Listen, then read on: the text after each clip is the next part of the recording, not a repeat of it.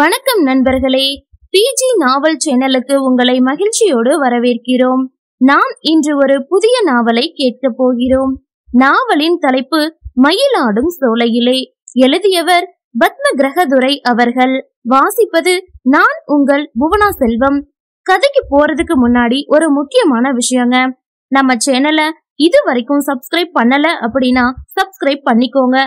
பக்கத்துல இருக்க பெல் ஐக்கானையும் கிளிக் பண்ணி ஆள்கிற ஆப்ஷனையும் கிளிக் பண்ணிக்கோங்க. அப்போதான் நாங்க போடுற வீடியோஸ் உங்களுக்கு நோட்டிபிகேஷனா வரும். நம்ம சேனல்ல வர கதைகள் பிடிச்சிருந்தா லைக் அண்ட் கமெண்ட் பண்ணி எங்களை உற்சாகப்படுத்துங்க. உங்களோட கருத்துக்களையும் எங்களுக்கு தெரியப்படுத்துங்க. மறக்காம சப்ஸ்கிரைப் பண்ணுங்க. வாங்க கதைக்குள்ள போகலாம். மயிலாடும் சோலையிலே. இன்ட்ரோடக்ஷன் குற்றாலத்தில் வசித்து வரும் மாதவியின் குடும்பம் சாபம் பெற்றது என்று ஊராரால் பேசப்படுகிறது. மாதவிக்கு கங்கா யமுனா காவேரி என மூன்று பெண்களும் பார்த்தசாரதி எனும் ஆணுமாக நான்கு பிள்ளைகள். மாதவியின் கணவர் வைத்தியநாதன் பாம்பு கடித்து இறக்க கங்காவின் கணவன் குற்றால அருவியில் இருந்து விளைந்து இறக்கிறான். பார்த்தசாரதியின் மனைவி விபத்தில் இறக்க தெய்வானியின் சாபம் அந்த வீட்டை பழி வாங்குவதாக பேச்சிருக்க. அந்த சாபத்தை உடைக்க என வருகிறாள் மணிமேகலை. தெய்வாவின் சாபம் பெற்று கருகி கிடக்கும் மலை உச்சியில் தைரியமாக ஏறும் முடிவெடுக்கிறாள். மணிமேகலை யார்? அந்த குடும்பத்தின் சாபத்தை தீர்க்க அவளுக்கென்ன அக்கறை? சாபத்தின் காரணம் என்ன? சாபம் தீர்ந்து மாதவியின் குடும்பம் நல்லபடியாக வாழ்ந்ததா? தெரிந்து கொள்ள கதையாக படிக்கத் தொடங்குங்கள்.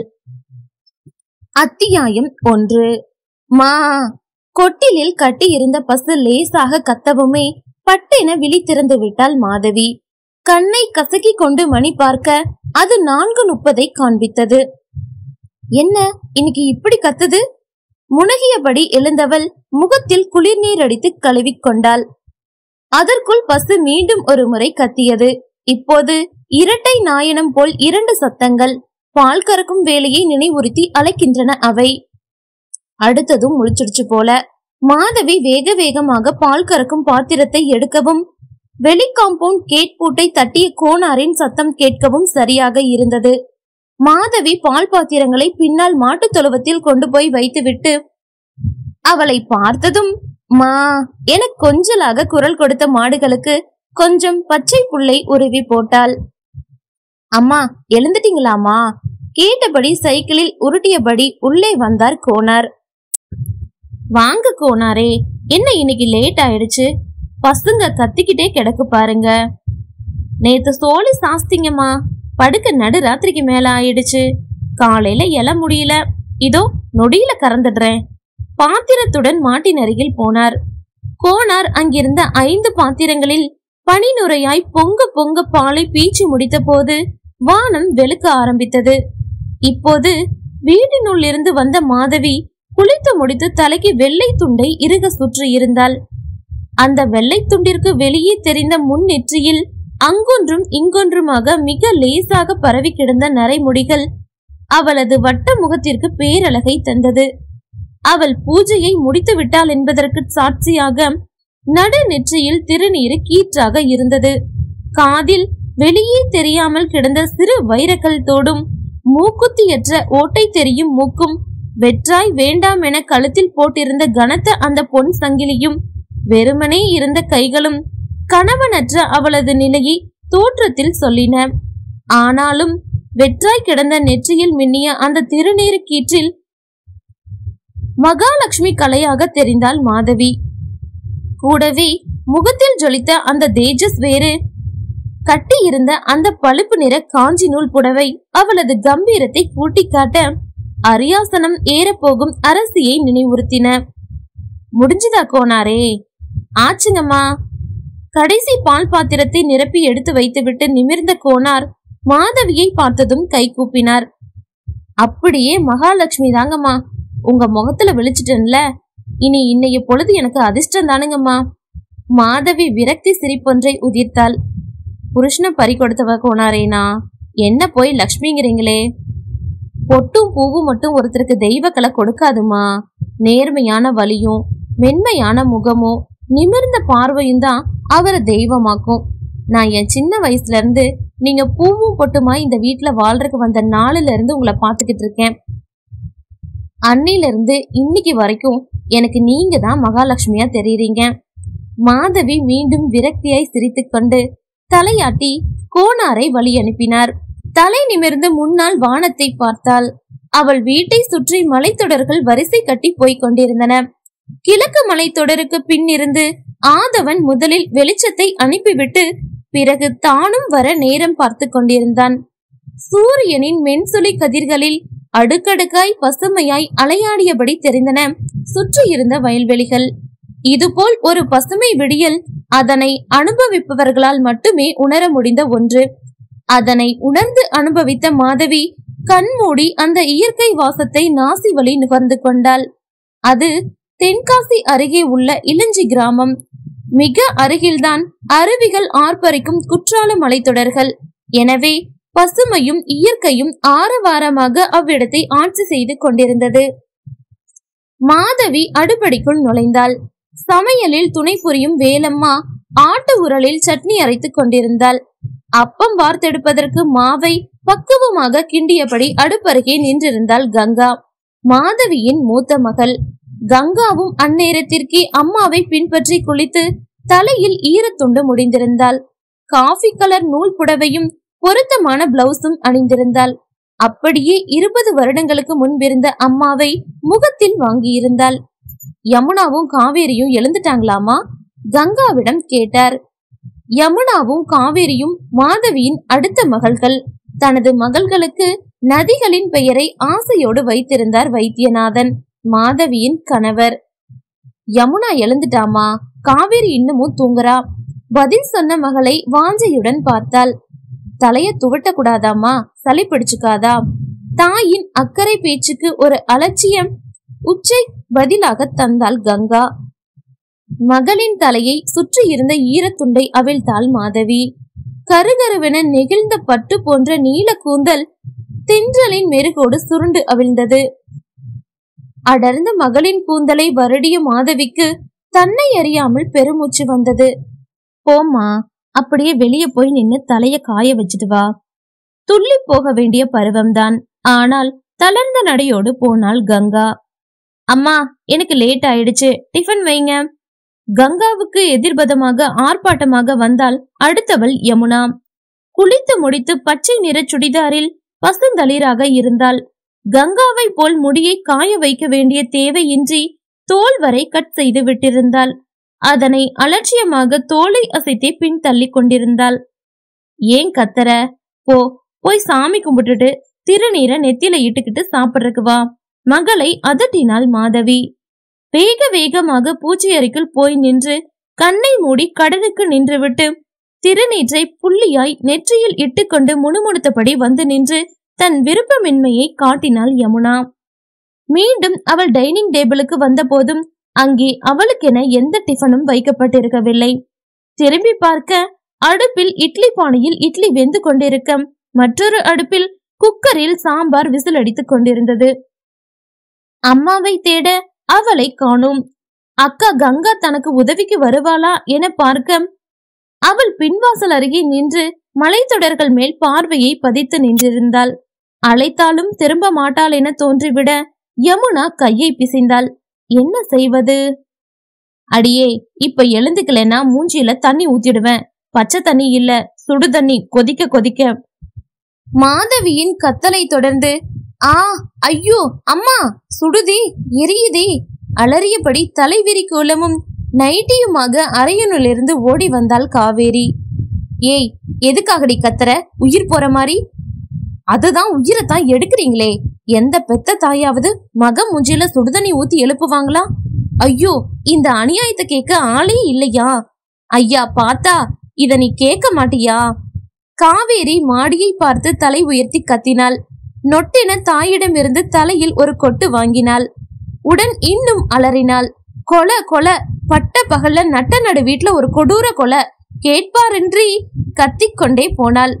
காவேரி வாய மூடு என்று அதட்டல் குரல் கேட்கவும் கப்பென்று வாயை மூடிக்கொண்டாள். அதிகாரமும் கம்பீரமும் குரலில் உருவிலும் நிரம்பி வழிய அகல பாதங்களை அழுத்தி வைத்தபடி அந்த மரப்படிக்கட்டுகளில் இறங்கி வந்து கொண்டிருந்தான் பார்த்த சாரதி உடன் அந்த வீட்டிற்கும் வீட்டில் உள்ளோருக்கும் சிறு பரபரப்பு தொற்றிக்கொண்டது அத்தியாயம் ரெண்டு. எதுக்காக காலங்காத்தால இப்படி கத்துற? அதட்டியபடி வந்த பார்த்த சாரதி குளித்து முடித்து வெள்ளை வேட்டி சட்டையில் வெளியே கிளம்ப தயாராக இருந்தான். அம்மா என் முகத்துல சுடுதண்ணி ஊத்தி எழுப்புறாங்கன்னா? தமையனிடம் புகார் சொன்னாள் காவேரி. அடியே இருடி நாளைக்கு நிச்சயமா சுடுதண்ணி தான் ஊத்துவேன். காவேரியின் கன்னத்தை பிடித்து இழுத்தாள் மாதவி. அம்மா நீங்க உள்ள போய் வேலைய பாருங்க. இவள நான் பாத்துக்கிறேன். தாயை உள்ளே அனுப்பினான். இந்த செமஸ்டர் ரிசல்ட் வந்துடுச்சா? இடுப்பில் கை வைத்து தங்கையை முறைத்தான். இல்லையே இப்பதானே நான் எழுதினேன். அதுக்குள்ள எப்படி வரும்? பார்த்த சாரதியின் பார்வை மாறவில்லை. அகலாமல் தங்கையின் கண்களை ஊன்றி இருக்க சரளமாக வந்து கொண்டிருந்த காவேரியின் வாய் வார்த்தைகள் திக்கி திணறி நின்றன. இந்த தடவை எத்தனை? மூணு. தலை குனிந்து முணுமுணுத்தாள்.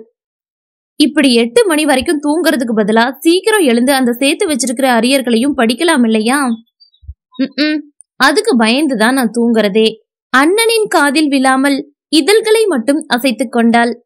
என்ன சொன்ன? பார்த்த சாரதியின் குரலில் இப்போது சத்தம் உயர்ந்திருக்க காவேரிக்கு உடல் உதற தொடங்கியது. நாளையில இருந்து படிக்க ஆரம்பிச்சிடுறேன்னு சொன்னேன்னா? ஏன்? இன்னைக்கு நல்ல நாள் இல்லையா? இன்னைக்கு அது இப்போ குளிச்சு காலேஜ் கிளம்பத்தானா நேரம் இருக்கும். ம். புறங்கையை வேகமாக வீசி அவன் போவென சைகை சொல்லவும் விழுந்தடித்து அறைக்குள் ஓடிவிட்டாள் காவேரி. எட்டு மணிக்கு என்ன அவசரம் யமுனா?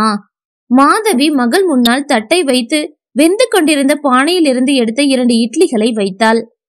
ஒரு அவசர ஆர்டர்மா? காலையில ஒரு ஸ்பெஷல் ஷிஃப்டா நாலு பேரை வர சொன்னேன். நான் போய் பக்கத்துல நின்னாதான் வேலை நடக்கும். அதுதான். இன்னும் சாம்பார் தயாராகல. சட்னி போட்டுக்கோ. அஞ்சு நிமிஷம் பொறு. வடை தட்டி போட்டுடுறேன் அடுப்பு பக்கம் திரும்பிய அம்மாவிடம் கத்தினாள் யமுனா.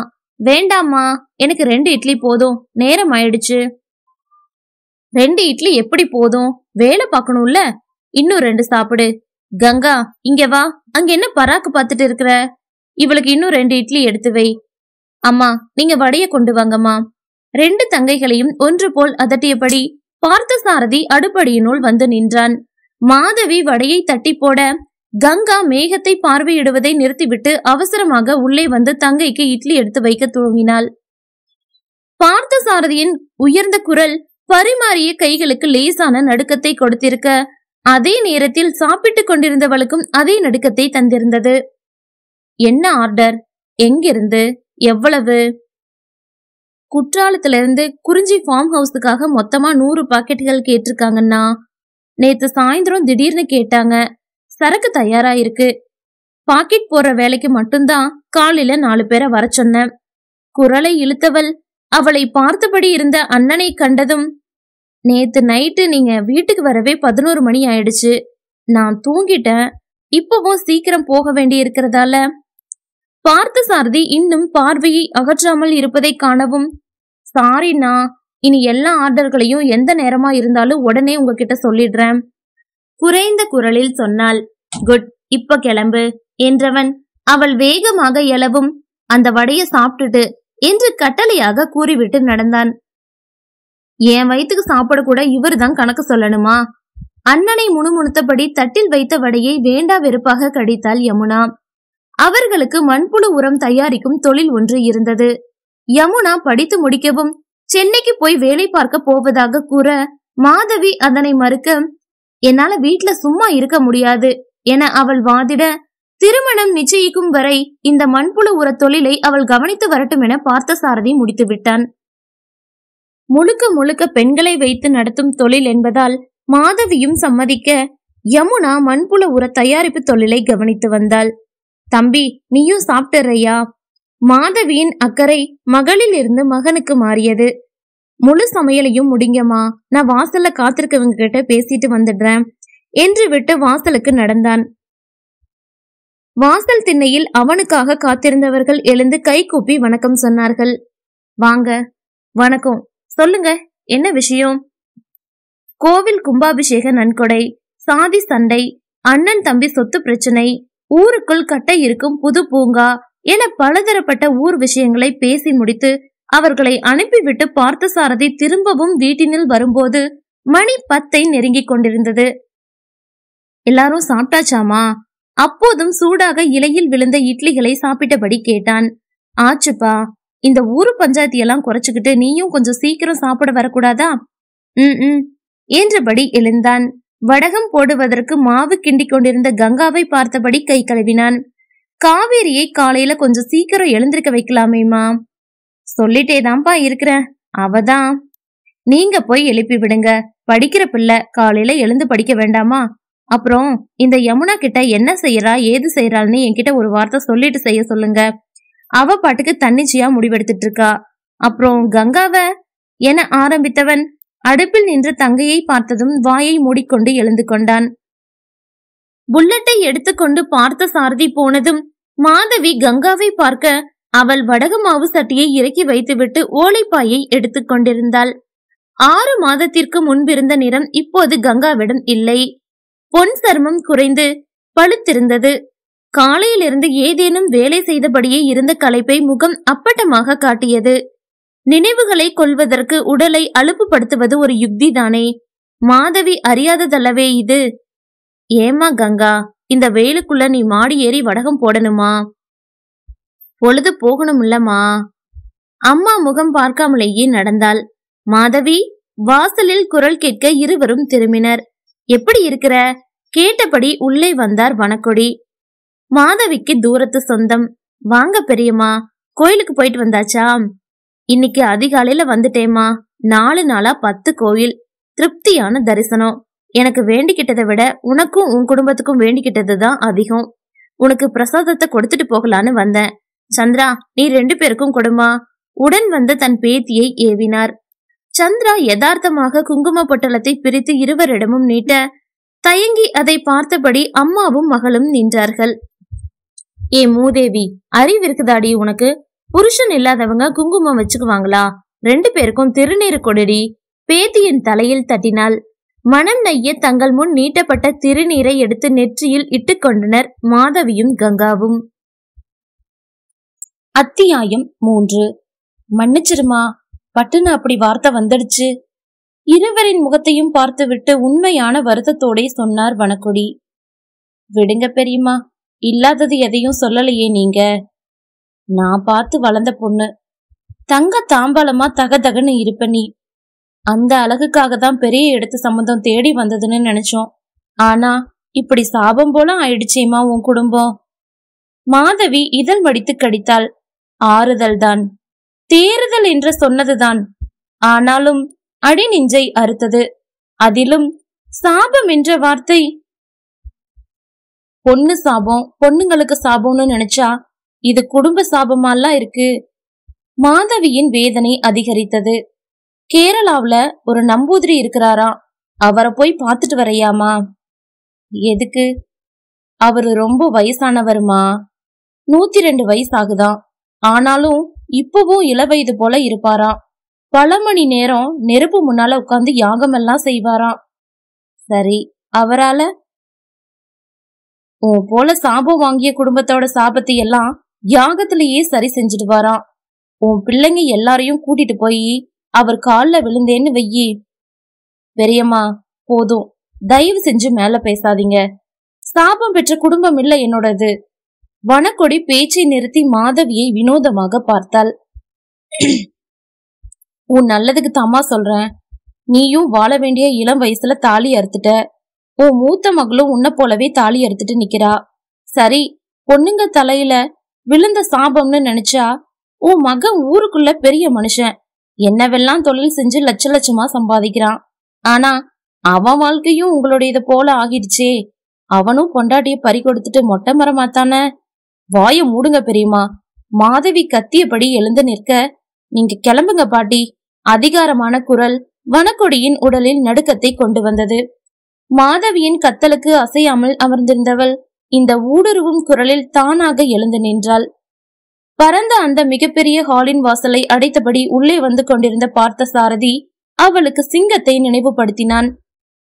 அகன்ற எட்டுக்களில் அந்த பெரிய அறையை அரை நிமிடத்தில் கடந்து அவள் எதிரில் நின்றவன் தன் இடுப்பில் கை வைத்து நிமிர்ந்து நின்றான். என்ன? என்ன பேசிக்கிட்டு இருந்தீங்க? ம்? கத்தலான குரல் இல்லை. ஆனால் அதிக ஆத்திரத்தை அடக்கி தெரியப்படுத்திக் கொண்டிருந்த உருமல் குரல்.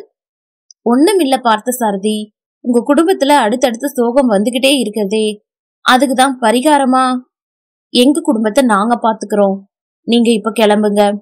இல்லப்பா நான் சொன்ன நம்பூதிரி மிகவும் சக்தி வாய்ந்தவரு. அவரு வீட்டை விட்டு வெளியே போங்கன்னு சொன்னேன்.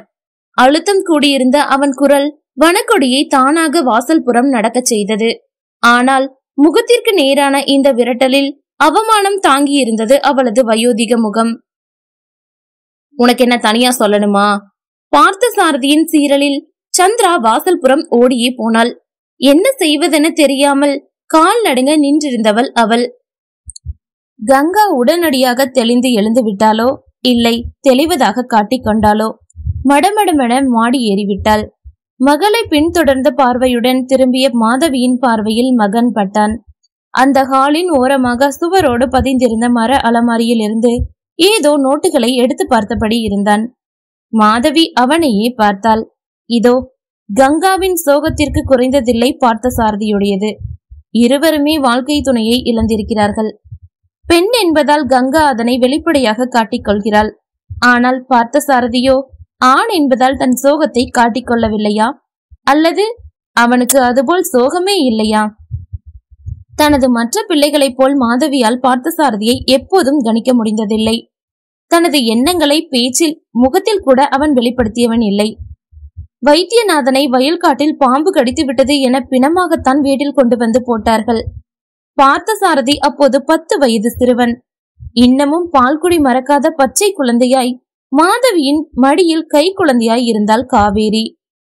திரண்ட சொத்துக்களோடும் நிறைந்த பிள்ளை செல்வங்களோடும் ஆபத்தான அழகோடும் இளம் விதவையாய் திக்கற்று நின்றாள் மாதவி. அபயம் தேடி சுழன்ற அவளது அகன்ற விழிகளில் அப்போது கூட இதோ இப்படித்தான் அலட்சியமாக இடுப்பில் கை தாங்கி நிற்கிறானே. இதே போலத்தான் அப்போதும் அந்த பத்து வயதிலும் நின்றபடி கீழே படுக்க வைக்கப்பட்டிருந்த தந்தையை பார்த்தபடி நின்ற பார்த்தசாரதி தென்பட்டான். தாயின் கலங்கள் பார்வையை பார்த்ததும் வேகமாக அவள் அருகே வந்தவன் ஆதரவாக அவள் கையை பற்றி கொண்டான்.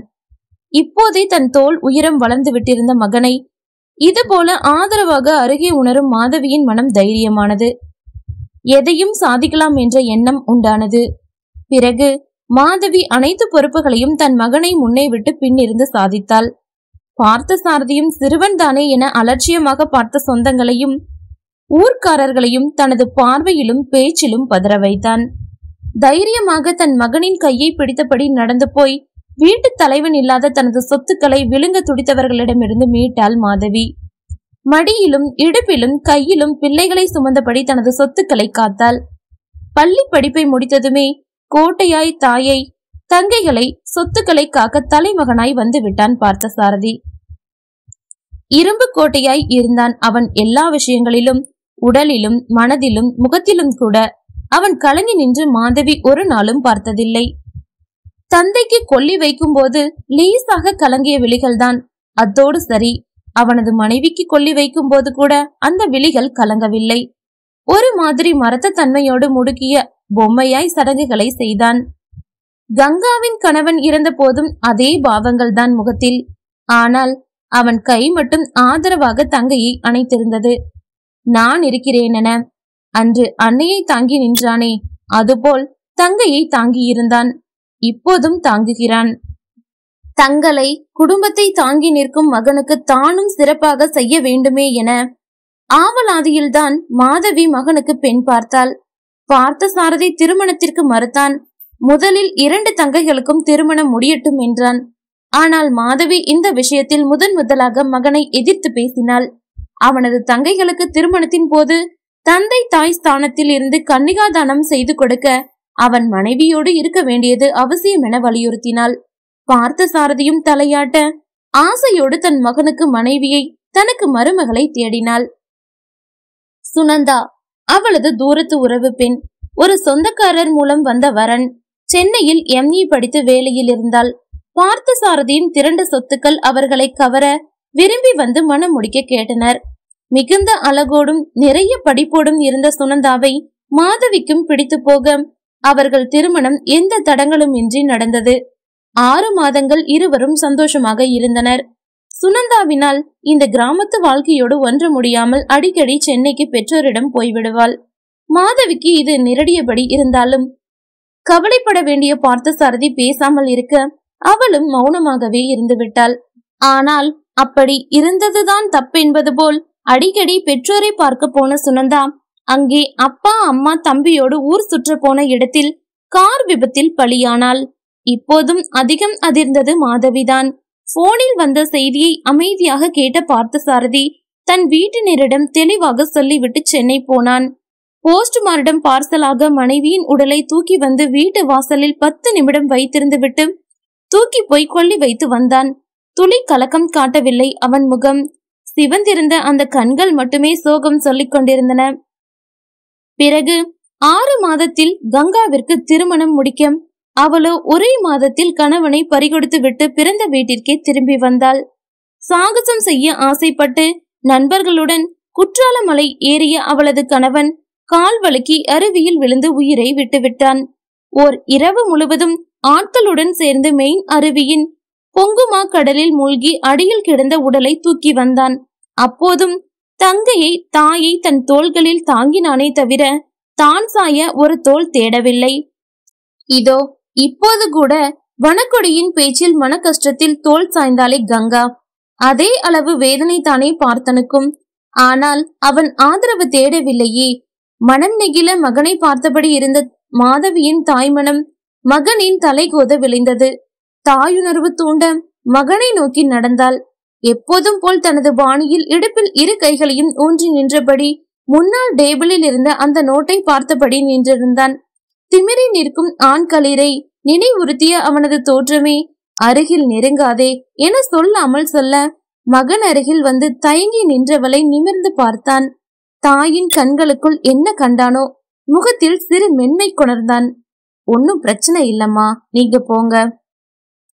கலக்கத்தோடு பார்த்த அன்னையின் தோலை பற்றி திருப்பி விட்டான் இப்போது ஆறுதல் இடம் மாறிவிட மன சமாதானத்தோடு திரும்பினாள் மாதவி. அத்தியாயம் நாலு. ஏம்மா எவ்வளவு நேரம் உனக்காக காத்திருக்கிறது? காலையில இருந்தே கோயிலுக்கு போகணும் சீக்கிரமானு சொல்லிட்டேனே. வாசலில் ஸ்கூட்டியை நிறுத்தி இறங்கிய யமுனாவிடம் கேட்டாள் மாதவி. ஏம்மா நான் என்ன அங்க ஊஞ்சல் ஆடிட்டு வரேன்னு நினைச்சீங்களா? வேலை பார்த்துட்டு வரேம்மா. உங்களுக்கு அவசரம்னா நீங்க கோவிலுக்கு கிளம்பி இருக்கலாமே. எனக்காக வெயிட் பண்ணிட்டு இருங்கன்னு நான் சொன்னனா யமுனா எரிந்து விழுந்தாள். உன்னை விட்டு கோயிலுக்கு போகிறதுக்கு எனக்கு தெரியாதா? வாரம் ஒரு நாள் எல்லாரையும் கூட்டிக்கிட்டு கோயிலுக்கு போகணும்னு காத்திருக்கேன். போ போய் ட்ரெஸ்ஸ மாத்திட்டு வா. அப்படி இந்த கோயிலுக்கு வர எனக்கு பிடிக்கலன்னு தான் சொல்றேன். முணுமுணுத்தபடி போனவள் மிக பொறுமையாக நேரம் எடுத்துக்கொண்டு அலங்கரித்து கொண்டு வந்தாள். ஏன் யமுனா கோயிலுக்கு போகிறோம் சேலை கட்டக்கூடாதா? ஏன்? இந்த சுடிதாருக்கு என்ன? எல்லாம் நல்லா தான் இருக்குது. வாங்க. ஏங்கா எப்ப பார்த்தாலும் பதிலுக்கு பதில் வாய் அடிக்கிற? என்று காவேரி அம்மாவிற்கு சப்போர்ட் சப்போர்ட்டாய் வந்தாள். ஏய் நீ வாய மூடுடி. எனக்கு தெரியும். தலைமுடிய வேற இப்படி பாதியா வெட்டி வச்சிருக்க. ஒவ்வொரு முறை சேலை கட்டும் போதும் இப்படி வாதாடுற. அழுத்தப்படி மகளின் தலையில் வெட்டி வைத்திருந்த மல்லிகை சரத்தை வைக்க வந்தாள். இப்போ பூ எதுக்குமா? எனக்கு இந்த பூ வாசம் ஒத்துக்காது. தலைவலி வரும். தாயிடமிருந்து தலையை பிடுங்கி நகர்த்தினாள். எந்த ஊர்ல மல்லிகைப்பூ வச்சா தலைவலி வருதான் அதட்டையபடி வந்தான் பார்த்த சாரதி. அண்ணா நீங்களும் கோவிலுக்கு வரீங்களா? ஆவலுடன் அண்ணனை அழைத்தாள் காவேரி. எனக்கு வேலை இருக்குதுமா நீங்க போயிட்டு வாங்க என்றவன் யமுனாவை உற்று பார்க்க அவள் சுண்டைக்காயாய் முகத்தை வைத்துக்கொண்டு பூவை எடுத்து தலையில் வைத்து ஹேர்பின் குத்தி கொண்டிருந்தாள். இந்த வீட்ல நினைச்ச ட்ரெஸ்ஸ போட நினைச்சபடி இருக்க கூட உரிமை கிடையாது. அவள் வாய் முணுமுணுத்தது. தன்னிச்சையாக இருப்பது என்பது ஒரு குடும்ப கட்டமைப்பில் உள்ளவர்கள் செய்யும் வேலை கிடையாது யமுனா. அண்ணனின் கண்டிப்பு யமுனாவை மேலும் கடுப்பேற்றியது. அவன் பேச்சிற்கு எதிராகவே செயல்பட நினைக்க தூண்டியது.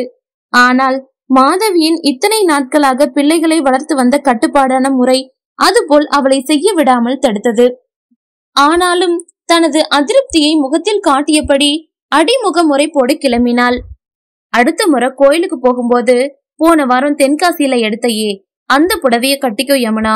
காரை எடுத்து வாசல்ல நிறுத்து ராமு போகிற போக்கில் சொல்வது போல் தங்கையை அடக்கிவிட்டு டிரைவரை அழைத்தபடி போய்விட்டான் பார்த்த சாரதி மாதவியின் திருப்தியான முகமும் கங்காவின் புன்னகை முகமும் வாயை பொத்தியபடி வெளிப்படையாக சிரித்த காவேரியின் செய்கையுமாக தாக்க யமுனாவின் முகம் சிவந்தது. வாசலுக்கு போன அண்ணனின் முதுகை முறைத்தாள் ராமு காரை எடுத்து வந்து நிறுத்த வீட்டு பெண்கள் அனைவரும் காரில் கவனமாக ஏற்றிவிட்டு பார்த்து மெல்ல போறாமோ என்று டிரைவரை கவனப்படுத்திவிட்டு தன் புல்லட்டை நோக்கி போனவனை வெறுப்போடு பார்த்தாள் யமுனா. எப்போதுமே பார்த்த சாரதிக்கும் யமுனாவுக்கும் இடையே இதுபோல் ஒரு பணியுத்தம் நடந்து கொண்டே இருக்கும். தன் பெண்களுடன் திருப்தியாக இளஞ்சி முருகனை வணங்கிவிட்டு சுற்று பிரகாரத்தில் அமர்ந்தாள் மாதவி. வனக்கொடி தன் பேத்தி சந்திராவுடன் கோவிலுக்குள் நுழைந்தார். இரண்டு நாட்களுக்கு முன்பு அவரை பார்த்த சாரதி கோபமாக பேசி வீட்டை விட்டு வெளியேற்றியது நினைவு வர மாதவியின் மனம் வருந்தியது. இப்போது அவர் முகம் பார்த்து பேசக்கூட யோசனையாக இருந்தது. ஆனாலும் சொந்தங்களை அப்படி விட்டு விட முடியுமா? அன்றைய சூழ்நிலையில் மகன் பேசியது சரி என்றாலும் இன்று அதை நினைத்த போது தவறென மாதவிக்கு தோன்றியது. என்ன இருந்தாலும் வனக்கொடி வயதில் பெரியவர் இல்லையா? அத்தோடு மாதவிக்கென இருக்கும் மிக சில பிறந்த வீட்டு சொந்தங்களில் ஒருவர். அவரை அப்படி விட மனதின்றி எழுந்தாள். இருங்க இப்போ வர பெண்களிடம் சொல்லிவிட்டு வனக்கொடியிடம் நடந்தாள். நல்லா இருக்கீங்களா பெரியம்மா? கண் கண்ணாடியை ஒற்றை விரலால் தூக்கி விட்டபடி அவளை பார்த்த வனக்கொடி வாங்க எஜமானியம்மா நல்லா இருக்கீங்களா நக்கலாக கேட்டாள். என்ன பெரியம்மா இப்படி சொல்றீங்க? உன் பெரிய வீட்டு நிலைமையத்தான் உன் மகன் எனக்கு தெளிவா சொல்லிட்டானே. பிறகு உன்னை எப்படி கூப்பிடுறதா நீங்க பார்த்து பிறந்த புள்ள பார்த்த சாரதி. அவன் ஒரு பெரிய மனுஷன்னு ஏதோ கோபத்துல சொன்னதையெல்லாம் நீங்க பெருசு பண்ணிட்டு விடுங்க பெரியமா நிஜமாகவே ஊர் பெரிய மனுஷன் ஊருக்குள் மரியாதையாக பார்க்கப்படுபவன். அவன் இவளுக்கு சின்ன பிள்ளையாம். தாயின் கண்களுக்கு பிள்ளைகள் எப்போதும் சிறுவர்கள்தான் போலும்.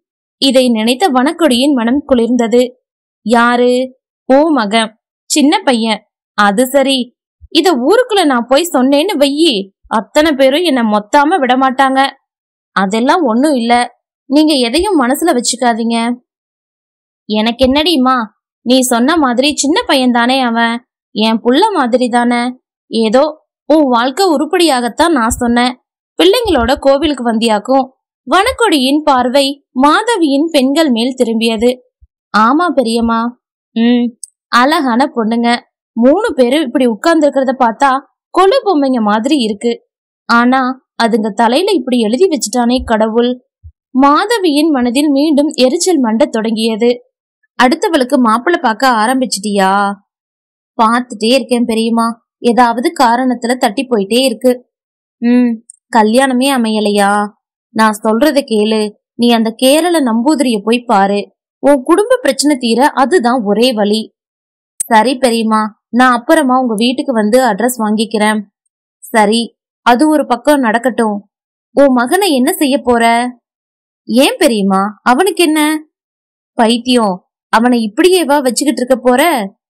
என்ன சொல்ல வரீங்க புரியல.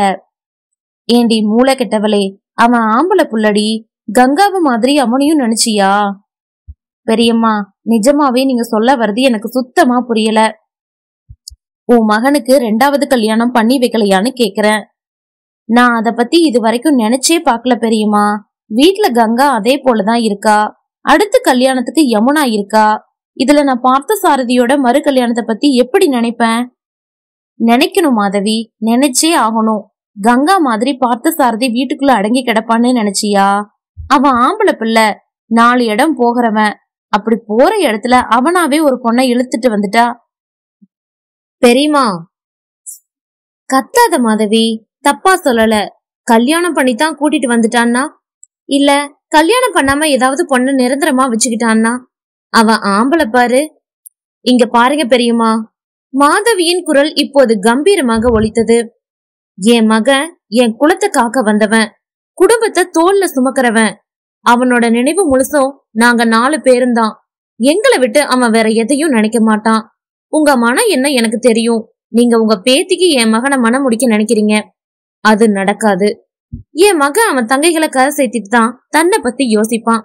இனியொரு முறை இது போல நடப்போட என்கிட்ட பேச வராதீங்க என்றவள் தன் மகள்களுக்கு வருமாறு கையசித்து விட்டு நகர்ந்தாள். சரிதான் மாதவி உன் மகன் நீ சொல்றது போல உத்தம புத்திரனாவே இருந்துட்டு போறான். அப்படிப்பட்டவனுக்கு நீ செய்யற கைமாறு இதுதானா? அவனை காலம் பூராவும் உன் பிள்ளையா மட்டுமே வச்சுக்க நினைக்கிறியா? அவனுக்கான நியாயமான குடும்ப வாழ்வு அவனுக்கு வேண்டாமா? இது எந்த வகை நியாயம்? ம் முருகா இந்த குடும்பத்தை நீதாம்பா ஓரக்கண்ணால பார்க்கணும். வனக்குடி இந்த வேண்டுதலைத்தான் கற்பூர ஜோதியில் தெரிந்த முருகனிடம் கேட்டுக்கொண்டாள் நமக்கு நாமே கடவுளிடம் வைக்கும் வேண்டுதலை விட நமக்காக பிறர் வைக்கும் வேண்டுதலுக்கு சக்தி வாய்ந்தது. அதனை நிச்சயம் கடவுளின் கடைக்கண் பார்வை பார்க்கும். இதோ நான் உன் வேண்டுதலை கவனித்து விட்டேன் என்பது போல் மந்தகாசமாக புன்னகைத்துக் கொண்டிருந்தான் அந்த இளஞ்சி முருகன். அடுத்த வாரத்தின் ஆரம்ப நாள். பால் கறந்த பாத்திரத்தை எடுத்து வைத்துக் கொண்டிருந்த மாதவி வாசலில் கார் வந்து நிற்கும் சத்தத்தில் மலர்ந்தாள். யாருமா? காலங்காத்தால? கோனார் கேட்டார். என் பார்த்தந்தான் கோனாரே. சென்னை போயிருந்தான். இப்போதான் திரும்ப வர்றான். ரெண்டு நாளா அவன் வீட்ல இல்லாதனால வீடு வீடாவே இல்ல. மகனின் இரண்டு நாள் பிரிவை தாங்க முடியாமல் அவனை பார்க்கும் ஆவலில் வாசலுக்கு போனாள் மாதவி. ஸ்தம்பித்தாள். அங்கே பார்த்த சாரதி ஒரு பெண்ணுடன் ஜோடியாக காரில் இருந்து இறங்கிக் கொண்டிருந்தான். என் மனைவிமா ஒரு இக்கட்டான சூழ்நிலையில எங்க திருமணம் நடக்க வேண்டியதாயிடுச்சு. நீங்க ஆரத்தி தயார் பண்ணுங்க. சென்னையிலிருந்து தாய்க்கு ஏதோ பரிசு பொருள் வாங்கி வந்திருப்பவனைப் போல நிதானமாக சொன்னபடி நின்றான் பார்த்த சாரதி அத்தியாயம் ஐந்து. முதல்ல அடுப்புல பால் வச்சு பொங்க விடவா அத்தை? கேட்ட அவளது பற்கள் வெண்மொத்துக்களாய் பிரகாசித்தன. பிரமிப்பு போய் அதிர்ச்சி போய் இப்போது மாதவிக்குள் கோபம் வந்து கொண்டிருந்தது. அந்த கோபத்தை அவள் மகனின் மீது காட்ட முடியாது. அது அவளுக்கு பழக்கமில்லாதது. எனவே கண்களை உருட்டி வந்தவளை முறைத்தாள். ஏன் அத்தை முறைக்கிறீங்க? சினுங்கி வந்த குரலில் குயிலின் ஜாடை லேசாக தெரிந்தது. முதல்ல பூஜை அறையில விளக்கேத்தணும் இல்லையா அத்தை? கண்டுபிடிப்பொன்றின் குதூகல குழந்தை பாவம் குரலில். காவேரி பூஜை ரூம் எங்க இருக்கு? அண்ணன் மனைவியின் லேசான அதிகாரத்தை சுமந்து இப்போது உதிர்த்தது குரல். படக்கென வந்துவிட்ட அந்த அதிகாரத்தில் லேசாக வாய் திறந்த காவேரி மௌனமாக விரலை மட்டும் நீட்டி காட்டினாள். யமுனா எனக்கு கொஞ்சம் பூ வேணுமே. பூஜைக்கு நம்ம தோட்டத்திலிருந்து பறிச்சுட்டு வாயே. வரும்போது செம்பருத்தி பூச்செடி பார்த்தேன். அதையே பறிச்சுட்டு வாயே. பட்டாம்பூச்சி இறக்கையாய் மூடி திறந்த அந்த விழிகளை பார்த்தபடி நின்ற யமுனா இந்த அதிகார வேண்டுதலில் கொஞ்சம் கோபம் கொண்டாள். அண்ணனின் அதிகாரத்தையே பொறுக்க முடியாதவள் யமுனா. இந்த புதிதாய் வந்தவளை பொறுப்பாலாம் ஏய் என்ன? உன் பாட்டுக்கு பேசிட்டே போற? முதல்ல யார் நீ? அத சொல்லு. கேள்வி கேட்கும் தைரியம் அந்த வீட்டில் முதலில் யமுனாவிற்குத்தான் வந்தது. என் மனைவி யமுனா உன் அண்ணி அழுத்தமான பதில் வாசல் புறம் இருந்து வந்தது. ஆரத்திக்கு ஏற்பாடு பண்ணும்படி பார்த்தசாரதி அம்மாவிடம் சொல்ல அவள் மறுப்பை காட்டியபடி நின்றாள். என்னம்மா? பார்த்தசாரதியின் புருவங்கள் நெறிந்தன. அது அது வந்து நாங்க எப்படின்னா கங்கா தங்கள் நிலைமையை சொல்லி தாயை காக்க முயன்றாள். நான் யமுனாவையும் காவேரியையும் சொன்னேன். அவங்க கல்யாணம் முடியாத சின்ன பிள்ளைங்க. அவங்களுக்கு ஆர்த்தி எடுக்க என்ன தெரியும்? மாதவிக்கு இந்த திடீர் திருமணத்திற்கு ஆரத்தி எடுக்கும் எண்ணமில்லை. ஓ சரி. அப்போ ஆரத்தி கரைச்சு கொண்டு வாங்க. ஆரத்தி கரைக்க தெரிஞ்சவங்க இருக்கீங்க இல்லையா? குத்தலாக வந்தது அவன் குரல். வேறு வழியின்றி ஆரத்தி கரைத்து வந்த கங்கா அதை கைகளில் வைத்துக்கொண்டு விழித்தபடி நிற்க முன்னால் வந்து ஆரத்தி தட்டை கையில் வாங்கி கொண்டான் பார்த்த சாரதி வீட்டுக்கு புதுசா வந்தவங்களுக்கு தானே வரவேற்பு கொடுக்கணும். கேட்டபடி தானே அவளுக்கு ஆரத்தி சுற்றினான். மூன்று சுற்றுதானம்மா? தலை திருப்பி தாயிடம் சந்தேகம் உறுதி செய்தவன் ஆரத்தி குங்கும நீரை எடுத்து அந்த பெண்ணின் நெற்றியில் வைத்துவிட்டு இத கொண்டு போமா காவேரியிடம் தட்டை கொடுத்துவிட்டு வலது காலை எடுத்து வச்சு உள்ள வாமா என வரவேற்றான். முகம் நிரம்பிய பரவசத்துடன் அவள் வலது காலை எடுத்து வைத்தபோது உயரமான படியில் கால் நுனி தட்டி தடுமாற பாத்துமா பதறி கை கொடுத்து அவளை உள்ளே வரவேற்றான். அம்மா இவ பேர் மணிமேகலை. எங்க திருமணம் முடிஞ்ச கதைய பிறகு மெல்ல சொல்றேன். இப்போ அதோ அவங்க கிட்ட விளக்கம் சொல்லிட்டு வரேன். நீங்க இவளை உள்ள கூட்டிட்டு போய் பேசிக்கிட்டு இருங்க. வழக்கமாக பார்த்த சாரதியை பார்க்கவென காலையில் வீட்டில் முன் கூடியிருக்கும் ஊர்ஜனங்கள் இங்கே நடந்து கொண்டிருந்த அத்தனை நிகழ்வுகளையும் வாசலில் நின்றபடி எட்டி எட்டி பார்த்து கொண்டிருந்தனர். அவர்களை நோக்கி நடந்த பார்த்த சாரதி கம்பீரமாக கைகளை குவித்தான். என் மனைவி ஒரு அவசர பிரச்சனை. அதனால திடீர்னு எங்க திருமணம் முடிஞ்சிடுச்சு. வேற என்ன விஷயம்? சொல்லுங்க. என்றபடி ஊர் விஷயங்களை பேசத் தொடங்கினான். ஆவல் வழிந்த கண்களுடன் கணவனை பார்த்தபடி இருந்த மணிமேகலை இப்போது திரும்பி முதலில் பால் பொங்க விடவா அத்தை? என்றாள். அது எப்படி அண்ணா? எங்க யாருக்கும் சொல்லாம நீங்களா யாரையோ திருமணம் முடிச்சிட்டு வர்றீங்க? அதை எப்படி நாங்க ஒத்துக்க முடியும்? யமுனா தைரியமாக கேட்டாள். ம் முடிஞ்சிடுச்சு. அதற்கு என்ன செய்யலாங்கிற? எரிச்சலாய் கேட்டான். போன்ல கூட ஒரு வார்த்தை சொல்ல மாட்டியா பார்த்தா? மாதவி ஆதங்கத்தோடு கேட்டாள். அன்னையின் பக்கம் பார்த்த சாரதி திரும்பிய போது இருவருக்கும் இடையே வந்து நின்றாள் மணிமேகலை. கைகளை கூப்பினாள். மன்னிச்சிடுங்க அத்தை அவர் மேல தப்பில்லை. இந்த அவசர திருமணத்துக்கு நான் தான் முழு காரணம். இப்படி உடனடியா திருமணத்தை முடிக்க வேண்டிய நிலைமை எனக்கு. நான் என் மகன்கிட்ட கேட்டுக்கிட்டு இருந்தேன். எரிக்கும் மாதவியின் பார்வையை சந்தித்த பின்புதான் அம்மாவிற்கும் மகனுக்கும் இடையில் தான் நிற்பதை உணர்ந்தவள் சாரி என வேண்டி ஒதுங்கினாள். அத்தியாயம் ஆறு. அடுத்து அடுப்ப பத்த வச்சு பால் காய்ச்சி எல்லாருக்கும் கொடு. அடுத்த உத்தரவை வேகமாக முன் வந்து தானே சொன்னாள் மாதவி. யமுனா நீ கூட இருந்து உதவி பண்ணு. மகளையும் உடன் அனுப்பினாள். சாப்பிடுவதற்கு மட்டும் அடுப்படி பக்கம் வரும் மகன் மனைவிக்காக அடுப்பு பற்ற வைக்கவும் போய்விடக் கூடாதே என்ற பதட்டம் அவளுக்கு. பார்த்த சாரதியின் முகம் திருப்தியை காட்ட சோபாவில் அமர்ந்து கொண்டான். யமுனா விரோதியைப் போல முறைத்தபடி மணிமேகலையுடன் அடுப்படிக்கு போனாள். Nice kitchen. பாராட்டியபடி ஃப்ரிட்ஜை திறந்து தேடினாள் மணிமேகலை. பால் எங்க யமுனா? எங்க வீட்ல பால் ஃப்ரிட்ஜில் இருக்காது. ஐயோ ஏன்பா? பிறகு எப்படி? கடலாய் விரிந்தன அவள் விழிகள். வீட்ல மாடு வச்சிருக்கிறவங்க பாலை பாக்கெட்ல அடைக்க மாட்டோம். பால் இதோ இங்க இருக்கு இன்னமும் கரந்த நுரை மாறாமல் பொங்கி நின்ற பால் பாத்திரத்திற்கு மீண்டும் விழி விரித்தாள் மணிமேகலை. வாவ் நான் இப்படி பால் பார்த்ததே இல்லையே. பாத்திரத்தை கையில் எடுத்து முகத்தருகே கொண்டு போய் மூச்சிழுத்து பச்சை பாலின் வாசனையை ஆழ்ந்து நுகர்ந்தாள். இதெல்லாம் என்ன பண்ண போகுதோ? யமுனா முணுமுணுத்தாள். அடுப்பை பற்ற வைத்து பாலை பொங்க வைத்து யமுனாவின் உதவியோடு சீனி போட்டு ஆற்றி அழகாய் ட்ரேயில் அடுக்கி வந்து எல்லோருக்கும் கொடுத்த மணிமேகலை. தனது டம்ளரை எடுத்துக்கொண்டு கணவன் அருகில் சோபாவில் சுவாதீனமாக அமர்ந்து கொண்டாள். அந்த உரிமையில் மாதவியின் முகம் கருத்தது. இன்னைக்கு தான் ஃப்ரெஷ்ஷான பாலை நான் பார்த்தேன் சாரதி. பார்க்கவே ரொம்ப நல்லா இருந்தது. சீனியே தேவையில்லப்பா. வெறும் பாலை ரொம்ப ஸ்வீட்டா இருக்குது தெரியுமா? என்றவளின் குழந்தைத்தனத்தை பார்த்த சாரதி ரசித்தபடி இருந்தான். இவள் இப்போது என்ன சொன்னாள்? சாரதி என்றா? அவள் மகனை பெயர் சொல்லி அழைத்தாளா? புருஷனை பெயர் சொல்லி அழைப்பார்களா?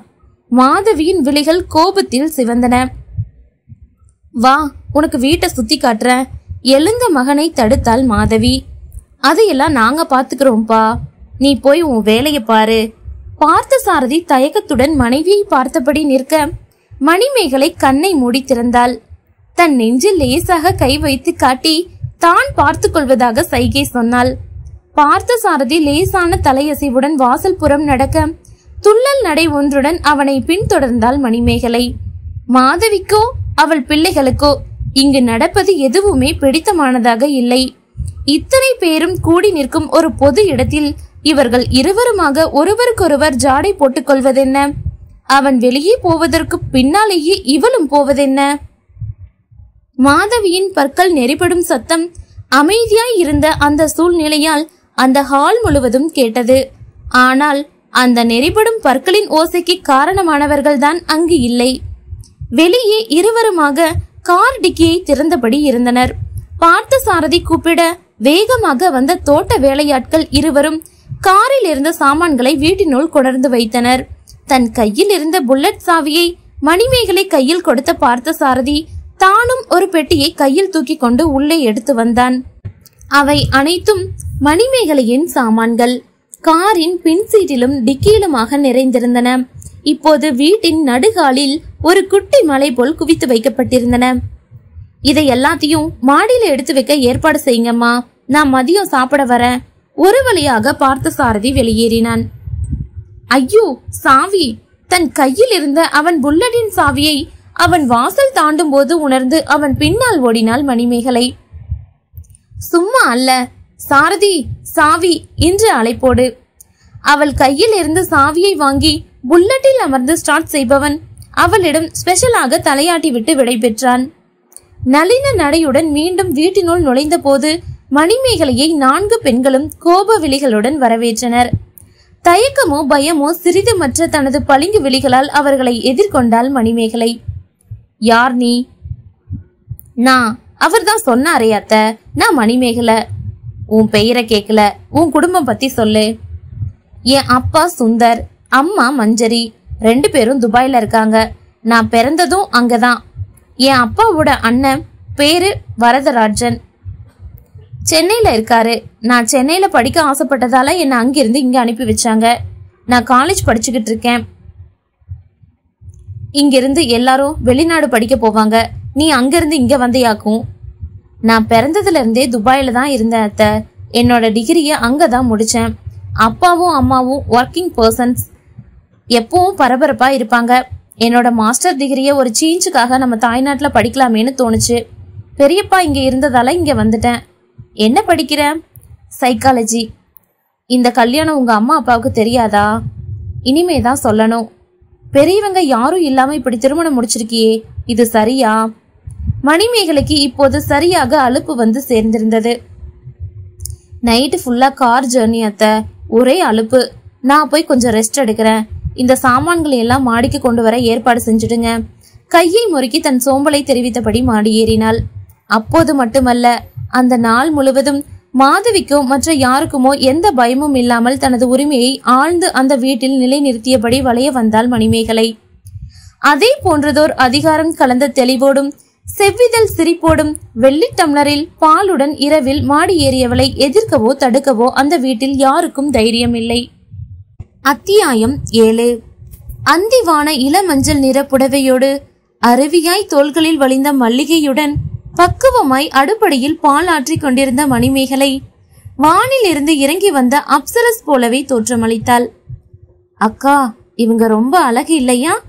காவேரி யமுனாவின் காதை கடிக்க உண்மையை ஒத்துக்கொள்ள முடியாத அவள் கண்ணை உருட்டி தங்கையை முறைத்தாள். மணிமேகலையின் அந்தி அலங்காரத்தை கண்டதுமே கங்கா தனது அறைக்குள் போய் முடங்கிக் கொள்ள டிவி பார்ப்பது போல் ஹாலில் அமர்ந்திருந்த தங்கைகள் இருவரும் மணிமேகலையை நோட்டம் விட்டுக் கொண்டிருந்தன. மறைத்தல் ஏதுமின்றி வெளிப்படையாக முறைத்துக் கொண்டிருந்த மாமியாரையோ ஓர பார்வையில் கண்காணித்தபடி இருந்த நாத்தனார்களையோ கண்டு கொள்ளாமல் மாடி ஏறினாள் மணிமேகலை. வளைவாய் எஸ் வடிவில் வளைந்து போன அந்த படிக்கட்டின் ஆரம்ப படி வரை புன்னகை தாங்கியிருந்த அவள் முகம் படி முடிந்து மாடிக்குள் நுழைந்ததும் கவனமும் ஜாக்கிரதைத்தனமுமாக மாறியது. கீழுள்ளோரின் பார்வை மறைந்ததும் துள்ளல் குறைந்து நடை நிதானமானது. பெரிய ஹாலை தொடர்ந்து இரு பக்கமும் வரிசையாக இருந்த அந்த அறைகளுக்கிடையே இருந்த நீள் பாதையில் நிதானமாக நடந்தவளின் மனம் அடுத்த செயல்பாடுகளை யோசனை செய்யத் தொடங்கியது. நடை வேகம் குறைந்தாலும் பயம் தெரியவில்லை. அதில் புதிதாய் ஒரு செயல் முடிக்கும் நிதானம்தான் தெரிந்தது. பார்த்த சாரதியின் மூடியிருந்த அரைக்கதவை லேசாக விரல் மடக்கி தட்டினாள். உள்ள வரலாம் என்று அவன் குரல் கேட்டதும் மெல்ல கதவை தள்ளி உள்ளே நுழைந்தாள். சுத்தமான வெள்ளை விரிப்பு விரித்து வைத்திருந்த கட்டில் நீளமாக தனித்து கிடக்க அதன் அருகே நின்றபடி இரண்டு கைகளையும் இடுப்பில் வைத்தபடி பார்த்த சாரதி வாசலை பார்த்தபடி நின்றிருந்தான். இவளை எதிர்பார்த்துதான் நின்றிருப்பானாய் இருக்கும் மணி பத்தாயிடுச்சே தூங்கலையா நீங்க? சாதாரணமாக கேட்டபடி பாலை அங்கிருந்த டேபிளில் வைத்தாள். பத்து மணிக்கெல்லாம் தூங்குற பழக்கம் எனக்கு இல்ல. ஆனா எனக்கு இருக்கு. வேலை இல்லைன்னா ஒன்பது மணிக்கெல்லாம் கூட தூங்கிடுவேன். இப்ப சொல்லுங்க நான் எங்க படுத்துக்கிட்டும்? அறையை சுற்றி கண்களை ஓடவிட்டபடி கேட்டாள். நாம கொஞ்சம் பேசணும் உட்காரு. பேசலாமே உட்கார்ந்து பேசுவோமே. கட்டிலில் அமர்ந்து கொண்டவள் அவனுக்கும் தனது பக்கத்தை காட்டினாள். பார்த்த சாரதி ஒரு விதமாக அவளை பார்த்தபடி ஒரு மர நாற்காலியை இழுத்து போட்டு அவள் எதிரில் அமர்ந்தான். பார்த்த இல்லையா? இதுதான் என் வீடு. என் குடும்பம். இதை எப்படி சரிப்படுத்த முடியும்? எப்படி இயல்பாக்க முடியும்? முடியும். புன்னகைத்தாள். நீங்க கவலைப்படாதீங்க. நான் பாத்துக்கிறேன். அப்படி என்ன தலையெழுத்து உனக்கு? நான் பிடிச்சு எடுத்துக்கிட்ட வேலை தானே இது பார்த்த சாரதி இதுல எனக்கு கஷ்டம் எதுவும் இருக்க போறதில்ல. நீங்க மட்டும் இன்னைக்கு போல என்னைக்கும் என் கூட ஒத்துழைச்சா நிச்சயம் நான் எல்லாத்தையும் மாத்தி காட்டுவேன். ம். சில நேரம் உன் கூட சேர்ந்து சின்ன பிள்ளைத்தனமா நானும் ஏதோ செய்யறேனோ தோணுது. அந்த மாதிரியெல்லாம் நீங்க மனசை போட்டு அலட்டிக்க வேண்டாம். நமக்கு இந்த ப்ராஜெக்ட் நிச்சயம் வெற்றியாகும். இமைக்காமல் அவளை பார்த்தான். என் குடும்பம் உனக்கு ப்ராஜெக்டா போச்சுடா சலித்தாள். ஐயா பெரிய மனுஷரே நான் அப்படி நினைக்கல. ஒரு வேலையை எடுத்தா அதை இப்படி குறிப்பிடுறது என் பழக்கம். அது போல நினைச்சு சொல்லிட்டேன். உங்க மனசை புண்படுத்தி இருந்தா மன்னிச்சுக்கோங்க. கேலி போல் சொல்லி கை கூப்பினாள். பார்த்த சாரதியின் முகத்தில் தீவிரம் குறைந்து இலக்கம் வந்தது. ஐயாவா? புன்னகையை அகலமாக்கினான். ஆமா நீங்க இந்த ஊர்ல எவ்வளோ பெரிய மனுஷரா இருக்கீங்க? ஐயா ஐயான்னு எவ்வளோ மரியாதை உங்களுக்கு? இதையெல்லாம் நான் தமிழ் சினிமாவில் தான் பார்த்துருக்கேன். அதுதான் கும்பலோட கும்பலா நானும் ஒரு ஐயாவை போட்டு வைப்பேன்னு நினைச்சேன். கடகடவென்று சிரித்தவன் வேண்டாம் தாயே நான் உனக்கெல்லாம் ஐயாவா இருக்க விரும்பல. நீ எப்பவும் போல சாரதினே கூப்பிட்டுக்கோ. இப்ப படுக்கலாம் நான் அங்க படுத்துக்கிறேன். கட்டிலில் இருந்த தலையணையை எடுத்துக்கொண்டு பக்கத்தில் இருந்த சிறிய அறைக்கு நடந்தான். அந்த அறையில் சுவர்களை ஒட்டி மர பீரோக்களாக வரிசையாக வைக்கப்பட்டிருக்க நடுவில் கொஞ்சமே இடம் இருந்தது அந்த இடம் படுப்பதற்கு எப்படி போதும்? முன்பே அந்த அறையை பார்த்திருந்த மணிமேகலை திடமென இப்படி தோன்ற வேகமாக நடந்து சாத்தி இருந்த கதவை தள்ளினாள். இங்க எப்படி படுத்துக்குவீங்க? கேட்டபடி நிமிர்ந்தவள் முகம் மாறியது. உள்ளே இடுப்பில் வேட்டியோடு சட்டை சுழற்றிய வெற்று மார்போடு படுக்க தோதாக நின்றிருந்தான் பார்த்த சாரதி என்னம்மா? புருவம் உயர்த்தினான். வந்து இந்த இடம் ரொம்ப சின்னதா? இங்க எப்படி படுத்துக்குவீங்க? நான் இரவுல காவலுக்காக வயக்காடு ரைஸ் மில்னு படுத்து பழகினவம்மா. எனக்கு இது பிரச்சனை இல்ல. நீ போய் தூங்கு. சொல்லிவிட்டு கோரைப்பாயை உதறி தரையில் விழித்தான். அவனது எளிமையை வியப்பாய் பார்த்தபடி குட் நைட் சொல்லிவிட்டு வந்து கட்டிலில் படுத்தாள். உடனேயே எழுந்து உட்கார்ந்து கொண்டு தன்னை ஆராய்ந்தவள் காட் இத்தனையோடு எப்படி தூங்க? தன் உடலை ஒட்டி இருந்த நகைகள் புடவையை பார்த்து முணுமுணுத்தாள்.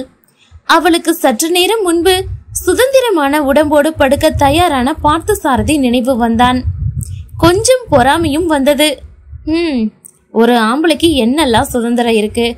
உதடுகளை பிதுக்கி கொண்டு நகைகளை கலட்டி வைத்துவிட்டு காட்டன் நைட்டிக்கு மாறினாள். இப்போது கொஞ்சம் ரிலாக்ஸாக உணர்ந்து கட்டிலில் சரிந்து கண்களை மூடிக்கொண்டாள். எப்பவும் போல சாரதினை கூப்பிட்டுக்கோ. அவனின் வார்த்தைகள் காதில் ஒலிக்க அதே நேரம் மாதவியின் பார்த்தன் அழைப்பும் நினைவு வந்தது. பார்த்தன் அர்ஜுனன். தேரில் ஏறி வில் வளைக்கும் அர்ஜுனன் தோற்றத்தில் பார்த்த சாரதி மனதில் வர மணிமேகலை தனை மீறி இமை மூடியபடி புன்னகைத்தாள். ம் பார்த்தா இந்த அழைப்பு கூட நல்லா தான் இருக்கு. இனி நான் அப்படிதான் அழைக்க போறேன். பார்த்தா பார்த்தன்? வாய்க்குள் முணுமுணுத்தபடி கண் அயர்ந்தவளின் மனதினுள் இரவு முழுவதும் அர்ஜுனாய் பார்த்தனை வலம் வந்து கொண்டிருந்தான். அத்தியாயம் எட்டு. உன்னோட ஃபேக்டரி எங்க இருக்கு யமுனா? மணிமேகலையின் கேள்வியில் விழித்தாள் யமுனா. ஃபேக்டரியா என்ன ஃபேக்டரி நீ ஏதோ உரம் தயாரிக்கிற தொழில் பார்க்கறதா அவர் சொன்னாரே. அதை பத்தி கேட்டேன். பெரிய பெரிய மிஷின் ஓடுற மாதிரி நினைச்சியா? நான் பார்க்கறது சாதாரண மண்புழு உர தொழில். அது முழுசும் மனுஷங்களை வச்சு செய்யற தொழில். ஆ எஸ் ஃபுல்லா லேடிஸை மட்டுமே வச்சு செய்யற தொழில் இல்லையா? நானும் உன் கூட இன்னைக்கு வரட்டுமா? எங்க? உன் ஃபேக்டரிக்கு அது ஃபேக்டரி இல்ல. ஓகே டியர் உன்னுடைய தொழிலகத்துக்கு என்ன கூட்டிட்டு போறியா? திக்கி திணறி மணிமேகலை உச்சரித்த தொழிலகம் அதையும் அவள் நாடியில் விரல் தட்டி யோசித்த விதம் யமுனாவிற்கு சிரிப்பு மூட்ட அதை அடக்கி கொண்டவள் வேணா என்றாள். ஏன்பா? உடனே முகம் வாடியது மணிமேகலைக்கு. ப்ளீஸ்பா இதையெல்லாம் நான் பார்த்ததில்ல. பார்க்க ஆசையா இருக்கு அதுதான் கேக்குறேன். என் வேலையில பிறர் தலையிடுறது எனக்கு பிடிக்காது. ஆனா நான் அடுத்தவ இல்லையே உன் அண்ணி தானே. அப்படின்னு நீ தான் சொல்லிக்கிட்டு இருக்க. நாங்க அல்லவா அதை சொல்லணும்? ஏன் எங்க திருமணம் முடிஞ்சிடுச்சு. நீங்களும் சொல்ல வேண்டியது தானே? திருமணமா? சும்மா ரோட்ல போற கழுத உன்னை திருமணம் செஞ்சுக்கிட்டு எங்க அண்ணன் கூட்டிட்டு வருவாரு? அதை நாங்க ஒத்துக்கணுமா? கழுதையா? மெல்லிய முனகளுடன் மணிமேகலை முகம் வாட யமுனா என்று அதட்டலுடன் வந்தான் பார்த்த சாரதி மேகா உன்னோட அண்ணி. நான் அவளுக்கு அந்த உரிமையை கொடுத்து தான் இந்த வீட்டுக்கு அழைச்சிட்டு வந்திருக்கேன். அவளை இது போல பேசினா எனக்கு பிடிக்காது. அப்படி நான் என்ன அண்ணா பேசிட்டேன்? நீங்க ரெண்டு பேரும் செஞ்சது மட்டும் ரொம்ப நியாயமா? ஒரு அறிவிப்பும் இல்லாம திடீர்னு ஒருத்திய வீட்டு மருமகளா கொண்டு வந்து நிறுத்தினா எங்களால எப்படி ஒத்துக்க முடியும்? மாதவி அடுப்படி வாசலில் வந்து நின்றாள். யமுனாவின் இத்தனை பேச்சுக்களையும் அவள் கேட்டுக்கொண்டுதான் இருந்தாள். யமுனாவின் குணம் இதுதான். அவள் எல்லோரிடமும் இப்படித்தான் பேசுவாள். மற்றவர்களிடம் இதுபோல அவள் எடுத்திருந்து பேசும்போது லேசான கண்டிப்புடன் நகர்ந்துவிடும் மாதவி தன் மகனிடம் அவளை இதுபோல் பேச அனுமதிக்க மாட்டாள். வாயை திறக்கும் போதே முறைத்து நிறுத்தி விடுவாள்.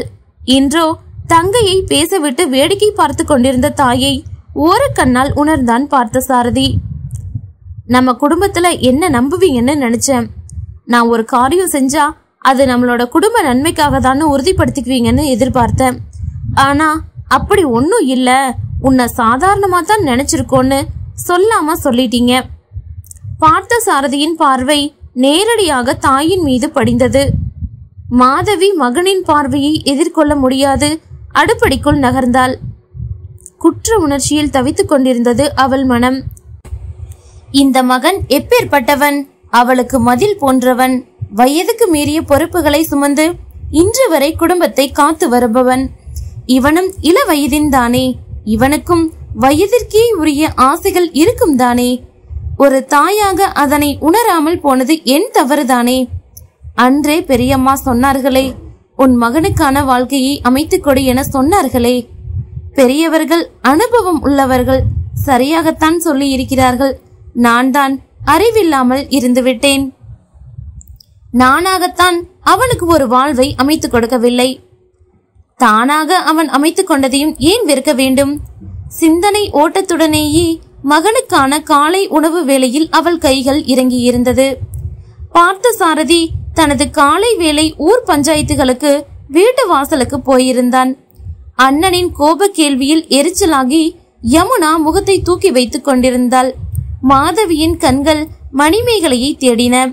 அவள் புருஷன் பின்னாலேயே போய்விட்டாளோ? கண்களால் சலித்தாள். அவள் முதல் மருமகள் சுனந்தா அப்படித்தான். அவளுக்கு ஒன்று அவள் கணவனுடன் வெளியே போய்விட வேண்டும். இல்லை மாடி அறைக்குள் பூட்டிக் கொள்ள வேண்டும்.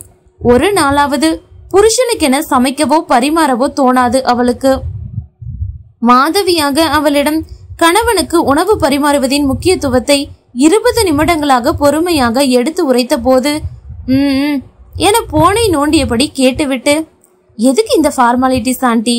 டேபிள்ல இருக்கிறதை எடுத்து போட்டுக்க அவருக்கு தெரியாதா? என்று விட்டு மாடிக்கு போய்விட்டாள். பார்த்த சாரதியை பார்த்தால் அவன் எந்த எதிர்பார்ப்பும் இன்றி தானாகவே தட்டில் எடுத்து போட்டுக்கொள்ள முனைந்து கொண்டிருக்க மாதவியின் மனம் உருக அவசரமாக மகனுக்கு பரிமாற ஓடினாள்.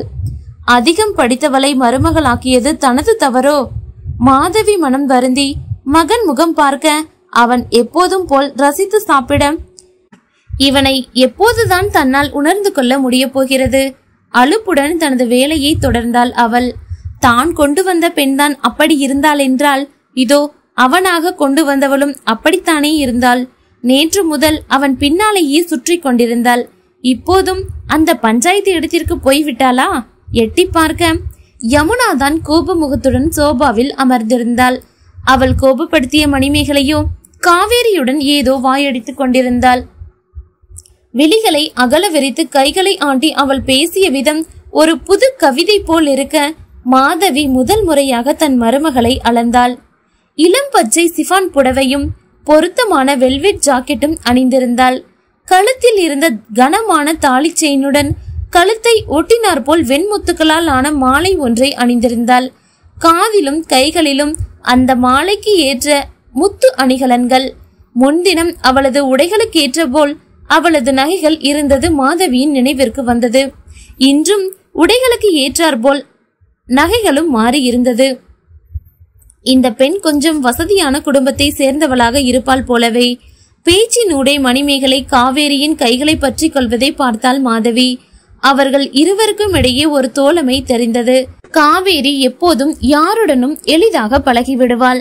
அதுவும் இந்த பெண்ணுடன் பழகுவது அவளுக்கு மிகவும் உவப்பாய் இருப்பது போல் இருந்தது இரு இரு உன்னோட காலேஜுக்கு வந்து உன் லெக்சர்ஸை நான் மீட் பண்ணி உன்னை பத்தி சொல்றேன். ஒற்றை விரலாட்டி காவேரியை மிரட்டி கொண்டிருந்தவள் மாதவியை கவனித்து விட்டாள். உங்களுக்கு ஏதாவது ஹெல்ப் பண்ணணுமா அத்தை? மணிமேகலையின் பற்கள் அவளது கழுத்தாரத்தோடு போட்டியிட்டன. நெற்றி மீது விழுந்த முடியை விலக்கி கொண்டபோது அவளது நீள் விரல்களில் பூசியிருந்த பச்சை வர்ண பாலிஸ் தெரிந்தது. நேற்று அந்த நகங்கள் ஆரஞ்சு வண்ணமாய் இருந்தது நினைவு வந்தது மாதவிக்கு. இவ என் கூட வந்து அடுப்படியில வேலை செய்ய போகிறாளாக்கும். அலட்சிய முகபாவம் ஒன்றுடன் மாதவி திரும்பி நடக்க அவளுடன் ஒட்டியபடி மணிமேகலையும் உள்ளே வந்தாள். கிச்சன் ரொம்ப அழகா இருக்கு அத்தை. மாதவி பதில் சொல்லாமல் கொத்தமல்லி தலைகளை அலசத் தொடங்கினாள்.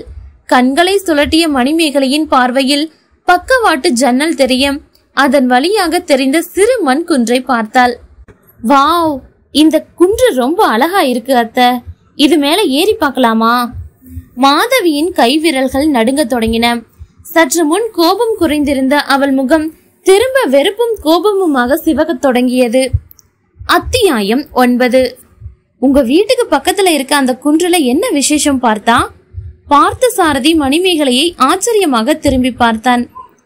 எப்படி அழைச்ச பார்த்தா உங்க அம்மா அப்படித்தானே கூப்பிட்டாங்க. நானும் இனி அப்படித்தான் உங்களை கூப்பிட போறேன். அம்மா மட்டும்தான் அப்படி கூப்பிடுவாங்க மணிமேகலை. நீயும் அப்படி அழைக்கிறது அவங்களுக்கு பிடிக்காம போகலாம். அதுக்காகத்தானே அப்படி அழைக்கணும்னு நினைக்கிறேன்.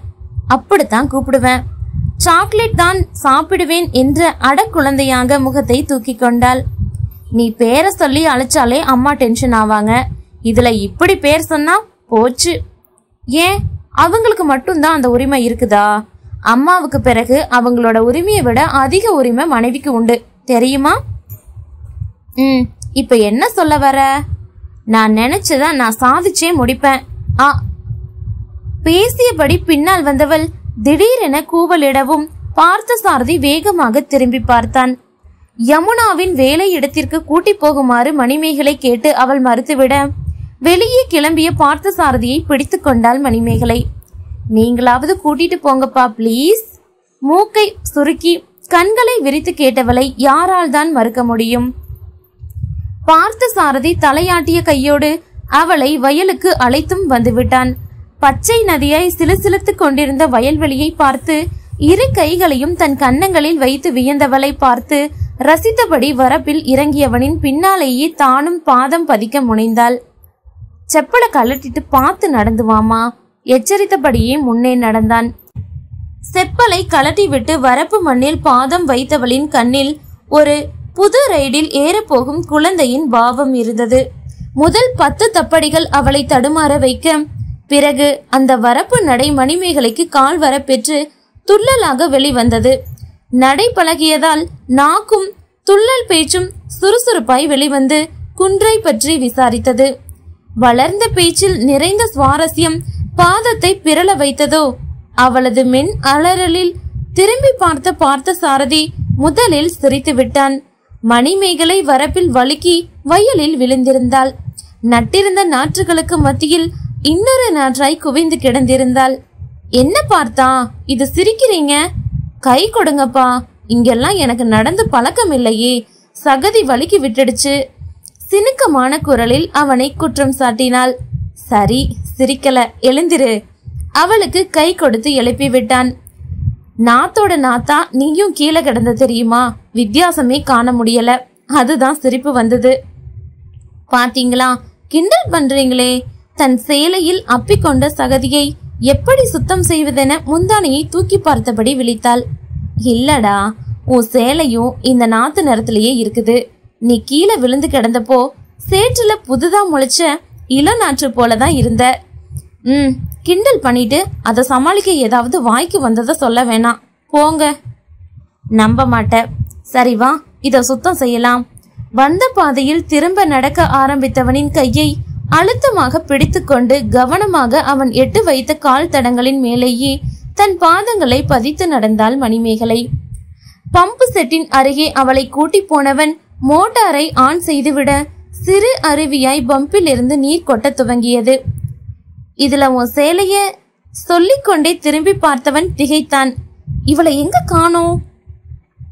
அவள்தான் அப்போதே அந்த நீருக்குள் புகுந்திருந்தாளே.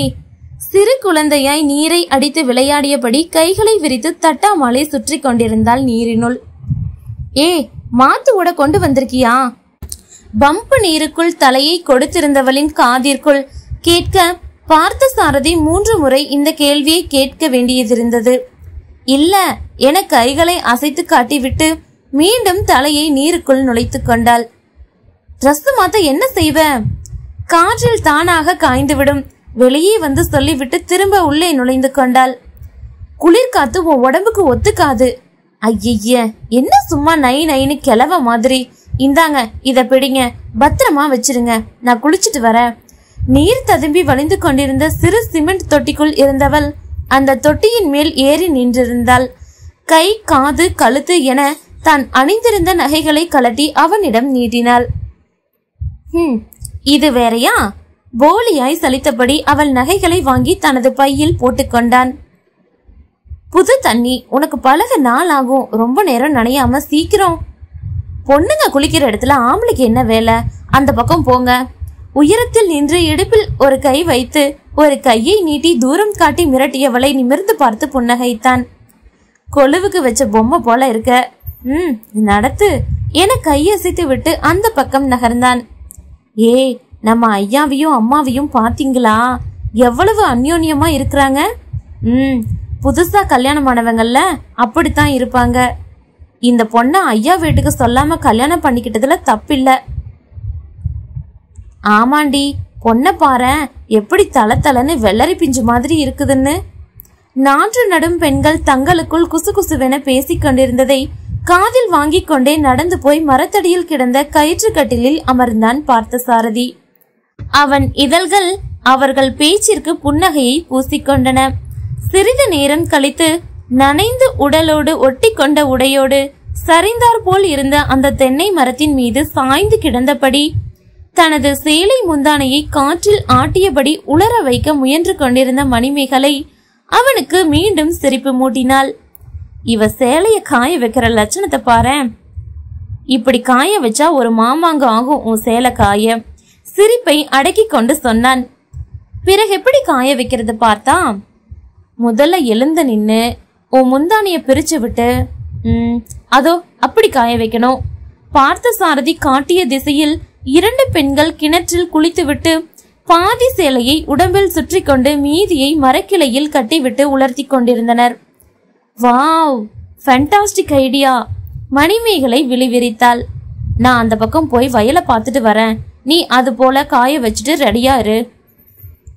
ஆனா எனக்கு இப்போ ரொம்ப டயர்டா இருக்கே. சிறு குழந்தையின் புகார் குரலில் கூறிவிட்டு மேலும் நன்றாக சாய்ந்து கொண்டாள். தண்ணீர்ல அளவா ஆடணும்.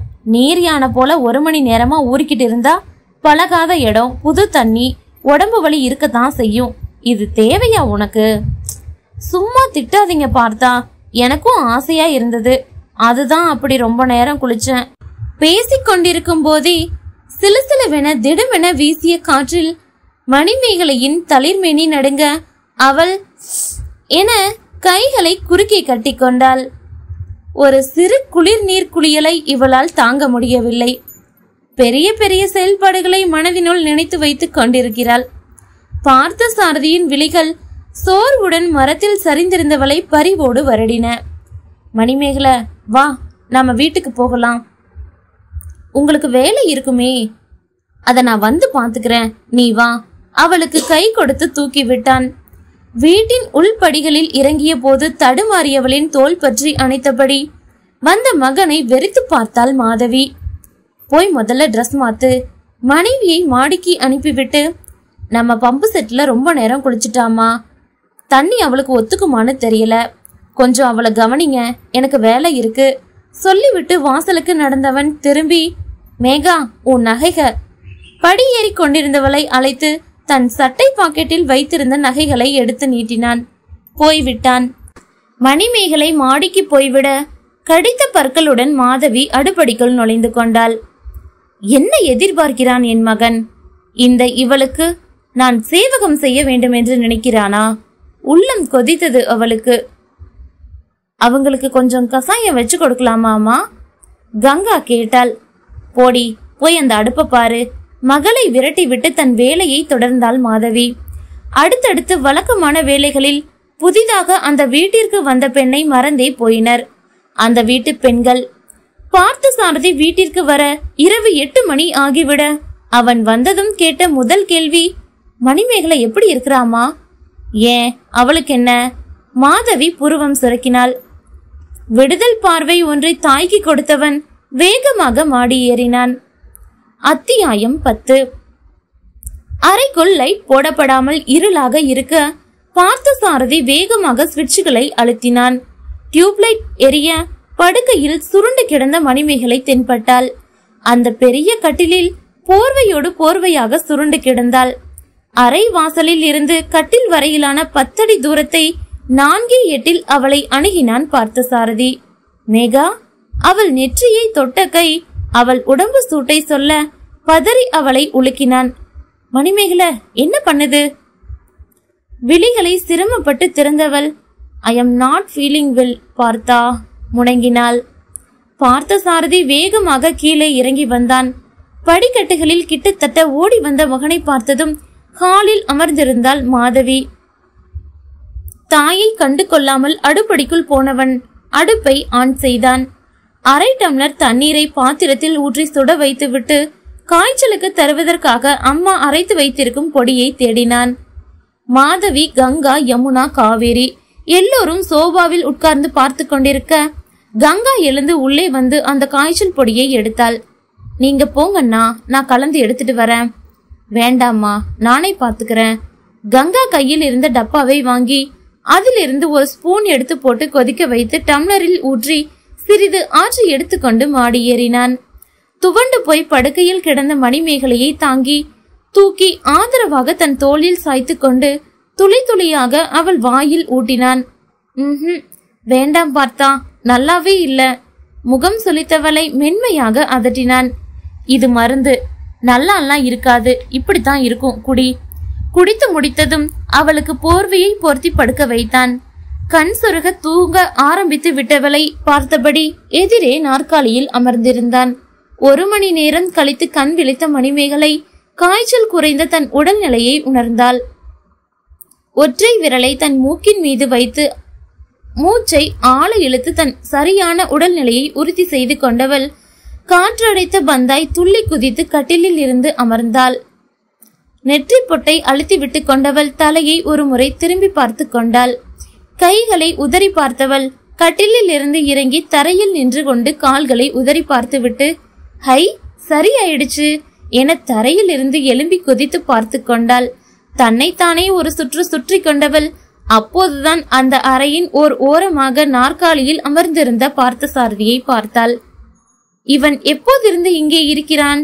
சிறு நாணத்தோடு நகம் கடித்தாள் உன் குதியாட்டம் எல்லாத்தையும் பார்த்துட்டேன். அமர்த்தலாக நாற்காலியின் பின்புறம் சாய்ந்தபடி குரல் கொடுத்தான் பார்த்த சாரதி எனக்கு அதுக்கு எங்க நேரம் கிடைச்சது? நீதான் அதுக்குள்ள ஜால்ரா போல ஜலஜலக்க ஆரம்பிச்சிட்டியே. ஜால்ரா? ம் என கையால் ஜால்ரா அடிப்பது போல் தட்டி காண்பித்தான். ஐயோ தலை மீது இரு கையையும் வைத்து தாங்கி கட்டிலில் அமர்ந்து விட்டாள். ஒரு மணி நேரத்துக்கு முன்னால கண்ணிமைய கூட உன்னால அசைக்க முடியல. இப்ப கொஞ்சம் சரியாகவும் இந்த குதி குதிப்பியா? ஹே கொஞ்சம் இல்லப்பா நிறைய. இப்ப எல்லாமே ஐ எம் பர்ஃபெக்ட்லி ஆல்ரைட் எப்படி இந்த மாயாஜாலம் நடந்தது? எனக்கு என்ன கொடுத்தீங்க? காய்ச்சல் கசாயம் வாவ் செம்ம ரெஸ்பான்ஸ் பா எவ்வளோ குவிக் ரெமடி. அந்த கஷாயம் எப்படி செய்வீங்க? ஏதேதோ பொடி சேர்த்து அம்மா தான் செய்வாங்க. ஓ நான் போய் அவங்க கிட்ட கேக்குறேன். பார்த்த சாரதி கூப்பிட்டு கொண்டிருக்கும் போதே மடமடவென்று கீழே ஓடிவிட்டாள். அத்த அத்த மாடிப்படிகளில் தலை தெறிக்க ஓடி வந்தவளை பார்த்ததும் சிறு பதட்டத்துடன் சோபாவில் இருந்து எழுந்தாள் மாதவி. என்ன பாத்தீங்களா மாதவியின் முன்னால் நின்று தன் உடலை ஒரு முறை மேலிருந்து கீழ் வருடி காண்பித்தாள். சூப்பர் ஆயிட்டேன் எல்லாம் உங்க தயவுதான். சொல்லிக்கொண்டே மாதவியின் அருகில் வந்து அவளை அணைத்துக் கொண்டாள். ரொம்ப தேங்க்ஸ் அத்த. உங்க கைய காட்டுங்க. விலகி மாதவியின் கையை பற்றி ஆராய்ந்தாள். உங்க மகன் அடிக்கடி சொல்வாரு எங்க அம்மா வரம் தரும் சாமி மாதிரின்னு. அது சரிதான் போல. உங்க கைகளுக்குள்ள ஏதோ சக்தி இருக்கு. இல்லைனா அந்த மாதிரி ஒரு ஹெவி ஃபீவரை எப்படி உங்களால இவ்வளோ சீக்கிரம் சரி பண்ண முடியும்? மாதவி வான்பட்டமாய் தன் முன்னால் படப்படுத்துக் கொண்டிருந்த மணிமேகலையை பார்த்தாள். சாதாரணமான ஒரு இளநீல காட்டன் நைட்டியை அணிந்திருந்தாள் அவள். இத்தனை நேரமாக சுருண்டு படுத்திருந்ததில் அது ஆங்காங்கே கசங்கி இருந்தது முதுகு வரை இருந்த அவள் கூந்தல் பரட்டையாக படர்ந்து அவள் முகத்தின் மீது தத்தி தத்தி விழுந்து கொண்டிருந்தது.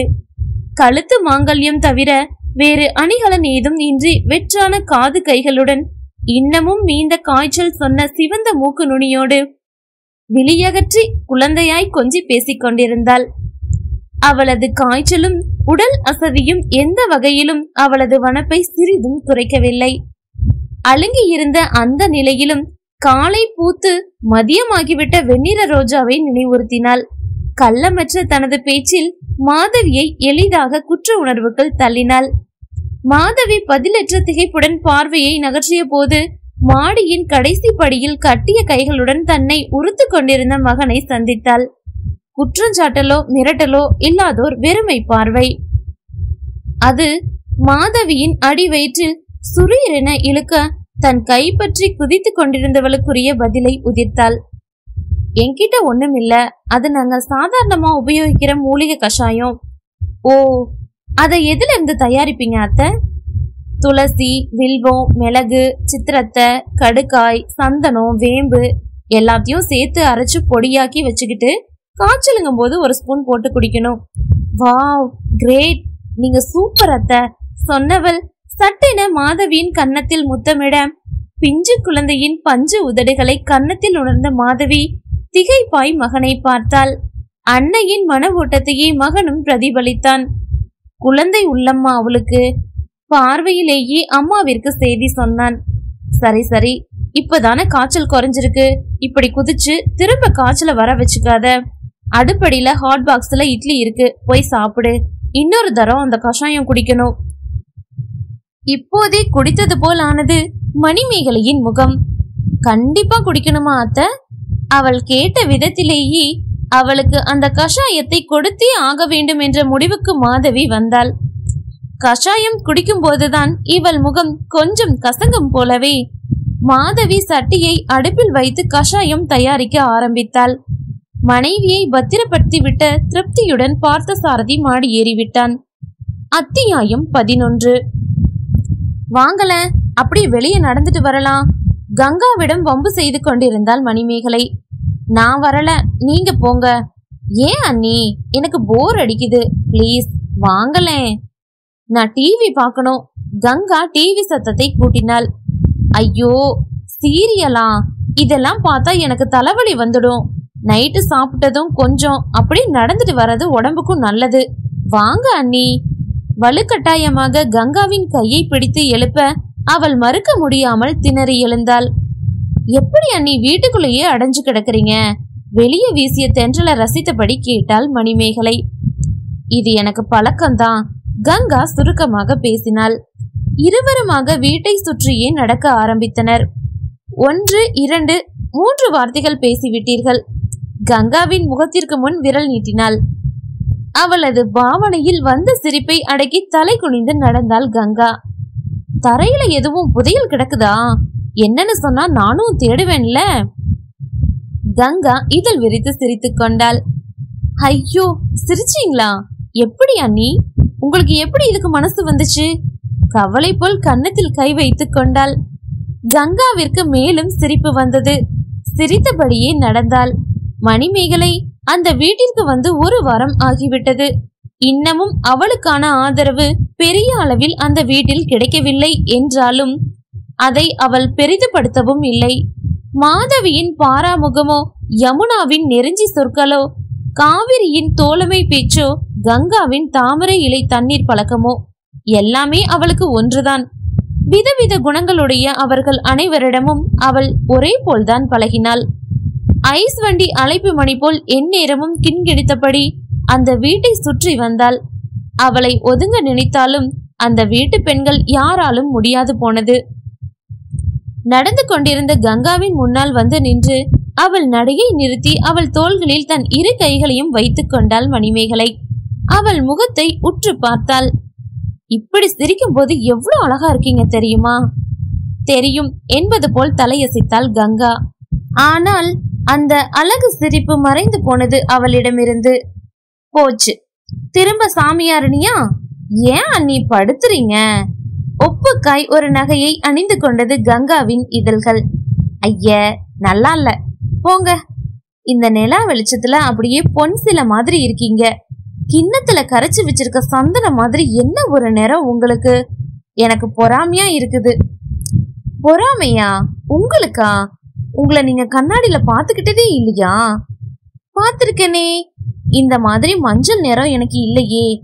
பெரிய கவலை போல் கண்ணம் தாங்கிக் கொண்டாள். நான் பொன் சிலைனா நீங்க வெள்ளி சிலை. என்ன குறை இதுல? அப்படியா என்ன? சந்தேகம் தீராமல் தன் கையை கங்காவின் கையருகே வைத்து பார்த்துவிட்டு போங்க நீங்க தான் பளிச்சுன்னு இருக்கீங்க முகத்தை தூக்கி வைத்து கொண்டாள். கங்கா குனிந்து தன் தேக நிறத்தை தன்னை ஆராய்ந்து கொண்டிருந்த போது ஏன் அண்ணி எப்பவும் இது போல மங்கள் நிற சேலையவே கட்டுறீங்க? உங்க நிறத்துக்கு நல்ல டார்க் கலர் சேலைகள் அழகா இருக்குமே ஊடுருவலாய் கேட்டாள். எனக்கு அதுல எல்லாம் இன்ட்ரெஸ்ட் இல்ல. கங்கா தனது நடையை தொடர்ந்திருந்தாள். ஏன்? அது போலெல்லாம் உடை அணிஞ்சுக்கிட்டா உங்களை நீங்களே ரசிக்க ஆரம்பிச்சிடுவீங்களோன்னு பயமா? மணிமேகலையின் வார்த்தைகள் வாழைப்பழ ஊசியாக இருந்தன. என்ன சொல்றீங்க? கொஞ்சம் அதிகமா அலங்கரிச்சுக்க ஆரம்பிச்சிட்டா உங்களது இந்த பொய் வட்ட உடைய ஆரம்பிச்சிடுமே. என்ன பேசுறீங்க? கங்கா நின்று விட்டாள். நீங்க எதுக்கும் ஆசைப்படாதவங்க எதையும் விரும்பாதவங்க யாரையும் எதிர்பார்க்காதவங்க. இப்படி போன்றவீங்களா? உங்களை சுத்தி வரைஞ்சு வச்சிருக்கீங்களே. அந்த பிம்பம் உடஞ்சிடுமே. என்ன வேணும்னாலும் பேசலாம் அண்ணி. ஆனா பேசுறதுக்கு முன்னாடி யோசிச்சு பேசணும். அது போல நடிக்கிறதுனால எனக்கு என்ன லாபம்? தெரியலையே.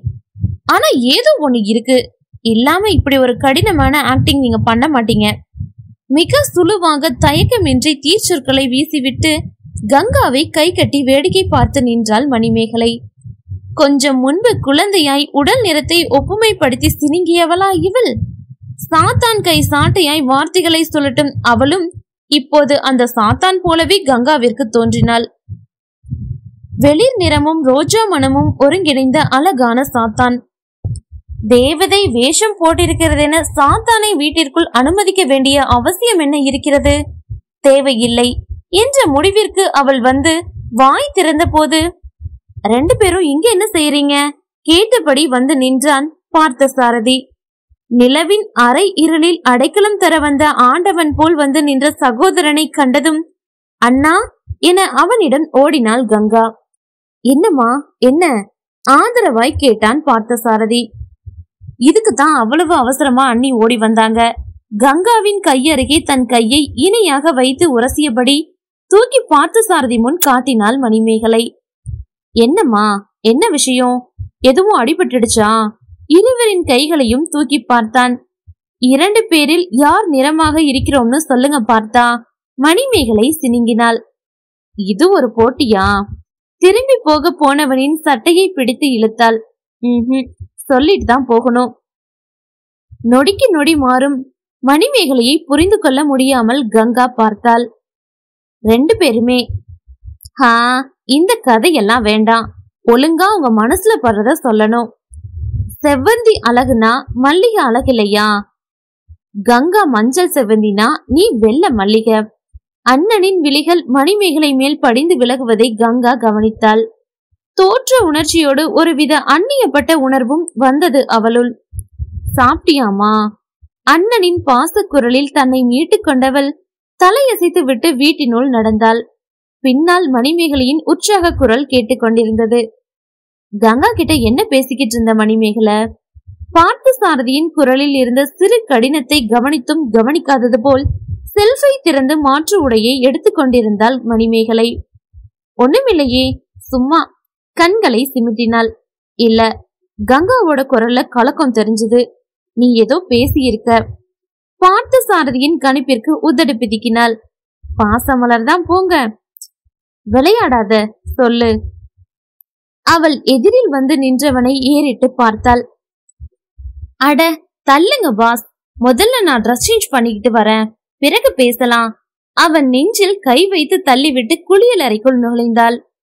முகம் கழுவி உடை மாற்றி அவள் வெளிவந்த போது அதே இடத்தில் நின்றிருந்தான் பார்த்த சாரதி உம் உடம்பு பிடிதான் போல.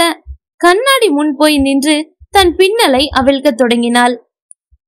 கண்ணாடியில் அசையாமல் நின்ற அவனது பிம்பத்தை கண்டவள் புன்னகையோடு திரும்பி அவனை பார்த்தாள். உங்க தங்கைக்கே அவங்கள உணர்த்திக்கிட்டு இருக்கேன் பார்த்தா. அத கொஞ்சம் ஸ்ட்ராங்கா செஞ்சேன் அவ்வளவுதான். கங்கா ரொம்ப கலங்கி தெரிஞ்சா அறுக்காம பொறைய சரி செய்ய முடியாது பார்த்தா. தனது கூந்தலை பிரஷ் பண்ண துவங்கினாள் அவ மென்மையானவ மேகா கொஞ்சம் கவனமா அவள. தன் அருகே வந்து நின்று தங்கைக்காக தயவாய் கேட்கும் அந்த ஆண் மகனை நிமிர்ந்து பார்த்தாள். வனத்தையே துவைத்து எடுக்கும் களிற்றுக்கு இணையானவன் இவன். பாசத்தால் மென்மையாகி தயங்கி கனிந்து நிற்கிறான். தன் கையில் இருந்த பிரஷை கீழே வைத்தவள் நுனிக்காலில் எட்டி அவன் கன்னத்தை தட்டினாள். ஆறுதல் போல் அவன் அவளுக்கு செய்வதுதான். அதையே அவனுக்கு செய்தாள். நான் பாத்துக்கிறேன் பார்த்தா.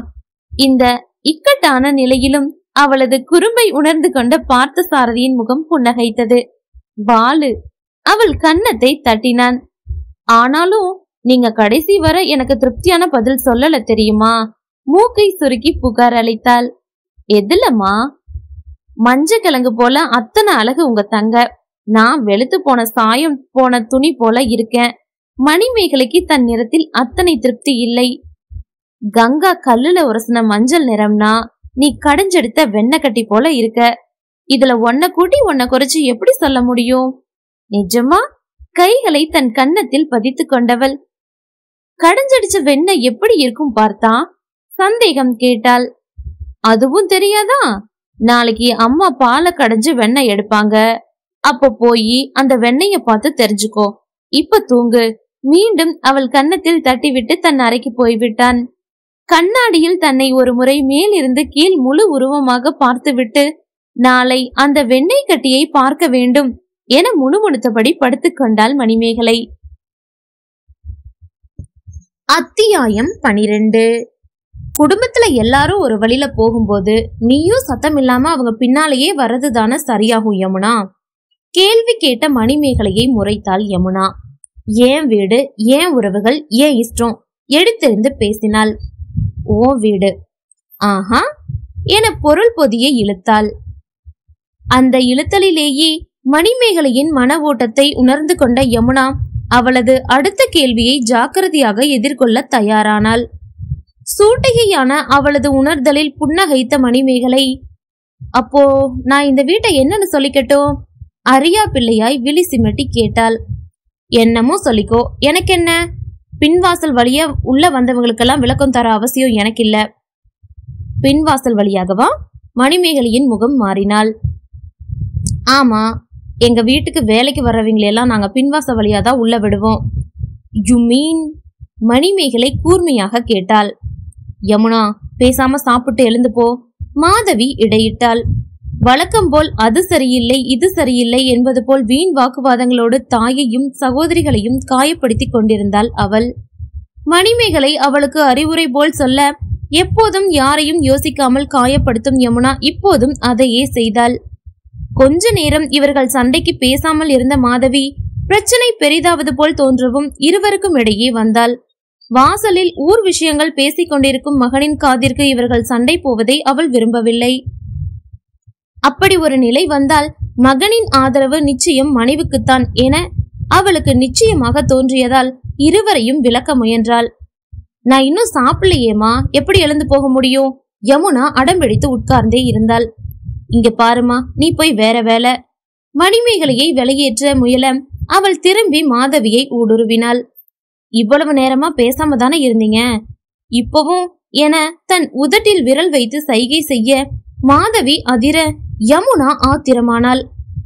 என் அம்மாவா அதட்ட இவ யாரு? மணிமேகலை யமுனாவின் முன் வந்து டேபிளில் கை ஒன்றி நின்றபடி என்ன சொன்ன? குத்தூசியாய் கேள்வி கேட்க நீ திருட்டுத்தாளின்னு சொன்ன. எப்படியோ என் அண்ணனை ஏச்சு திருட்டுத்தனமா எங்க வீட்டுக்கு பின்வாசல் வழியா வந்துட்ட. யமுனா சிங்கத்தின் கர்ஜனையாய் பின்னால் பார்த்தசாரதியின் குரல் கேட்க மூன்று பெண்களுமே திடுக்கிட்டு திரும்பினர். விழிகள் சிவக்க ருத்ரமூர்த்தியாய் நின்றிருந்தான் பார்த்த சாரதி மேகா உன் அன்னிஸ்தானத்துல இருக்கா? அவளை இப்படியா தரக்குறைவா பேசுவ? அவகிட்ட மன்னிப்பு கேளு. நான் எதுக்கு நான் மன்னிப்பு கேட்கணும்? அவதான் நம்ம அம்மாவ. ஏய் மரியாதை. அவ உன் அண்ணி. அதுக்குரியபடி பேசு. யமுனாவின் கண்கள் கலங்கிவிட ஏன் அண்ணா இப்படி மாறிட்டீங்க? அவ அவங்க நம்ம அம்மாவை எப்படி மரியாதை இல்லாம பேசுனாங்க தெரியுமா? அது மட்டும் சரியா? தங்கையின் கண் கலங்கள் ஒரு நிமிடம் பார்த்த சாரதியை மௌனமுறை செய்ய மணிமேகலை வேகமாக வந்து அவன் கையை பிடித்தாள். சின்ன பிரச்சனை பார்த்தா ஏதோ எங்களுக்குள் பெண்களுக்குள்ள. இங்க நீங்க தலையிடாதீங்க. வாங்க நாம போகலாம். அவன் கையை பிடித்து இழுத்தாள். கலங்கிய தாயையும் சகோதரியையும் பார்த்தபடி அவன் சிறிது தயங்கி நிற்க அட வாங்கலேன் இடுப்பில் கை தாங்கி நின்றிருந்த அவன் கைகளுக்குள் தன் கையை வளையம் போல் கோர்த்து அவனை இழுத்தபடி போனாள் மணிமேகலை. சத்தமின்றி மனைவி பின்னால் போகும் தன் மகனை சகோதரனை பார்த்தபடி இருந்தனர் மாதவியும் யமுனாவும். வீட்டு வாசல்படி வரை பார்த்த சாரதியின் கைகோர்த்து போன மணிமேகலை திடமென தனது வழக்கமான துள்ளல் நடையுடன் மீண்டும் அடுப்படியினுள் வந்தாள். யமுனா இன்னைக்கு உன் தொழிற்சாலைக்கு நான் போறேன். இதையெல்லாம் பார்க்கணும்னு எனக்கு ரொம்ப ஆசையா இருக்குப்பா. சொல்லிவிட்டு பட்டென யமுனாவின் கையில் வைத்திருந்த சாவியை பிடுங்கிக் கொண்டு ஒரு சவால் பார்வையுடன் வெளியேறினாள். அதிர்ந்து நின்றனர் மாதவியும் யமுனாவும். மூணாவது கூரை படுக்கையில ஈரப்பதம் குறைவா இருக்குது சரி பாருங்க கமலாக்கா. பார்த்த சாரதி சொல்ல அந்த ஐம்பது வயது மதிக்கத்தக்க கமலாக்கா தலையசைத்து நடந்தாள். அந்த மண் படுக்கைகள் எப்பவும் ஈரமா இருக்கணுமா பார்த்தா? மணிமேகலையின் கண்கள் சிறு குழந்தையின் ஆர்வத்துடன் அந்த இடத்தை கூரைகளை ஆராய்ந்தபடி இருந்தன. ம் ஆமா. அப்போதான் மண்புழுக்கள் உற்பத்தியாக வசதியா இருக்கும். நான் நினைச்சதை விட இந்த தொழிற்சாலை பெருசா இருக்குதுப்பா. நிறைய கூரை செட்டு நிறைய பெண்கள் உற்பத்தியும் நிறைய இருக்கும் தானே? ஒரு புறமாக குவித்து வைக்கப்பட்டிருந்த உரக்குவியல்களை பார்த்தபடி கேட்டாள். முதல்ல நம்ம நிலத்துக்காக மட்டும்னு சின்னதா தொடங்கினேன் பக்கத்து வயல்ல தெரிஞ்சவங்க அப்படின்னு கொஞ்சம் பேர் கேட்டாங்க. அதுக்காக உற்பத்தியை கொஞ்சம் கொஞ்சமா அதிகரிச்சு இப்போ அது ஒரு தொழிலாவே மாறிடுச்சு. பெண்களுக்கும் வேலை வாய்ப்பு கொடுக்கணும்னு உறுதியோட இங்க பெண்களை மட்டுமே வேலைக்கு அமர்த்தி இருக்கிறேன். ஃபேண்டாஸ்டிக் கை கொடுங்க. தன் கையை குலுக்கிய மணிமேகலையின் கையை பற்றி கொண்டவன். இன்னைக்கு உனக்கு ரொம்ப கஷ்டமா இருந்ததா மேகா? மென்மையாக கேட்டான். எதுக்குப்பா? யாமினி நிறைய பேசிட்டா அவ எப்பவுமே இப்படித்தான் துடுக்குத்தனமா பேசுவா. யாருக்கும் எதுக்கும் பயப்பட மாட்டா. அப்படியா சொல்றீங்க? எனக்கு அப்படி தோணல. அழகாக தலையசைத்து மறுத்தாள். எப்படி தோணல? உங்க தங்க நீங்க நினைக்கிறது போல வீர தீர பராக்கிரமசாலி இல்லைன்னு சொல்றேன். என்ன சொல்ற மேகா? எங்க வீட்டு பெண்கள்லயே ரொம்ப தைரியசாலி யமுனா தான். எந்த விஷயத்துக்கும் பயம் இல்லாம முதல் ஆளா முன்னாடி வந்து மனசுல பட்டத பேசுவா. வேகமாக பேசிய பார்த்த சாரதியை அன்னார்ந்து பார்த்தபடி மெல்ல தலையசைத்து மறுத்தாள் மணிமேகலை. தன் கையை இன்னமும் குலுக்கியபடி இருந்த பார்த்த சாரதியின் கைமேல் தனது மற்றொரு கையை வைத்து ஆறுதலாக அழுத்தினாள். தன் இரு கைகளுக்குள்ளும் அவன் கரத்தை பொதித்து எடுத்துக்கொண்டாள் உங்க வீட்லயே மிக பயந்த பொண்ணு யமுனாதான் உங்க அம்மா தைரியமானவங்க கங்கா அழுத்தமானவங்க காவேரி குழந்தைத்தனமானவ. யமுனா பாவம் அவ ஒரு பயந்தாங்கோழி. ஓ மணிமேகலையின் பேச்சினை மெல்ல உள்வாங்கிக் கொண்ட பார்த்த சாரதி தன் கண்களை மூடித்திருந்தான் என்னால கணிக்க முடியல புன்னகைக்க முயன்றான். விடுங்க நான் பாத்துக்கிறேன். ம் அவ கொஞ்சம் படபட டைப் வாய்க்கு வந்தத பேசுவா. அது நிச்சயம் உன்னை காயப்படுத்தும். நீ சப்பா எதுக்கு பார்த்தா இப்போ இந்த விளக்கம்? பெருமூச்சு எனக்கு தெரியாதா அவளை பத்தி? என்ன நான் பாத்துக்குவேன். நீங்க கவலைப்படாதீங்க. தன் கையை உயர்த்தி அவன் கண்ணம் தட்ட போனவள் ஏன்பா இத்தனை உயரமா இருக்கீங்க? பாருங்களேன் உங்க கண்ணத்தை தொடுறதுக்கே ஆ அதோ அங்க ஒரு செங்கல் இருக்கு. நான் போய் அதை தூக்கிட்டு வரேன். நடக்க போனவளின் தோலை அணைத்து சிரித்தான் பார்த்த சாரதி. ஏ வாலு உன் குறும்புக்கு அளவே இல்லையா? அப்பா டென்ஷன் போய் சிரிச்சாச்சா? இந்த சிரிப்புக்காக செங்கல் எல்லாம் சுமக்க வேண்டியதா போயிடுச்சு. சோகம் போல் சொன்னவளின் தோலை இன்னமும் தன்னோடு சேர்த்து கொண்டு பார்த்த சாரதி மேலும் சிரிக்க மணிமேகலை புன்னகையோடு அவன் முகம் பார்த்தாள். அப்போது ஸ்கியூட்டியில் அங்கே வந்த யமுனா இவர்களது அந்யோன்யமான நிலையை பார்த்துவிட்டு கண்கள் கனன்ற சிவக்க உள்ளே வராமலேயே தன் ஸ்கியூட்டியை திருப்பிக் கொண்டு போனாள். அத்தியாயம் பதிமூன்று. உன் வேலை தானே நீதான் முடிக்கணும். காவேரியின் அறைக்குள் இருந்து மணிமேகலையின் சத்தம் உயர்ந்து கேட்க அடுப்படியில் நின்றிருந்த கங்காவும் மாதவியும் ஒருவரையொருவர் பார்த்து கொண்டனர். அடுத்து காவேரியிடம் வம்ப ஆரம்பிச்சிட்டா. கங்கா முணுமுணுக்க அவ உன்னையும் ஏதாவது சொன்னாளா கங்கா? மணிமேகலை மகளை உற்று பார்த்தபடி கேட்டாள். ஆமாமா அத பிறகு சொல்றேன். இப்போ அங்க என்ன பிரச்சனைன்னு பாருங்க. அம்மாவை காவிரியின் அறை பக்கம் தள்ளினாள். அதே நேரம் காவிரியின் அறையிலிருந்து வெளியே ஓடி வந்தாள் மணிமேகலை. ஏ காவேரி வேண்டாம் என்கிட்ட உத வாங்குவ. எச்சரித்தபடி வந்தவளின் பின்னாலேயே காவேரியும் ஓடி வந்தாள். கையில் ஏதோ ஒரு நோட் வைத்திருந்தாள். மணிமேகலை ஹாலில் கிடந்த சோபாவை சுற்றத் தொடங்க காவிரியும் அவள் பின்னாலேயே ஓடினாள். ஒருவரை ஒருவர் துரத்தி விளையாண்டனர் இருவரும். களீர் சிரிப்பும் செல்ல மிரட்டலுமாக வீடு கலகலத்துக் கொண்டிருந்தது. தங்களிடம் மனம் நோக பேசியவள் இவள்தானா என மணிமேகலையை பார்த்தபடி இருந்தனர் மற்ற மூன்று பெண்களும். அப்போது மாடி இறங்கி வந்த பார்த்தசாரதி மேல் போய் மோதிக்கொண்டாள் காவேரி. சாரி அண்ணா சாரி ப்ளீஸ் கொஞ்சம் பயத்துடன் ஒதுங்கி நின்றாள். என்ன இது? காலங்காத்தாலேயே சின்ன பிள்ளை மாதிரி ஓடி விளையாண்டுட்டு இருக்க தங்கையை அதட்டினான். அவ சின்ன பொண்ணு தானே பார்த்தா இன்னும் படிப்பு கூட முடிக்கல. அவ வயசுக்கு ஏத்தபடி இருக்கா. விடுங்க. காவிரிக்கு சப்போர்ட் பண்ணிய மணிமேகலையை ஆச்சரியமாக பார்த்தனர் மற்றவர்கள். அவர்கள் கணிப்புப்படி இவள் பார்த்த சாரதியிடம் அவளை போட்டுக் கொடுத்திருக்க வேண்டும். ஆனால் மணிமேகலையை புரிந்து கொள்ள முடியாமல் விழித்தனர். நீயும் சேர்ந்துதானே அவளோட வீடு முழுவதும் ஓடிட்டு இருக்க அதுதான் சப்போர்ட் என்ன பிரச்சனை உங்களுக்குள்ள? இடுப்பில் கை தாங்கி இருவரிடமும் கேட்டான். என் ரெக்கார்ட் முடிக்க அன்னிக்கிட்ட ஹெல்ப் கேட்டேன். அவங்க பாதி சொல்லிட்டு பாதி காவேரி அண்ணனிடம் முழுவதும் சொல்லுவதற்குள் திக்கி தடுமாறி மென்று முழுங்கினாள். பாருங்க பார்த்தா கொஞ்சம் ஹெல்ப் பண்ணுனா முழு ஒர்க்கையும் அப்படியே என் தலையில கட்ட பாக்குறா. உம் அப்போ ஆரம்பிச்சது நீதானே? மணிமேகலையின் தலையில் கொட்டியவன் காவிரியின் காதை திருகினான். ரெண்டு பேரும் கூட்டுக்களவானீங்க வைதான். அம்மா காவேரி தான் இவ பின்னாடியே தலையாடிட்டு போறாளே. அதுதான் அவளுக்கு மட்டும் சப்போர்ட் பண்றா. தாயின் காதை கடித்தாள் யமுனா. யமுனா சாப்பிட்டு விட்டு தன் உரத் தொழிற்சாலை சாவி இருக்கும் இடத்தில் அதை தேட அது அங்கே இல்லை. மணிமேகலையின் கையில் இருந்தது. கல்யாணம் பண்ண போற பொண்ணு வீட்ல இருந்து சமையல் படிக்க ஆரம்பி தொழிற்சாலையை நான் பாத்துக்கிறேன் எளிதாக சொல்லிவிட்டு பார்த்த சாரதியின் பின்னால் பைக்கில் ஏறி போய்விட்டாள் மணிமேகலை. கொதித்து போய் நின்றாள் யமுனா. உன்கிட்ட என்னம்மா பேசுனா? மாதவி கேட்க கங்கா மெல்ல மணிமேகலை தன்னிடம் நடந்து கொண்ட விதத்தை சொன்னாள். யமுனாவை வீட்டை விட்டு வெளியே போக விடாம செஞ்சுட்டா கங்கா வருந்தினாள். போகட்டும்கா அப்படியே நான் நம்ம உர தொழிற்சாலைக்கு போனாலும் அங்க இவங்க ரெண்டு பேருடைய கொஞ்சலையும் தான் பார்க்க வேண்டி வரும். அதுக்கு நான் இங்கேயே இருந்துக்கிறேன். அண்ணா எப்படிம்மா இப்படி மாறி போனாரு? நீங்க ஏமா அண்ணாவை ஒண்ணுமே கேட்க மாட்டேங்கிறீங்க? உன் அண்ணன் கிட்ட அப்படி நம்ம பட்டுன்னு பேச முடியாதுமா? ரொம்ப ஜாக்கிரதையா பேசணும். பெத்த பிள்ளைகிட்ட உங்களுக்கு என்னம்மா இந்த ஜாக்கிரதை? யமுனா சலித்தாள். அவன் எனக்கு பெத்த பிள்ளையா இருந்த காலங்களை விட என்னை தாங்குற தந்தையாகத்தாமா அதிக காலம் இருந்திருக்கான். அதனால அவன் மனசு நோகுற எந்த விஷயத்தையும் என்னால பேச முடியாது. தந்தையானாலும் தப்பு செஞ்சா கேட்டுத்தனமா ஆகணும்? இல்ல யமுனா அம்மா சொல்றது சரிதான். அண்ணன் நம்ம குடும்பத்தை தாங்கி நிக்கிற தூண். அவரை அவ்வளவு எலுசா யாரும் கேள்வி கேட்க முடியாது. சரி அண்ணனை வேண்டாம் அவளையாவது நாலு கேள்வி கேட்கலாமே. யார?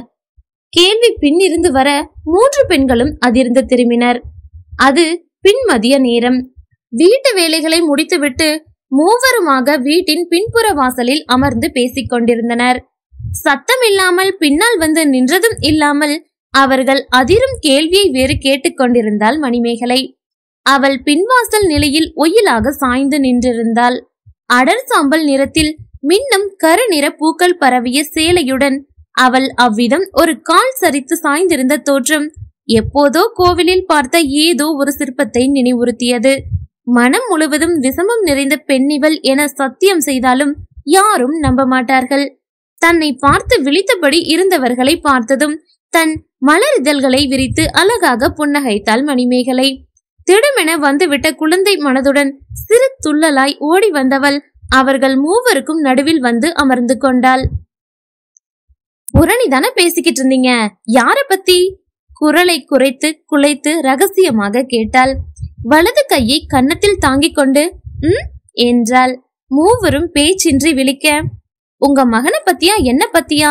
மேலும் திணறடித்தாள். யார பேசினாலும் ஒண்ணுதான். ஏன்னா நாங்க ரெண்டு பேரும் ஒருத்தர் தான். இதை கூறும்போது அவளது குரலில் குழந்தைத்தனம் மறைந்து கடினம் குடியேறியிருந்தது சை யமுனா காலை எத்தியபடி எழுந்து போனாள். கங்காவும் மௌனமாக அவள் பின்னாலேயே போக போகும் இருவரையும் புன்னகையோடு பார்த்திருந்து விட்டு திரும்பியவள் மாதவியின் பார்வை தன் முகத்தின் மீது படிந்திருப்பதை பார்த்ததும் உருவம் உயர்த்தினாள். நான் பயப்பட மாட்டேன். புன்னகைத்தாள் மாதவி. நான் எப்பவும் யாருக்கும் பயப்பட மாட்டேன். மணிமேகலை குரலை உயர்த்தினாள். என் வாழ்க்கை முழுசுமே கருவேலி முக்களை தான் பார்த்திருக்கேன். தைரியமா அதையெல்லாம் கடந்து வந்திருக்கேன். இந்த சிறு நெருஞ்சிகள் என்ன ஒண்ணும் செய்யாது. ஏன்னா நான் மாதவி.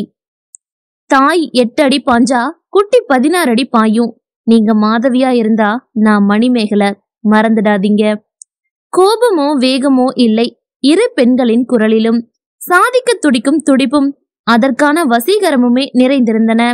இருவரும் எதிரெதிரே அமர்ந்தபடி ஒருவரையொருவர் பார்த்து கொண்டு மென்குரலில் வன்மம் எதுவுமின்றி வெண்ணிலவின் வெண்ணொலி கீற்று மின்ன சவாலிட்டுக் கொண்டனர். அத்தியாயம் பதினாலு. இன்னைக்கு அத்தைக்கும் எனக்கும் செம ஃபைட் தெரியுமா? ரசனை நிரம்பி வழிந்தது மணிமேகலையின் குரலில். மொட்டை மாடியின் அகன்ற கைப்பிடி சுவரின் மீது ஏறி அமர்ந்திருந்தாள் அவள். ஏய் அம்மா கிட்ட என்ன வம்பு பண்ணுன? பார்த்த சாரதி அதட்டினான். தன் கால்களை மடக்கி தன்னோடு சேர்த்து கட்டி கொண்டாள். உதடு பிதுக்கி கண் சிமிட்டினாள். கொஞ்சமா இதோ இத்து நோண்டு. ஆட்காட்டி விரலையும் கட்டை விரலையும் சேர்த்து சிறிதாக காட்டினாள். அம்மா ரொம்ப வருத்தப்பட்டாங்களா? ரொம்ப கொஞ்சம் அழுக கூட. உடன் இறுகிவிட்ட அவன் முகத்தை வேடிக்கை பார்த்தாள். இரண்டு கைகளையும் இடுப்பில் வைத்துக்கொண்டு ஆழ்ந்து மூச்செடுத்து தன்னை சமாதானப்படுத்திக் கொண்டிருந்தவனை ஆவலுடன் அளவிட்டாள். அம்மா அழுகை என்ற இரண்டு வார்த்தைகளில் உடனடியாக டிஸ்டர்ப் ஆகிவிட்டான். ஆனாலும் அதனை வெளிக்காட்டிக் கொள்ளாமல் அப்படியே மலை மாதிரி நிற்பதை பார். இதுபோல் இடுப்பில் கைதாங்கி நிற்பது இவனது மேனரிசம் போல. இப்போதும் இலைப்பாரும் சிங்கத்தை போல் தெரிகிறான். ஓரக்கண்ணால் அவனை அளந்தபடி குறுநகை புரிந்தாள் மணிமேகலை. அழுதாங்களா? வழக்கமான கம்பீரம் குறைந்து கலைந்திருந்தது அவன் குரல். நேரடியாக தன்னை பார்க்காமல் வெளியே பார்த்தபடி நின்றிருந்தவனின் கையை பிடித்து இழுத்தாள் மணிமேகலை. தன் அருகே கைப்பிடி சுவரில் அமர வைத்தாள். ஒரு சின்ன விஷயங்க ஐயா இதுக்கு போய் இப்படி தவிக்கிறீங்களே? ஏனுங்க ஐயா அப்படி? கிராமத்து பெண் போல் இழுத்து பேசினாள். ஏய் உனக்கு நான் ஐயாவா? வலிக்காமல் தலையில் கொட்டினான். பின்னால் நகர்ந்தவளின் தோள்களை பற்றி முன்னால் இழுத்தான். இப்ப ஏன் இங்க வந்து உட்கார்ந்திருக்க? கீழ இருந்து உன்னை பார்த்து பயந்துதான் நேரடியா மொட்டை மாடிக்கு ஓடி வந்திருக்கேன். கீழே இறங்கு. அவன் சொல்லவும் கீழே பார்த்தாள். குபீரென கீழே இழுத்த உயரம் ஒரு நொடி வயிற்றை இழுக்க ஓ என்றாள். சற்று நகர்ந்து விட்ட அவள் உடலில் பதறி அவளை அப்படியே இரு தோள்களிலும் அழுந்த பற்றி தூக்கி கீழே இறக்கினான் பார்த்த சாரதி. என்ன மேகா? எல்லாத்துலயும் விளையாட்டு உனக்கு. அதுதான் நீங்க இருக்கீங்களே பார்த்தா. எனக்கு என்ன பயம்? நான் இருந்தா உனக்கு பயம் இல்லையா? ஆனா உன்னை பார்த்தா எனக்கு பயமா இருக்கு. எப்பா இந்த ஊரோட தலைவர் ஹீரோ உங்களுக்கு என்கிட்ட பயமா? வட்டமாய் விழிவிரித்தாள். ஆமா சில நேரம் உன்கிட்ட வசமா மாட்டிக்கிட்டோமேன்னு கூட நினைக்கிறேன். என்ன பார்த்தா? இது என்ன வில்லி ரேஞ்சுக்கு பாக்குறீங்க? என்ன பாருங்களேன். என்ன பார்த்தா அப்படி பயமாவா இருக்கு? பாவம் போல் முகத்தை வைத்துக்கொண்டு அவன் முகத்தின் முன் தன் முகத்தை கொண்டு வந்தாள். சிலசிலத்த காற்றில் நெற்றி மீது நடனமாடி கண்ணீருக்குள் விழுந்த அவளது தலைமுடியை விலக்கிவிட்டு அவள் கண்களுக்குள் பார்த்தான். பிள்ளை முகம் மேகா உனக்கு அதுல பிள்ளை எப்பவும் வராது. அப்பாடி தேங்க் காட் தன் நெஞ்சில் கை வைத்து மூச்சு விட்டவளை பார்த்து புன்னகைத்தவன். அம்மா கிட்ட என்ன பேசின? அவள் விழிகளை ஊடுருவினான். அப்பா ரேசர் பார்வப்பா உங்களுக்கு அப்படியே என் மனம் உள்ள வரைக்கும் ஊடுருவுது. கைகளை இருவர் முகத்திற்கிடையே வைத்து மறைத்தாள். சொல்லு மேகா அவள் கைகளை பற்றி தன் கைகளுக்குள் வைத்துக் கொண்டான். நான் ஒரு விஷயம் கண்டுபிடிச்சிட்டேன் பார்த்தா ஆள்காட்டி விரலால் அவன் நெஞ்சை தொட்டு காட்டினாள். உங்களோட இந்த நிமிர்வு தைரியம் உம் கொஞ்சமே கொஞ்சம் திமிர். இது எல்லாமே அங்க இருந்துதான் வந்திருக்கு. கையை கீழே காட்டினாள். என்ன பார்வை? என்ன பாவனை? அதுல எவ்வளவு தீட்சண்யம் அப்பா பார்த்துக்கிட்டே இருக்கணும் போல இருக்கு. ரசனையுடன் மணிமேகலை பேச பேச பார்த்த சாரதியின் முகம் மலர்ந்தது. உம் எங்க அம்மா ஆலமரம் மாதிரி அழுங்காம பிரச்சனைகளை சுமப்பாங்க. எங்க அனைவருக்குமே அவங்க தான் குரு. அம்மாவை பற்றி பேசியதும் ஒளிர ஆரம்பித்து விட்ட அவன் முகத்தை ஆச்சரியமாக பார்த்தாள். இவனுக்குத்தான் அம்மா மீது எவ்வளவு பாசம்? அம்மா அவங்க வாழ்க்கையில பெரும்பாலும் நான் அறிஞ்ச வரையில துயரங்கள் தான் எதிர்கொண்டிருக்காங்க மேகா. ஆனா ஒரு நாளும் கண் கலங்கியதில்ல. ஆனா இப்போ ஐயோ விடுங்க பாஸ். சும்மா ஒரு விளையாட்டுக்கு சொன்னேன். உங்க அம்மாவாவது அலறதாவது. அவங்க என்ன அழ வச்சிடுவாங்க? ம் அப்படி யாரையும் அழ வைக்க மாட்டாங்க. ஐயா சாமி நீங்க சரிதான். நான் தெரியாம அம்மா மகனுக்கு இடையில வந்து மாட்டிக்கிட்டேன். விளையாட்டாய் அவன் நெஞ்சில் குத்தியவளின் கையை பிடித்து கொண்டான். என்ன விஷயம் மேகா? சப்பா விட மாட்டீங்களே. என் வாயில இருந்தே பிடுங்குவீங்களே. சலித்தபடி மீண்டும் கைப்பிடி சுவரில் ஏறி அமர்ந்து கால்களை ஆட்டத் துவங்கினாள். ஏய் குரங்கு கீழே இறங்கு. அவள் காதை திருகினான். அதுதான் நீங்க இருக்கீங்களே பார்த்தா. நான் கீழே விழுந்தா பிடிக்க மாட்டீங்களா? கொஞ்சலாய் கேட்டவளின் தோல் பற்றி இறக்க முயன்றவனின் கையை பிடித்தாள். நானும் உங்க அம்மாவும் சவால் விட்டுக்கிட்டோம் பார்த்தா. என்ன? சவாலா? ம் நான் மாதவி நான் மணிமேகலை இப்படி சொல்லும் போதே அவளுக்கு சிரிப்பு பீறிட்டு வந்தது. அம்மாவுக்கு உன் மேல ஏதோ ஒரு நெருடல் வந்திருக்கோ? யோசனையோடு அவள் தோல் பற்றி மீண்டும் கீழிறக்கி விட்டான். இருக்கலாம் தோல் குலுக்கினாள். நான் பயப்பட மாட்டேனாங்க இதோ இப்படி என் கண்ணை பார்த்து பேசுனாங்க. அடிக்கடி நீங்க கூட பேசுவீங்களே கண்ணை பாக்குறதுலயே அப்படியே மனசு பிடுங்குற மாதிரி. அதே போலதான் உங்க அம்மாவும் அப்படியே அம்மாவுக்கும் பிள்ளைக்கும் ஒரே பார்வை. மணிமேகலையின் பாவனையில் புன்னகைத்தவன் இந்த பேர் பொருத்தத்தை நான் கவனிக்கலையே என்றான். எனக்கும் முதல்ல தோணலப்பா. அவங்க மாதவின்னு சொன்னதும் தான் எனக்கு நான் மணிமேகலைங்கிற நினைவு வந்தது. குட்டி பதினாறு அடி பாய்வேன்னு அடிச்சு விட்டுருக்கேன். தனது செயலுக்கு தானே மனம் மகிழ்ந்து அவன் தோள்களை பற்றி குதித்தாள். அப்போ ரொம்ப ஜாலியா இருந்தது. என்றவளின் தலையில் கை வைத்து ஆட்டினான். வாளு அது இருக்கட்டும். இங்கேயே வந்து உட்கார்ந்திருக்க. நான் உனக்கும் அம்மாவுக்கும் சண்டையோன்னு நினைச்சேன். சண்டை இல்ல. சண்டை மாதிரின்னு வச்சுக்கோங்க. நான் இங்க வந்தது அதோ அதுக்கு. அவள் சுட்டி காட்டிய திசையில் அந்த குன்று இருந்தது. இங்க மொட்டை மாடியில வந்து பார்த்தா நல்லா தெரியும்னு தான் இங்க வந்தேன். அது என்ன குன்று பார்த்தா? அது சாதாரண குன்று. அத சொல்ல என்ன இருக்கு? இல்ல. அது சாதாரண குன்று இல்ல. அத பத்தி கேட்டா உங்க அம்மா டிஸ்டர்ப் ஆகுறாங்க. அப்படியா? பார்த்த சாரதி யோசிக்க தொடங்கினான். பார்த்தா மாதவியின் குரலில் இருவரும் திரும்பி பார்த்தனர். இருவரையும் ஊடுருவியபடி மாடி ஏறி வந்து மூச்சு வாங்கலோடு நின்றிருந்தாள் மாதவி. அவ்வளவு அவசரமா இங்க ஓடி வந்தியே. அதுதான் என்னன்னு பார்க்க வந்த வீட்டிற்குள் வந்த மகன் பதட்டத்துடன் மொட்டை மாடி ஏறியதால் அந்த விபரத்திற்காக வந்திருந்தாள் அவள். மேகா இந்த கைப்பிடி சவரில் உட்கார்ந்திருந்தாமா? அதுதான் பயந்து போய் வேகமா இங்க ஓடி வந்த உம் மாதவியின் பார்வை மணிமேகலையை ஊடுருவ அவள் பார்த்த சாரதிபுரம் சாய்ந்து பாருங்க பாருங்க பார்வை அப்படியே உங்க பார்வை முணுமுணுத்தாள். அவள் கையை பிடித்து அமுத்தினான். இருவரும் ரகசிய சமிக்கைகளை ஓரக்கண்ணால் பார்த்தவள் சரி கீழே வாங்க என்று திரும்பி நடந்தாள். அம்மாவை முந்தி பார்த்த சாரதி படிகளில் இறங்க மாதவியுடன் இணையாக இறங்கிய மணிமேகலை அந்த குன்ற பத்தி உங்க மகன்கிட்ட கேட்டுட்டு இருந்தேன் அத்த. மாதவிக்காக மட்டும் சொன்னால் மாதவியின் நடை தயங்கி மெதுவானது. அத்தியாயம் பதினைந்து. இந்த வீடுதான் வனக்கொடி பாட்டியோடது. பார்த்த சாரதி பைக்கை பிரேக் இட்டு நிறுத்த மென்மையாக அவன் முதுகில் ஒட்டி பின் இறங்கினாள் மணிமேகலை. கண்களால் அந்த வீட்டை அளந்தாள். பழங்காலத்து ஓட்டு வீடு. காங்கிரீட்டும் ஓடும் கலந்திருந்தது. வீடு அழகா இருக்குது பார்த்தா. ரசனையான அவள் குரலில் புன்னகைத்தான் பார்த்த சாரதி உன்னால எப்படி பாக்குற எல்லாத்தையும் ரசிக்க முடியுது மேகா? அப்படியா இருக்கிறேன் ஆனா எனக்கு உங்க ஊர்ல எதை பார்த்தாலும் பிடிக்குதே. தலை சாய்த்து அழகாக யோசித்தாள். ஆமா துபாய் மாதிரி பாலைவனத்துல வளர்ந்தவங்களுக்கு இயற்கை பொங்கி வழியும் எங்க ஊர் ஆச்சரியமா தானே தெரியும். வா படி ஏறினான். முதல் படியை மிதித்ததும் கொஞ்சம் தயங்கியது. அவன் நடையில் கால் ஊன்றி நின்றான். என்ன பார்த்தா? அவன் மீது மோத போய் கடைசி வினாடியில் தவிர்த்து நின்றாள் மணிமேகலை. வனக்குடி பாட்டிக்கும் எனக்கும் சின்ன மனஸ்தாபம். அத மனசுல வச்சிருப்பாங்களோ? நிச்சயமா மாட்டாங்க. அது எப்படி உனக்கு தெரியும்? நான் உங்க ஊருக்கு வந்த நாள்ல இருந்து கவனிச்சுக்கிட்டு தான் இருக்கேன். எல்லாருக்கும் கள்ளமில்லா பிள்ளமனோ மனம் இந்த பாட்டியும் அப்படித்தான் இருப்பாங்க. பயப்படாம வாங்க.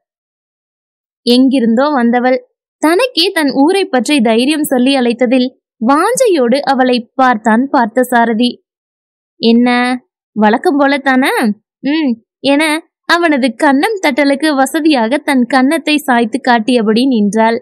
மென்பஞ்சாய் குலைந்து மின்னிய கன்னங்களை பார்த்தபடி நாரையின் சிறகொற்றலாய் அவள் கன்னத்தை தட்டினான் பார்த்த சாரதி யாரு கேட்டபடி உள்ளே இருந்து வந்த தாவணி பெண்ணொருத்தி இவர்களை கண்டதும் பாட்டி அவங்க வந்திருக்காக கத்தியபடி ஓடினாள். சாரதி வாயா வா வா. ஏன் வாசல்லையே நின்னுட்ட? உள்ள வா சாமி. பரபரப்பாய் வரவேற்றாள் மணக்கொடி இந்த வயது முதிர்ந்தவளைத்தான் தன் வீட்டை விட்டு வெளியே போ என்றது நினைவு வர பார்த்த சாரதி தயங்க. வரும் பாட்டி அவனின் குரலையும் தானே சேர்த்து கொடுத்தபடி பார்த்த சாரதியின் கையை பிடித்து இழுத்தபடி வீட்டினுள் நுழைந்தாள் மணிமேகலை. கரண்ட் இல்ல இங்க உட்காருங்க காத்து வரும். நடுமுற்றத்தில் இரண்டு மர நாற்காலிகளையே எடுத்து போட்டாள் வனக்கொடி.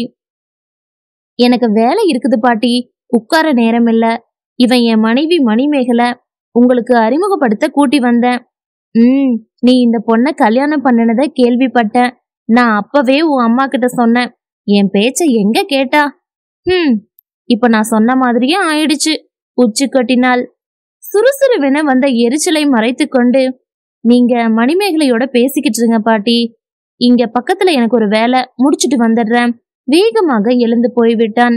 அவசர அவசரமாக போகும் பார்த்த சாரதியை புன்னகையோடு பார்த்தபடி இருந்த மணிமேகலையை பார்த்தபடி இருந்தால் வனக்கொடி.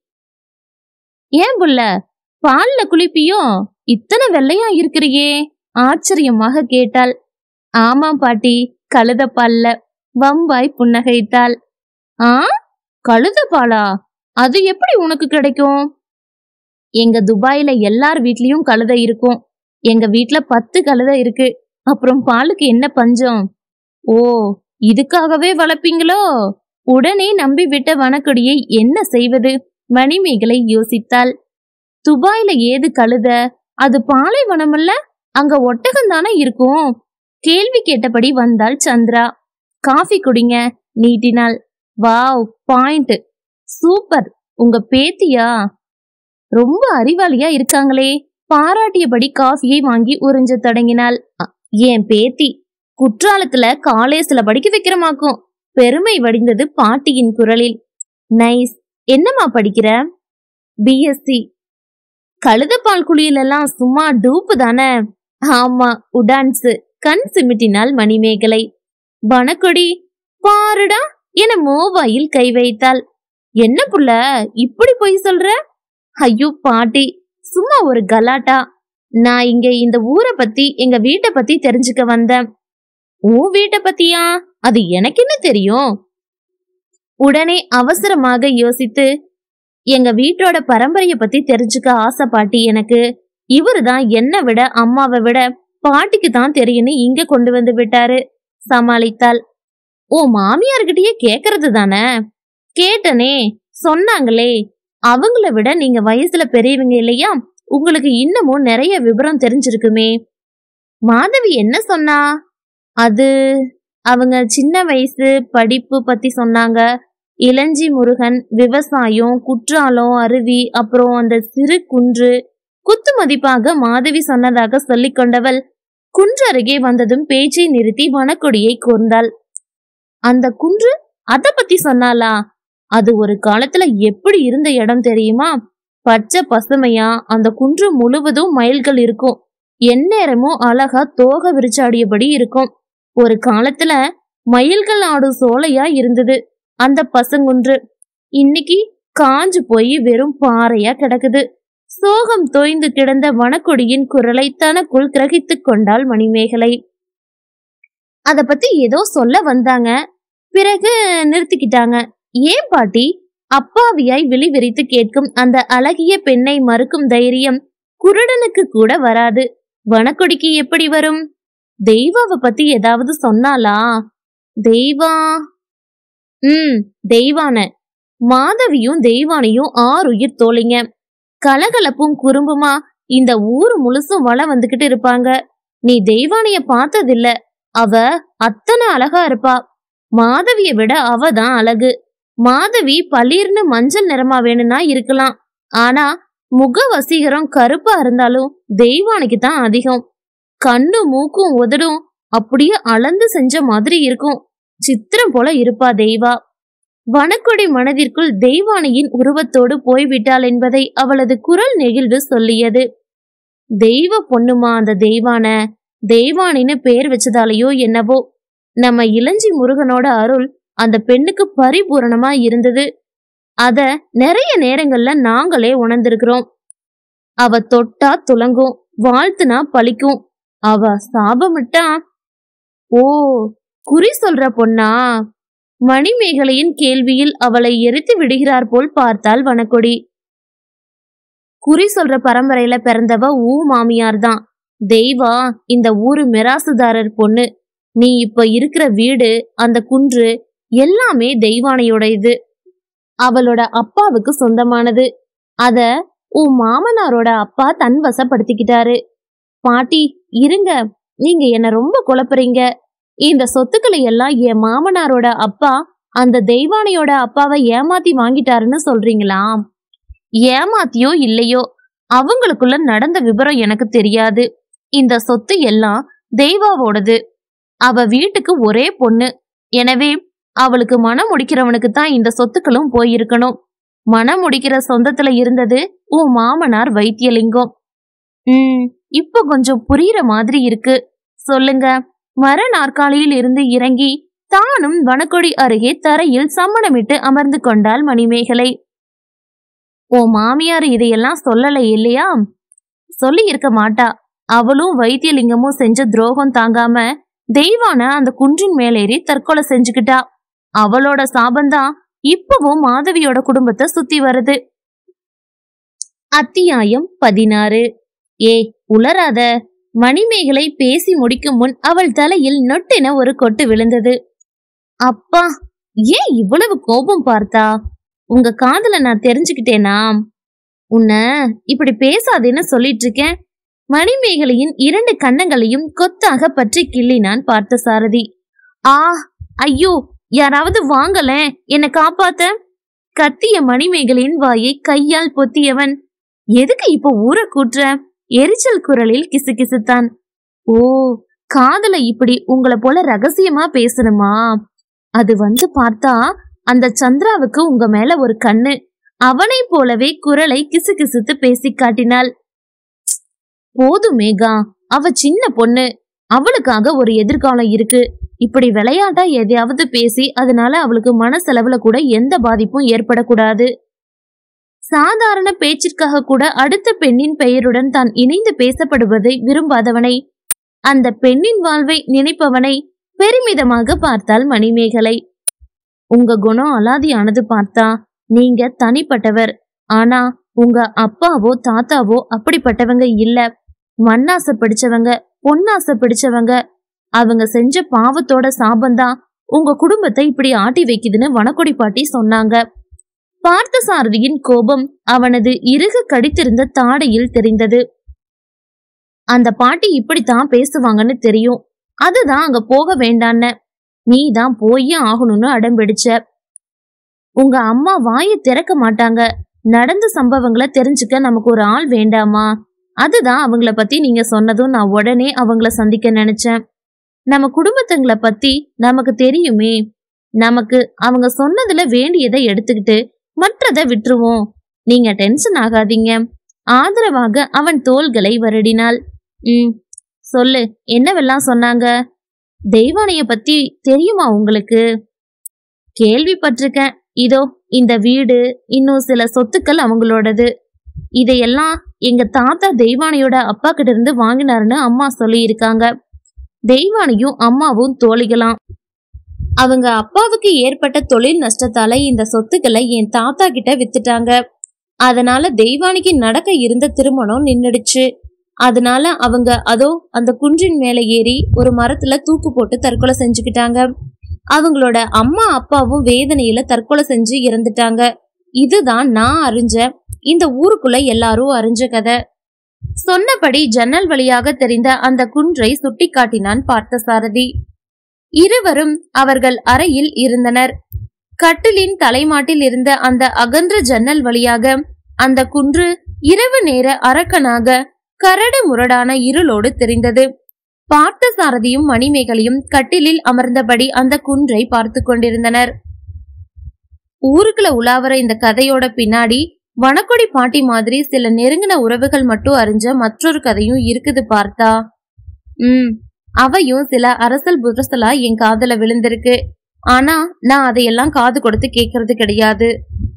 சரி உங்க அம்மா கிட்டயாவது இத பத்தி பேசி இருக்கீங்களா அம்மாவும் அந்த கதைகளை அதாவது பொண்ணு சாபம் என்பது போல ஏதோ நம்ப முடியாததை நம்புறது போல அத பத்தியே பேச என்றது போல தோணும் மேகா. அதனால நான் அம்மாவை அந்த வித பேச்சுகளுக்கு அனுமதிக்கிறது இல்ல. தப்பு பார்த்தா உண்மையோ பொய்யோ உங்க அம்மாவோட மனத்தாங்கல நீங்க கேட்டிருக்கணும்ல? பார்த்த சாரதி மௌனமானான். அம்மாவோட வாழ்வுல என்ன நடந்தது? உங்க அம்மாவும் தெய்வ அம்மாவும் மிகுந்த தோழிகளா இருந்திருக்காங்க. தெய்வ அம்மா பெரிய பணக்கார வீட்டு பொண்ணு. உங்க அம்மா சாதாரண குடும்பத்தை சேர்ந்தவங்க. அந்தஸ்து பேதம் ரெண்டு பேரோட நட்பையும் பாதிக்கல. உங்க அம்மா நாள்ல முக்காவாசி பொழுது தெய்வாம்மா வீட்ல தான் அதாவது தோ இந்த வீட்ல தான் இருப்பாங்க. அதை விட்டா இதோ இந்த குன்று. ரெண்டு பேருமா ஏறி போய் அங்கிருந்த பாறை மேல அமர்ந்துகிட்டு கதை பேசிட்டு இருப்பாங்களாம். அந்த நாள்ல இந்த குன்று இது போல வறண்டு கிடக்கல. மரங்களும் செடிகளும் புதர்களுமா பச்சை பசுமையா இருந்திருக்கு.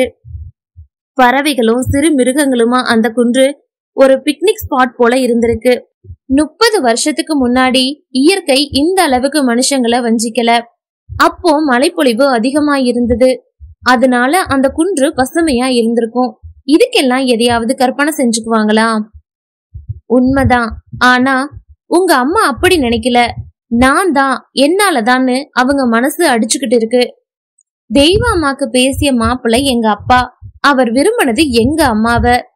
எங்க தாத்தா தெய்வ அம்மாவை தான் மனம் முடிக்கணும்னு கட்டாயப்படுத்த அம்மாவும் அப்பாவும் வீட்டை விட்டு வெளியேறி மனம் முடிச்சுக்கிட்டாங்க.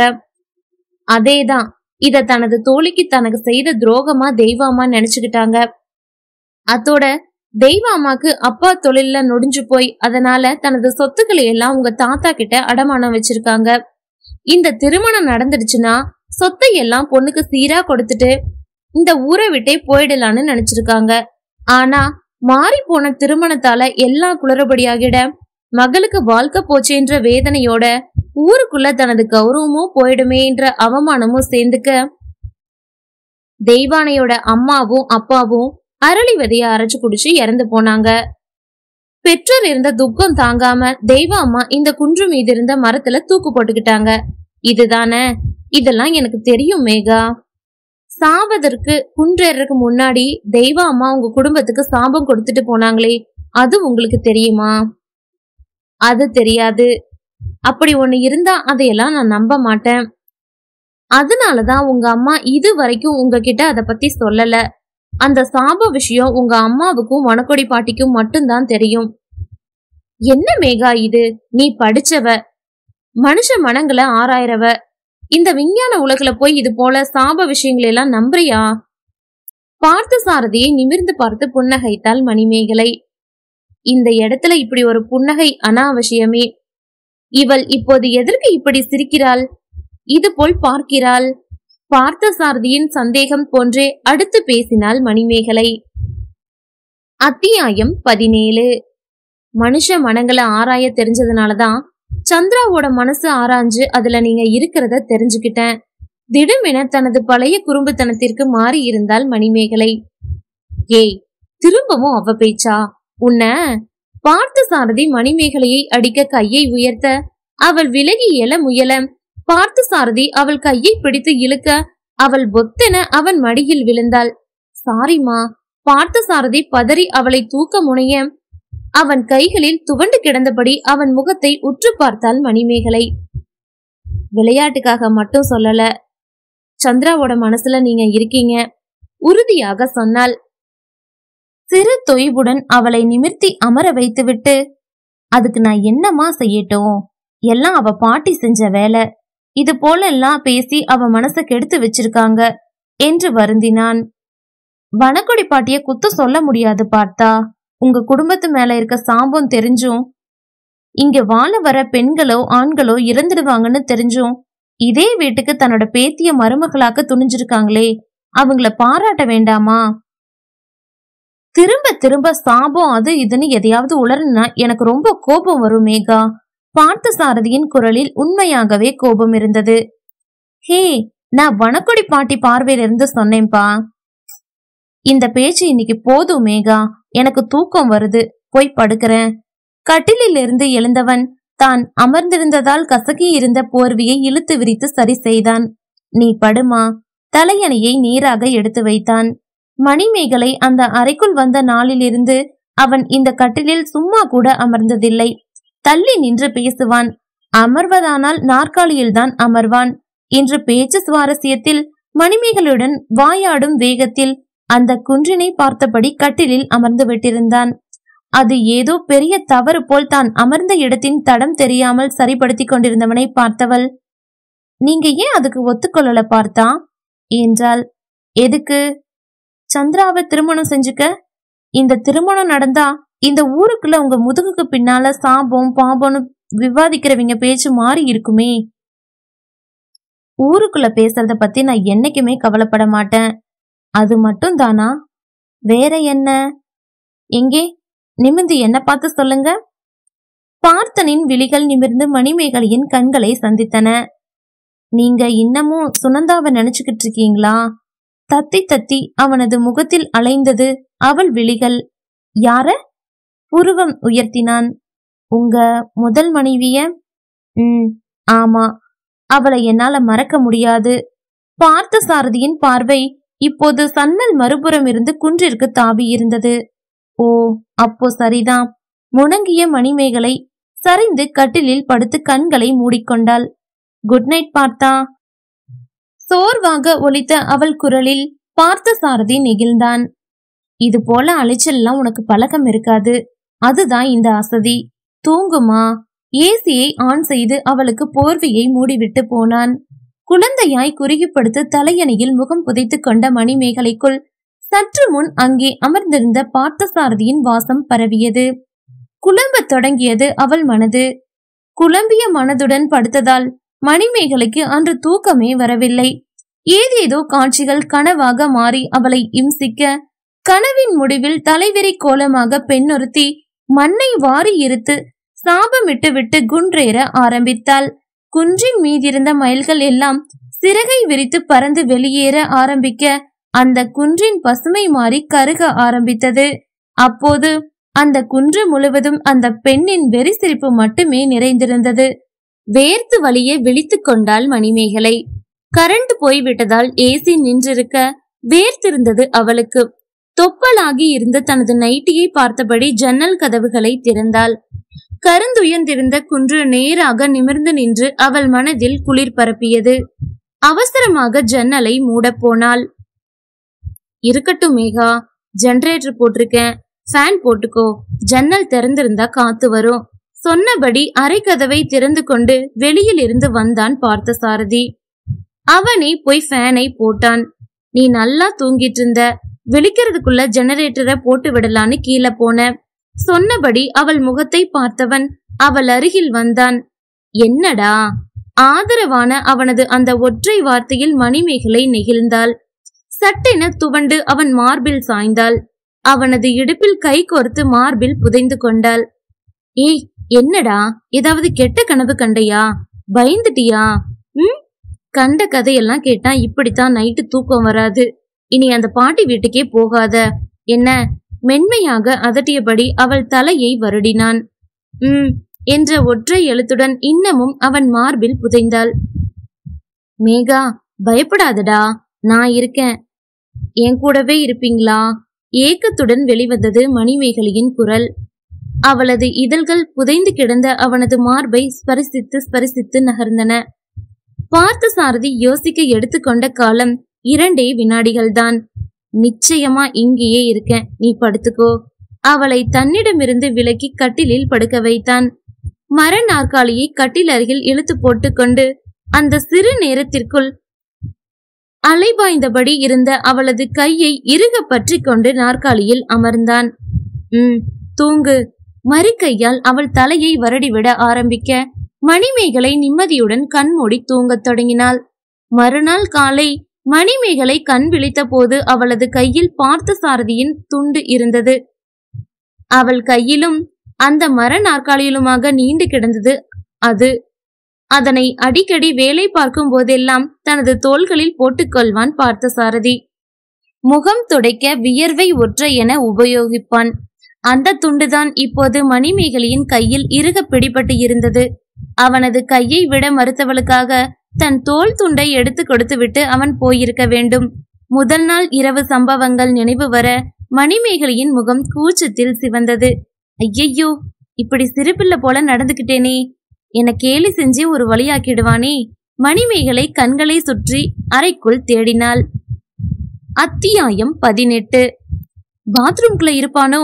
நெஞ்சம் படபடக்க பாத்ரூமினுள் பார்க்க அது காலியாக இருந்தது. ஆசுவாசம் மூச்சு விட்டு கொண்டாள். வெளியே போயிருப்பான். நிறைய நேரங்களில் மணிமேகலையை முந்திக்கொண்டு அவன்தான் எழுந்து குளித்து வாசல் பஞ்சாயத்துக்கு போய்விடுவான். தற்காலிக நிம்மதியுடன் பிரஷில் பேஸ்டை பிதுக்கிக் கொண்டு பல் தேய்க்க தொடங்கினாள். சன்னல் வழியாக அந்த குன்று தெரிந்தது. முதல் நாள் இரவு பயங்காட்டிய அந்த குன்று இப்போது சாதுவாக ஏன் பசுமை இழந்து கொஞ்சம் பரிதாபமாக கூட இருந்தது? நேற்று ஏன் இந்த குன்று அவ்வளவு பயம் அளித்தது நான் ஏன் அப்படி பயந்தேன்? என் மனம் பலவீனமாக இருந்ததோ? எதனால் அந்த பலவீனம்? தனக்குள் யோசித்தபடி அந்த குன்றை உற்று பார்த்த மணிமேகலை திடுக்கிட்டாள். சரசரவென ஒரு உருவம் அந்த குன்றின் மேல் ஏறுவது போலொரு தோற்றம் அவளுள் வந்தது. தலையை உலுக்கிக் கொண்டவளின் உடல் நடுங்கியது. ச இதென்ன பிரம்ம? திடுமென அவளது முதுகு பின்னால் அதிர மீண்டும் உடல் பதற திரும்பி பார்த்தாள். பின்னால் காவேரி நின்று கொண்டிருந்தாள். அவள்தான் ஓங்கி மணிமேகலையின் முதுகில் அரைந்திருந்தாள் அண்ணி மணி எட்டாயிடுச்சு. நீங்க இன்னமும் வாயில பிரஷோட போஸ் கொடுத்துட்டு இருக்கீங்க கமான் கமான் சீக்கிரம் கிளம்பி கீழே வாங்க. அம்மா உங்களை தேடிட்டு இருக்காங்க நிஜமாவா? அத்தை என்ன தேடுறாங்களா காவேரி? மணிமேகலை அவசரம் அவசரமாக வாய் கொப்பளித்து முகம் கழுவினாள். ஆமா தேடுறாங்க. ஆனா வாயால இல்ல கண்ணால. தன் விழிகளை சுழட்டி காட்டி தன் அம்மாவின் பாவனையை செய்தாள். நம்ம ராணி மங்கம்மா அப்படி வெளிப்படையா தேடிட்டாலும் நொடித்து கொண்டாள் அவள் அம்மாவிற்கு செல்லமாக வைத்திருக்கும் பெயர் ராணி மங்கம்மா. வழக்கமான நேரத்துக்கு வர்றவங்க வரலைனா வாய் திறந்து கேட்க வேண்டியது தானே. அதை விட்டுட்டு அடுப்படிக்கும் ஹாலுக்குமா நடந்தா எப்படி? ஏய் பெரியவங்கள அப்படி பேசாத.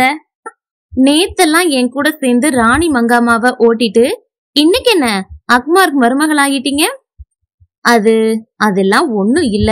நீ கொஞ்ச நேரம் வாய மூடு. ஏனோ முன்தினத்திலிருந்து மணிமேகலையினுள் சிறு நிகழ்ச்சி. நான் கீழே போய் அத்தைக்கு ஒரு ஹாய் சொல்லிட்டு வந்துடுறேன். வந்து குளிக்கிறேன்.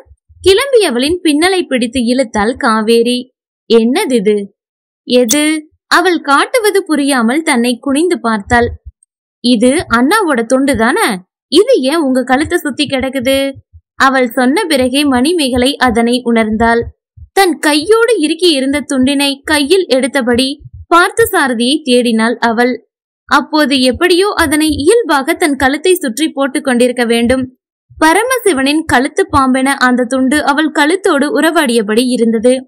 பல் தேய்க்க முகம் கழுவ போன்ற எந்த செயல்களுக்கும் அதனை விளக்காமல் கழுத்திலேயே சுமந்து கொண்டிருந்தாள். தனது உடலின் இன்னொரு அங்கம் போல காவேரி கேட்டதும் அவசரமாக அந்த துண்டினை கழுத்திலிருந்து எடுத்து உதறி வேகமாக மடித்தாள். அது சும்மா வந்து என்னோட டவல்னு நினைச்சு அவரோடத ம் நடத்துங்க நடத்துங்க நான் வரேன். கொஞ்சம் வெட்கமும் கூச்சமும் கலந்து அண்ணியை கிண்டல் செய்தபடி காவேரி வெளியேற அவசரமாக அரைக்கதவை மூடினாள் மணிமேகலை. ச ஏதோ ஞாபக மறதியில இவகிட்ட மாட்டிக்கிட்டேனே. காரணமின்றி சூடேறி விட்ட தன் உடல் குளிர பாத்ரூமுக்குள் நுழைந்து ஷவரை திருகி விட்டாள் பொம்பளை காலையில எழுந்து வர நேரத்தை பாரு. மாதவி மகளை சொல்வது போல் மருமகளை வைத்தாள் நேத்து நைட்டு தூக்கமே வரல அத்த. தூங்க ரொம்ப நேரம் ஆயிடுச்சு. அதுதான் இப்போ எழுந்திருக்க லேட் ஆயிடுச்சு. குறைந்த குரலில் மன்னிப்பு போல் கேட்ட மணிமேகலையை சிறிது ஆச்சரியமாகவே பார்த்தனர் மூன்று பேரும். இவ இப்படியெல்லாம் தலைஞ்சு போகிறவ இல்லையே.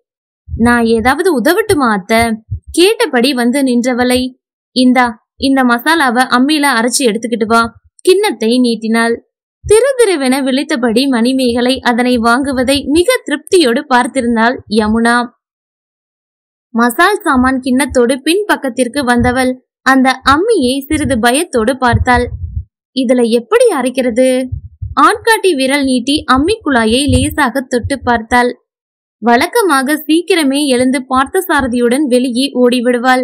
இன்று அவனை பார்க்கவே கூச்சமாக இருக்க அவன் பஞ்சாயத்துக்களை முடித்து வெளியே போகும் வரை இங்கேயே தங்கிவிட்டதன் பலன் இந்த அம்மி அரைத்தல். மசாலா கலவையை அம்மியில் கொட்டிவிட்டு நடுங்கும் கைகளுடன் மெல்ல அந்த குலவியை தூக்கினாள். கையில் நில்லாமல் கனத்து இழுத்தது அது. அதற்குள் வலிய தொடங்கிவிட்ட நெற்றி வியர்வையை துடைத்தபடி நிமிர்ந்தவளின் கண்களில் அந்த குன்று பட்டது. திடுமென மனதில் ஒன்று தோன்ற அந்த குன்றை பார்த்தபடி அப்படியே நின்றிருந்தாள். மேகா என்ன பண்ற? திடுமென அருகே கேட்டுவிட்ட பார்த்தசாரதியின் குரலில் திடுக்கிட்டு கை தவற விட இருந்த குலவியை பிடித்து அம்மி மேல் வைத்தான். பழக்கமில்லாத வேலையை நீ ஏன் செய்யற மேகா. அது சும்மா செஞ்சு பார்க்கலாமேன்னு. அது சரி. அங்க பராக்கு பார்த்துக்கிட்டு இங்க அரைச்சா எப்படி? ம்? மணிமேகலையின் பார்வை தானாக குன்றின் பக்கம் போக இன்னமும் பயமா மேகா? அவள் பக்கம் குனிந்து மென்குரலில் கேட்டான்.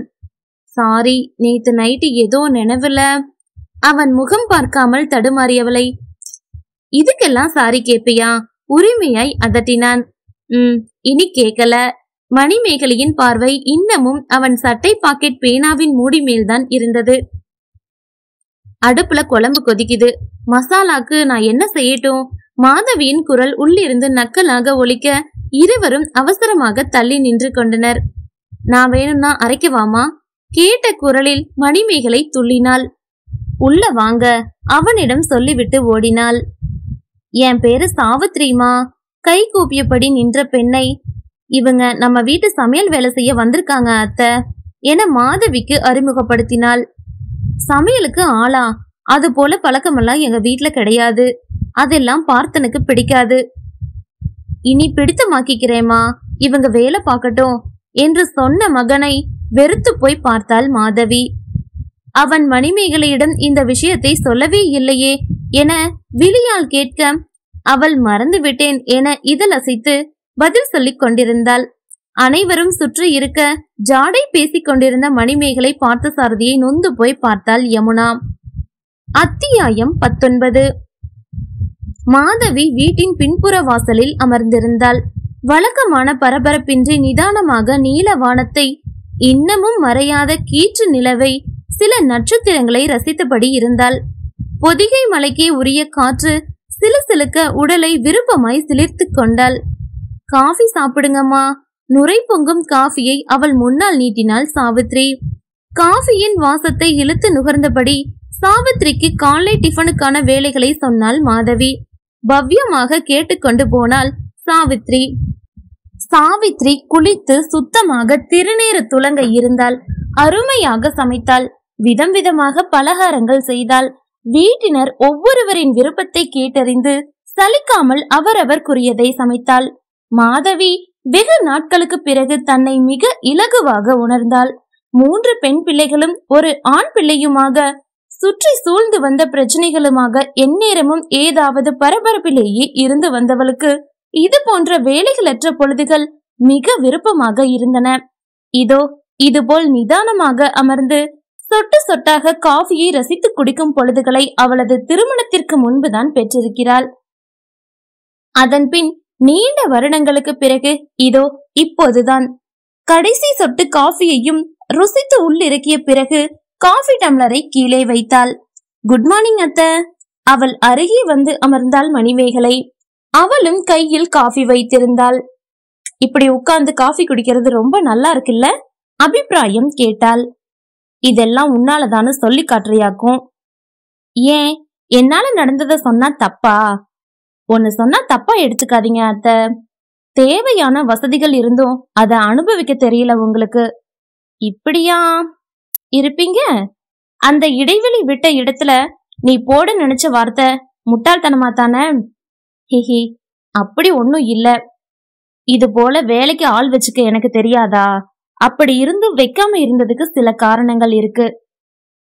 என்ன பெரிய காரணம்? வேலை செஞ்சா என்னோட துயரங்களை மறக்கிறேன். இது போல சென்டிமெண்ட்டுகளை தானே? உன்னை பார்த்தா துன்பத்தோட சாயலே இல்லாம வளர்ந்துவ போல தெரியுது. உனக்கெல்லாம் எங்க வேதனை புரியாது. என்ன பெரிய வேதனை? நம்ம நாட்டுல சாப்பிட உணவு இல்லாம உடுக்க துணி இல்லாம தலைக்கு மேல கூரை இல்லாம எத்தனை லட்சக்கணக்கான பேர் இருக்காங்க தெரியுமா? அவங்களோட துன்பத்தை விடவா உங்களோடது பெருசு? உடுத்த துணியும் திங்க சோறும் கிடைச்சா மட்டும் போதுங்கிறியா? இதுதான் மனுஷ வாழ்க்கையோட முக்கிய மூலதனம். அது அல்ல அல்ல குறையாம உங்களுக்கு கிடைக்குது. பிறகும் தேவையில்லாம கற்பனைகளை செஞ்சுக்கிட்டு மனச புண்ணாக்கிக்கிட்டு என்ன செய்யறது? என் வேதனை உனக்கு தெரியாது. தெரியும் அத்த. எனக்கு தெய்வ அம்மாவை பத்தி தெரியும். மாதவி அவளை திரும்பி உற்று பார்த்தாள். என்ன சொல்ல வர்ற? உங்க ரகசியத்தை நான் அறிவேன்கிறேன். நான் கூட ஊர் ரகசியத்தை அறிஞ்சிருக்கேன்னு நினைக்கிறேன். மாதவியின் மர்மக்குரலில் திடுக்கிட்டாள் மணிமேகலை. ரகசியமா? என்கிட்டயா ஆமா. நிறைய இருக்கு.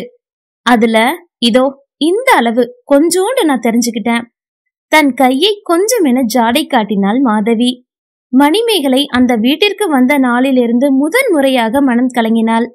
ஆ அப்படி எதுவும் என்கிட்ட? இல்லையா உன் அம்மா அப்பா உன் உறவினர்கள் பத்தி சொல்லேன். கேப்போம். மணிமேகலை சொல்ல போகும் தகவல்களுக்காக காதை தீட்டிக் கொள்பவளைப் போல் அவள் புறம் திரும்பி அமர்ந்து கொண்டாள் மாதவி.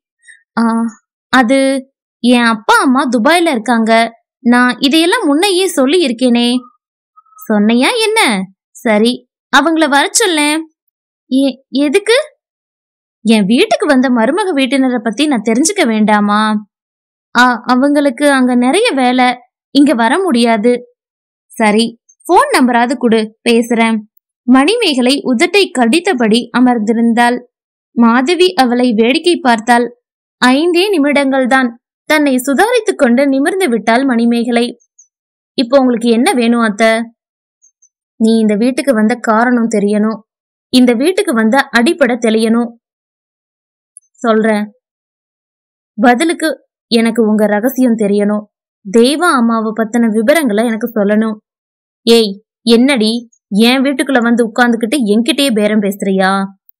கூல் அத்த எதுக்கு இந்த டென்ஷன் நம்ம ரெண்டு பேருடைய நோக்கமும் இந்த குடும்பம் சீர்படணுங்கிறது தான் ரெண்டு பேரும் மனம் விட்டு பேசிக்கவோமே அப்படி எந்த அவசியமும் எனக்கு இல்ல.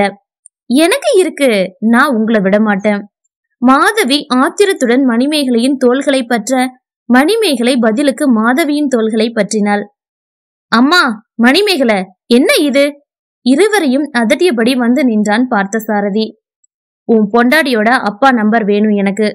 கொடுக்க சொல்லு நான் பேசணும். சரிம்மா தர சொல்றேன் மணிமேகலை எழுந்து வா. வீட்டை சுற்றி ஒரு வாக் போலாம். அவளை கிளப்பினான். மணிமேகலை அவசரமாக எழுந்து நடக்கத் தொடங்க மாதவி அவள் முதுகை பார்த்து புன்னகைத்தாள். என்ன ஆச்சு மேகா? நடந்தபடி கேட்ட பார்த்தசாரதியின் கையை பிடித்த மணிமேகலை சட்டென அவன் தோள்களில் சாய்ந்தாள். அத்தை என்ன வீட்டை விட்டு விரட்ட நினைக்கிறாங்க. பார்த்தசாரதி யோசனையாக அவளை பார்த்தான். என்ன விரட்டிடுவீங்களா பார்த்தா? மணிமேகலை குரல் கரகரத்தது. பார்த்த சாரதி பதிலின்றி தலையசைத்தான். இதையெல்லாம் நாம பிறகு பேசலாம் மேகா. அரைகுறை சமாதான மனதுடன் நடையை தொடர்ந்த மணிமேகலை பார்த்த சாரதியின் கையை விடவில்லை. கோர்த்து பிணைத்தபடி நடந்தாள். ஆனா ஒரு நாள் நீ இந்த வீட்டை விட்டு போய்தானே ஆகணும் மணிமேகலை? பார்த்த சாரதியின் விடுதல் பேச்சில் அதிர்ந்த மணிமேகலை அவன் கையை உதறிவிட்டு மாடிக்கு போய்விட்டாள். கதவை பூட்டிக் கொண்டாள். இல்ல நான் இந்த வீட்டை விட்டு போக மாட்டேன். கைகளை பிணைந்தபடி அறையினுள் குறுக்கும் நெடுக்குமாக நடந்தாள். நகத்தை கடித்து துப்பினாள். சன்னல் அருகே போய் நின்றவளின் பார்வையில் அந்த குன்று பட அதனை கூர்ந்து பார்த்தபடி நின்றாள். தயங்கி தயங்கி அதனை அளந்தாள்.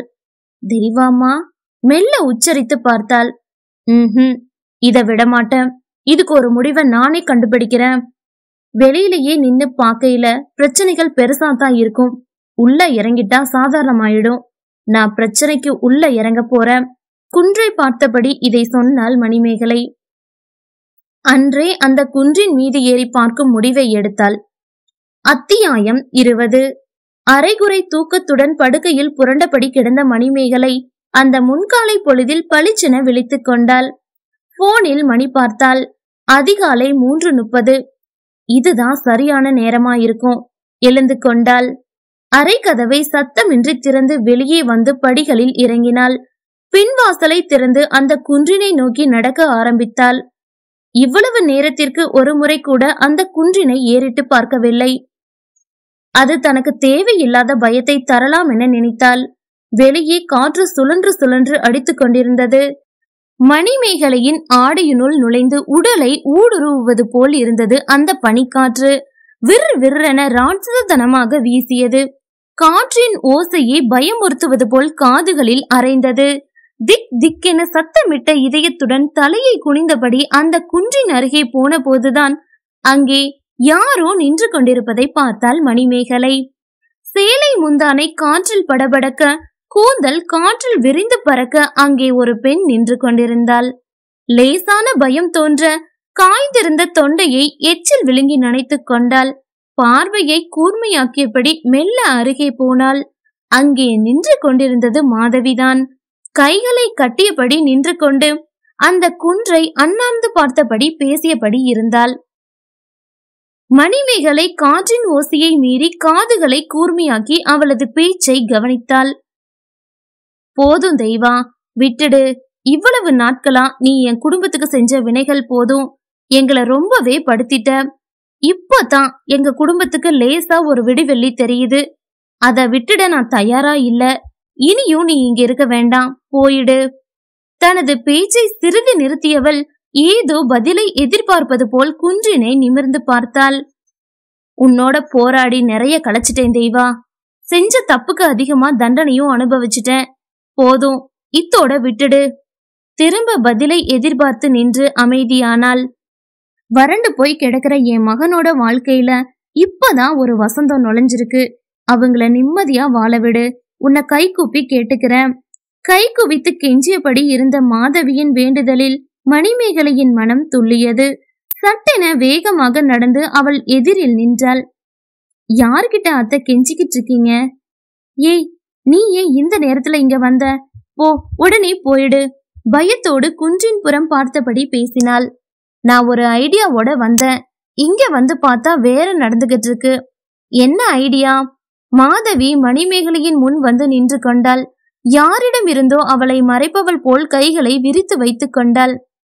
இந்த குன்றின் மேலதான் உங்க தோழி இருக்கிறாங்க. நான் மெல்ல இந்த குன்றின் மேல ஏறி அவங்கள சந்திக்கலான்னு நினைச்சேன். என்னது? பைத்தியம் ஆடி உனக்கு? ஏண்டி உனக்கு புத்தி இப்படி போகுது? நீ வா இங்க நிக்க வேண்டாம். மணிமேகலையின் கையை பிடித்து இழுக்க அவள் வராமல் கால்களை அழுந்த தரையில் ஊன்றினாள். ம் நான் வரமாட்டேன். இன்னைக்கு குன்றின் மேல ஏறாம விட மாட்டேன் பிடிவாதமாக குன்றின் பக்கம் நகர்ந்தவளை பிடித்து இழுத்து கன்னத்தில் அரைந்தாள் மாதவி. முட்டாள் கழுத உனக்காக தானடி போராடிக்கிட்டு இருக்க நீ பாட்டுக்கு மேல போகிறன்ற அறிவு இருக்குதா உனக்கு? பேசியபடி இருந்த போதே இருவரின் முகத்திலும் எதுவோ வந்து வேகமாக மோதியது. அது அந்த குன்றின் மேலிருந்துதான் வந்தது.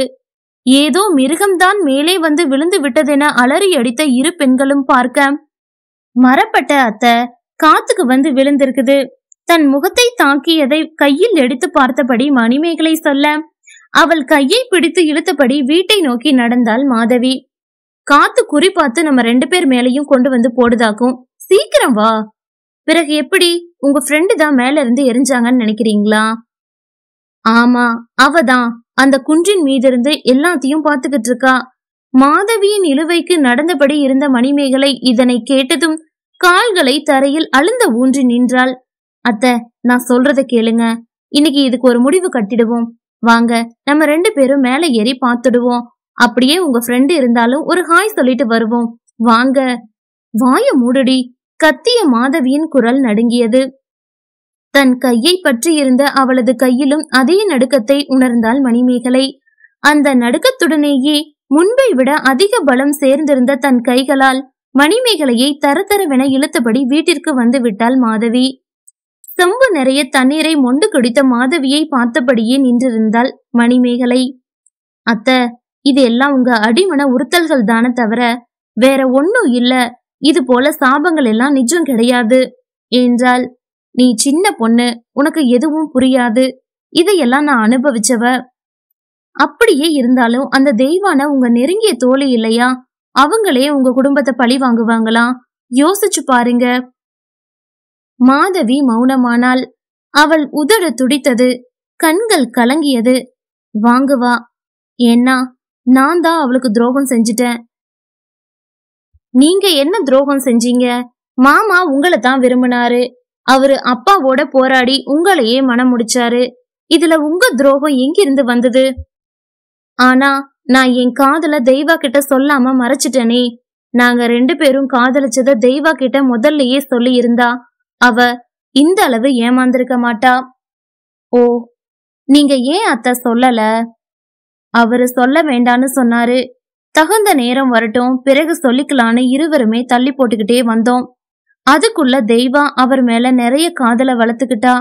திடீர்னு ஒரு நாள் இந்த குன்றின் மேல எங்க ரெண்டு பேரையும் ஒன்னா பார்க்கவும் அதுவும் அன்னைக்கு நாங்க கொஞ்சம் நெருக்கமா மாதவியின் குரல் தடுமாறியது. மணிமேகலைக்கு புரிந்தது. தனிமை கிடைத்திருக்கும் காதலர்கள் அதுவும் தங்கள் எதிர்கால வாழ்வு பற்றிய கவலையில் இருப்பவர்கள். எப்படி இருந்திருப்பார்கள் என அவளால் புரிய முடிந்தது. தங்கள் கவலைகளின் ஆறுதலுக்காக ஒருவரை ஒருவர் தழுவியபடி இருந்திருக்கலாம். வாய் வார்த்தைகளை விட நிறைய நேரங்களில் தேகங்களின் உணர்தல் தானே துயரங்களை போக்க உதவுகிறது. எனக்கு புரியுது அத்த. ஆதரவாக மாதவியின் கைகளை பற்றி கொண்டாள். அந்த நிலைமையில எங்களை பார்த்ததும் தெய்வா அதிர்ந்துட்டா. நாங்க ரெண்டு பேரும் அவளை ஏமாத்திட்டு தான் நினைச்சிட்டா. ஒன்னும் பேசல. அப்படியே திரும்பி கீழே இறங்கி போயிட்டா. தெய்வானையின் மனமும் மணிமேகலைக்கு புரிந்தது. தான் மிகவும் நம்பிய தோழி. தனக்கு நிச்சயம் செய்தவனுடன் நெருக்கமாக இருப்பதை பார்த்தால் இருவரும் சேர்ந்து தனக்கு துரோகம் செய்து விட்டார்கள் என்று தானே நினைப்பாள். இரு பெண்களின் நிலையுமே அன்று பெரும் இக்கட்டில் தான் இருந்திருக்கிறது. யோசித்தபடி நிமிர்ந்த மணிமேகலை மாதவியின் பார்வை தன்மேல் பதிந்திருப்பதை கண்டாள். என்ன இது? அவள் கேட்கவும் குனிந்து தன்னை பார்த்த மணிமேகலை எச்சில் விழுங்கினாள் திருதிருத்தாள். அவளது கழுத்தை சுற்றி பாதுகாப்பு வளையம் போல் பார்த்த சாரதியின் துண்டு சுருண்டிருந்தது. அத்தியாயம் இருபத்தி ஒன்று. பார்த்த சாரதி ஒரு பிடிப்பிற்கென அவள் கையில் கொடுத்து விட்டு போன துண்டை மணிமேகலை அதன் பிறகு அவனிடம் கொடுக்கவில்லை. சுருக்கம் உதறி மடித்து தன் தலையணிக்கடியில் பத்திரப்படுத்தி வைத்துக் கொண்டாள். இப்போது வெளியில் கிளம்பி வரும்போது அவன் இல்லாது போகும் தனிமையை சமாளிக்கவென அவனது துண்டை எடுத்து தன் கழுத்தை சுற்றி போட்டுக்கொண்டாள் அதன் பிறகே படபடப்பு குறைந்து தன்னை நிதானமாக உணர்ந்தாள். இது துண்டு சும்மா வியத்தா தொடைக்கண்ணு சொன்னவள் ஐயையோ இந்த காற்றில் வியர்வையா? என நினைத்து நிறுத்தி வந்து குளிருமே மூடிக்கலான்னு சொன்னபடி கழுத்தில் இருந்த துண்டை எடுத்து உதறி பிரித்து தன் தோள்களை சுற்றி போர்த்திக் கொண்டாள். இது பார்த்தாவுடையது தானே ஆ அப்படியா? நான் எங்க ரூம்ல கிடந்த ஏதோ துண்டை எடுத்துக்கிட்டு கையை உயர்த்தி அவள் பேச்சை நிறுத்தினாள் மாதவி. நீ யாரு? இங்க எதுக்காக வந்த? இந்த கேள்வியில் மணிமேகலை அதிர்ந்தாள். நான் நான் உங்க மகனோட மனைவி. அவரை கல்யாணம் செஞ்சுக்கிட்டேன். இங்க வந்தேன். அப்படியா? உங்க கல்யாணத்துக்கு சாட்சி யாரு? கல்யாணம் எங்க நடந்தது? போட்டோக்களை காட்டு. உன் அப்பா அம்மா ஃபோன் நம்பர் கொடு. நான் அவங்க கிட்ட பேசணும். இ- இதையெல்லாம் நீங்க உங்க மகன் கிட்ட கேட்க வேண்டியது தானே? என்கிட்ட எதுக்கு? அவங்க கிட்ட பேசுங்க. நான் வரேன். எழுந்து வீட்டினுள் நடந்தாள் பார்த்தன நீ காதலிக்கிறதான மணிமேகலை? பின்னால் கேட்ட மாதவியின் குரலில் ஸ்தம்பித்து நின்றாள். நான் காதலிச்சவ காதல உணர்ந்தவ என்னால ஒரு காதல் கொண்ட பொண்ண தெரிஞ்சுக்க முடியும். ஏன் என் கணவர் நான் காதலிக்கிறேன். இதுல பெருசா என்ன இருக்கு? மீண்டும் நடந்தாள். பார்த்தனும் உன்னை காதலிக்கிறானான்னு உனக்கு குழப்பமா இருக்குது தானே? மணிமேகலையின் நடை மீண்டும் தேங்கியது. முகம் திருப்பி மாதவியை பார்த்தாள். ஏன் மகன் அவன்? என்னால அவனை ஓரளவு உணர முடியும். மணிமேகலையின் விழிகள் இப்போது மாதவியிடம் யாசித்தன. தளர்ந்த நடையுடன் அவள் திரும்பி வந்து மீண்டும் மாதவியின் அருகில் அமர்ந்தாள். ஆ அவரு என்ன காதலிக்கிறாரா அத்த? எ- எனக்கு அவரை புரிஞ்சுக்க முடியல. நீ முதல்ல உன்னை பத்தி சொல்லு. மணிமேகலை தயங்கினாள். என்கிட்ட போட்டி போட்டுட்டு பார்த்தான்னு கூப்பிடுற. அவன் வேண்டாமா உனக்கு? நா நாம் மணிமேகலை கண் கலங்க சட்டென மாதவியின் மடியில் தலை வைத்து படுத்துக் கொண்டாள். மாதவி அவள் தலையை வருடினாள். மணிமேகலை சொல்லத் தொடங்கினாள். நான் பிறந்தது துபாயில தான். என் அம்மாவும் அப்பாவும் அங்க வேலை பார்த்துட்டு இருக்காங்க. என் அப்பாவோட அண்ணன் இங்க சென்னையில இருக்காரு. அவர் ஒரு தமிழ் ஆசிரியர். எனக்கு தமிழ்ல ஆர்வம் வர்றதுக்கு அவர்தான் காரணம். என் சின்ன வயசுல இருந்தே போன்ல எனக்கு தமிழ் டியூஷன் எடுப்பாரு. அவரோட தமிழ் பயிற்சி தான் எனக்கு தமிழ்நாட்டுல படிக்கிற ஆர்வத்தை கொடுத்தது. நான் அப்பா அம்மா கிட்ட கேட்டு காலேஜ் படிப்ப இங்க சென்னையில படிக்க வந்தேன். பெரியப்பா வீட்டுல இருந்தா அவங்கள தொல்லை செய்யணும். எனது பிரைவசிக்காக ஹாஸ்டல்ல தங்கிக்கிட்டேன். மனித மனங்களை ஆராயறது எனக்கு ரொம்பவும் பிடிச்சமானது. அதனால சைக்காலஜி படிப்பை தேர்ந்தெடுத்து படிச்சேன். ஒவ்வொரு வார இறுதியிலையும் தவறாம பெரியப்பா வீட்டுக்கு வந்துடுவேன். அப்படி ஒரு நாள் வந்தப்போ பெரியப்பாவுக்கும் அவர் மகன் கௌசிக்கும் ஒரு வாக்குவாதம் நடந்துட்டு இருந்துச்சு மணிமேகலை தனது வாழ்வின் முன்பகுதியை மாதவியிடம் பகிர்ந்து கொள்ள துவங்கினாள். உன்னை பெத்து படிக்க வச்சு இவ்வளவு தூரம் வளர்த்து விட்டது தானடா நாங்க செஞ்ச தப்பு? வரதராஜன் மகனிடம் வருந்தி கொண்டிருக்க கௌசிக் அசையாமல் நின்றிருந்தான். ஏண்டா இப்படி செஞ்ச? எங்களை விட்டு பிரிஞ்சு போக வேண்டும்னு முடிவெடுத்துட்டியாம். லீலாவதி மகனிடம் புலம்பியபடி இருந்தாள். ஏன் தப்புதான்? உங்ககிட்ட சொல்லாமலேயே போயிருக்கணும். சொன்னது தப்புதான். கௌசிக் அசையாமல் அவர்களை எதிர்த்து நின்றான். அண்ணா நீ என்ன பேசிக்கிட்டு இருக்க? அப்பா கிட்டயும் அம்மா கிட்டயும் பேசுற. நினைவுல வச்சுக்கோ. அதட்டியபடி உள்ளே வந்தாள் மணிமேகலை. வாம்மா நீயாவது அவனுக்கு எடுத்து சொல்லு. லீலாவதி அழுகையோடு வரவேற்றாள். என்ன விஷயம் பெரியப்பா? என்ன பிரச்சனை அண்ணா? எல்லாம் அவங்கிட்டயே கேளு. வரதராஜன் சலித்தார். நான் ஜெர்மன் போறேன். அங்க நல்ல வேலை நல்ல சம்பளம் இதுக்கு தான் இத்தனை ஆர்ப்பாட்டம் கௌசிக் வெறுப்புடன் சொன்னான். இங்க இருந்த நல்ல வேலையை விட்டுட்டு இப்ப திடீர்னு ஏன் அங்க போகணும்? கேட்டு சொல்லு மணி. நீங்க பொறுமையா இருங்க பெரியமா நான் பேசிக்கிறேன். கௌசிக்கின் கையை பிடித்து இழுத்துக்கொண்டு மாடி ஏறினாள் மணிமேகலை. ஒரு மணி நேரமாக விதம் விதமாக பேசி துளி துளியாக அசைத்து கௌசிக்கிடமிருந்து மணிமேகலை பெற்ற விவரங்கள். அவனுக்கு காதல் தோல்வி.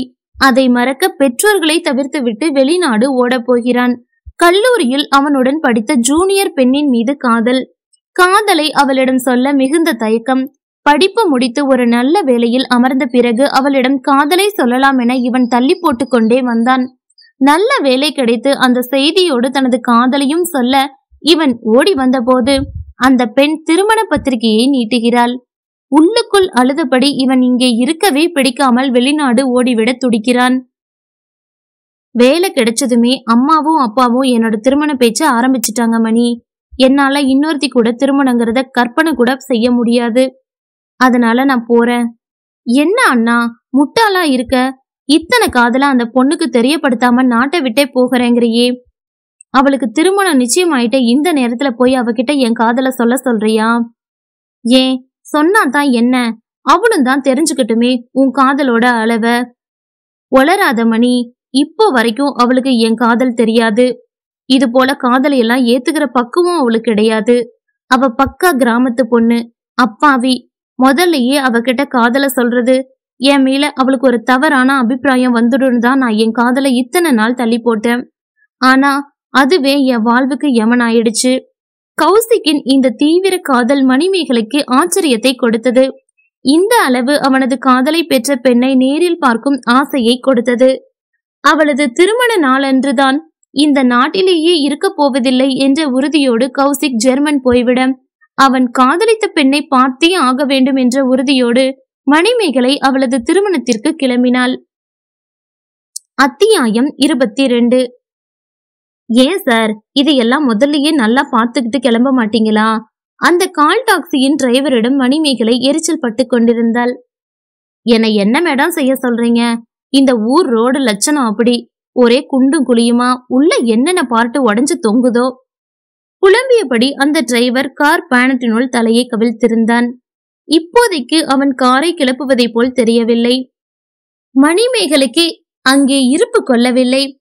பரபரப்பாக கண்களை சுற்றி அலைய விட்டால் அதிகாலை நேரம் அது. இன்னும் முழுமையான வெளிச்சம் வரவில்லை. அரை இருளும் சாரலும் கூதலுமாக அந்த சூழ்நிலை அவளுக்கு மிக பிடித்தமானதாக இருந்தது. இந்த ஊரு ரொம்ப அழகா இருக்குதே. மெல்ல நடக்கத் தொடங்கினாள் சுற்றிலும் வயல்கள் பசுமை கவிழ்ந்திருக்க அதிகாலை நேரம் என்பதால் பயிர்களுக்கு சலசலவென நீர் பாய்ந்து கொண்டிருந்தது. அந்த வாய்க்கால் நீரில் கால் நடிக்கும் ஆசையில் ரோட்டை விட்டு இறங்கி வாய்க்காலில் இறங்கினாள். சிலீரிட்ட நீரை பாதங்களில் உணர்ந்து சிலிர்த்தபடி மேலும் எட்டெடுத்து வைத்தபோது சகதி வலிக்கு கீழே விழப்போனாள். வலிய இரு கரங்கள் அவளது தோளோடு சேர்த்து தாங்கி பற்றி அவளை தூக்கி நிறுத்தின. வாய்க்கால நடக்கிறது ரோட்ல நடக்கிறது போல எளிதில்ல. நிறைய கவனம் வேணும்.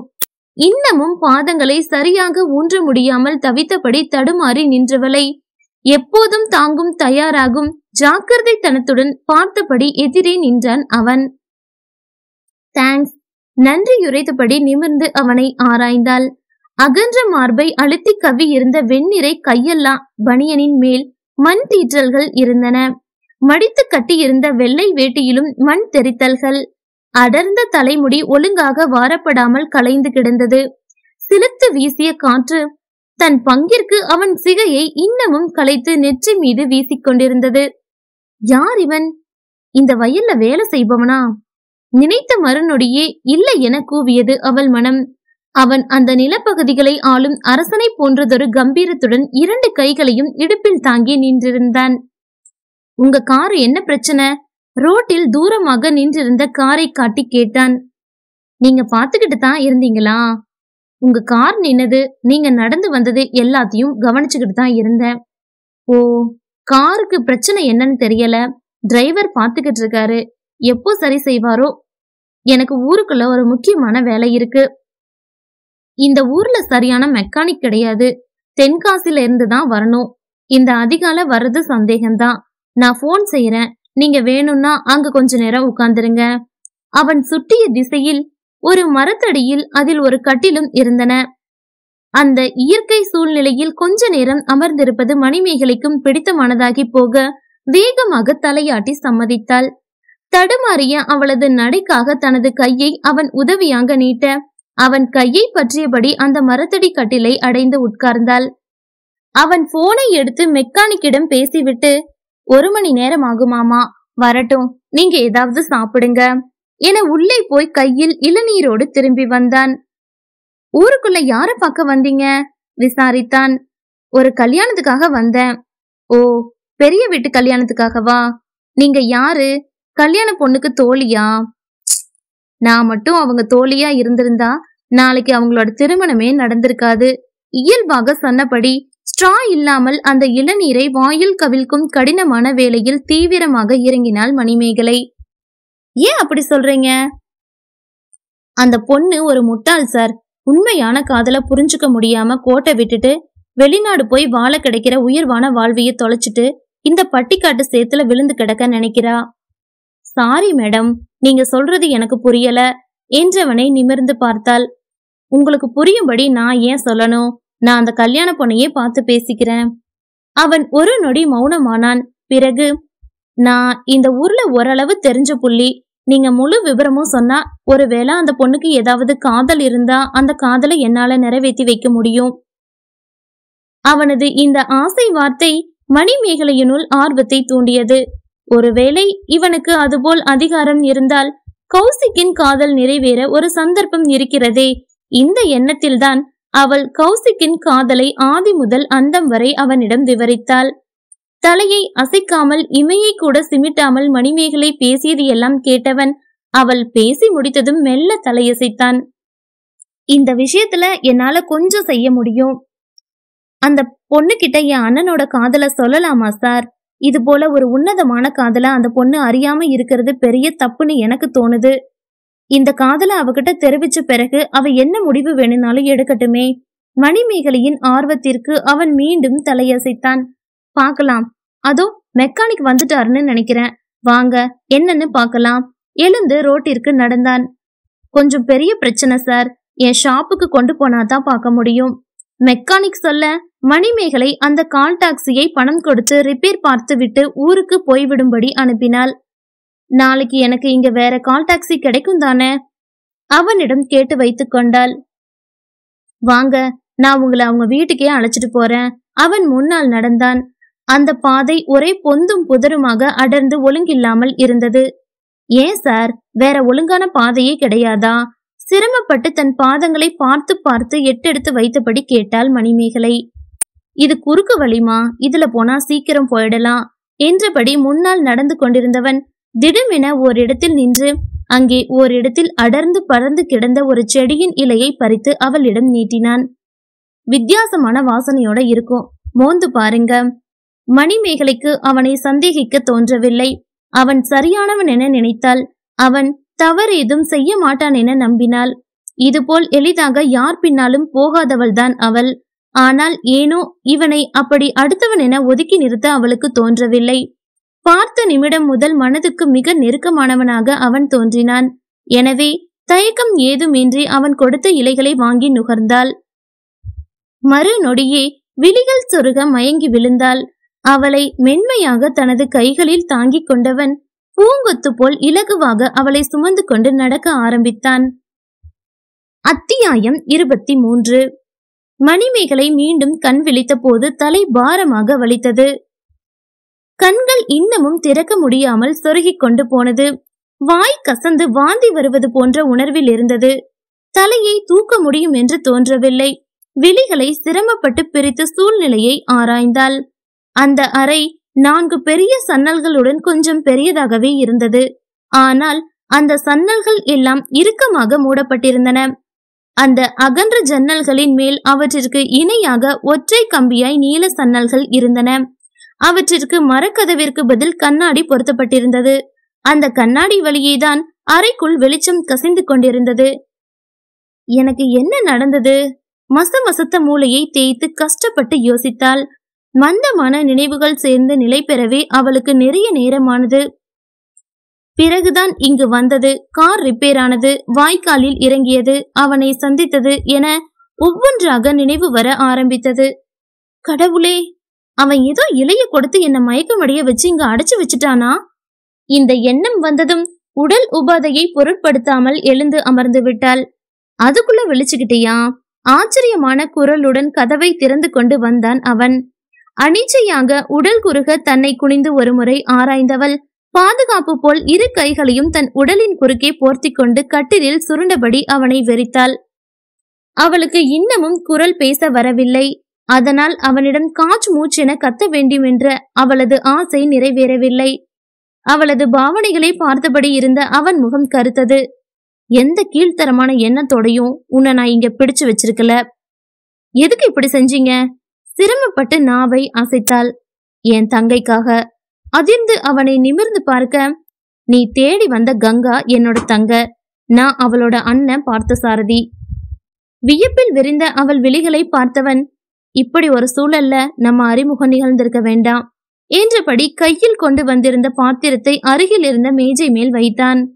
அதிலிருந்து எதையோ எடுத்து ஆற்ற ஆரம்பித்தான். இந்த காதல் கன்றாவியெல்லாம் அறியாத அப்பாவி பொண்ணு என் தங்க.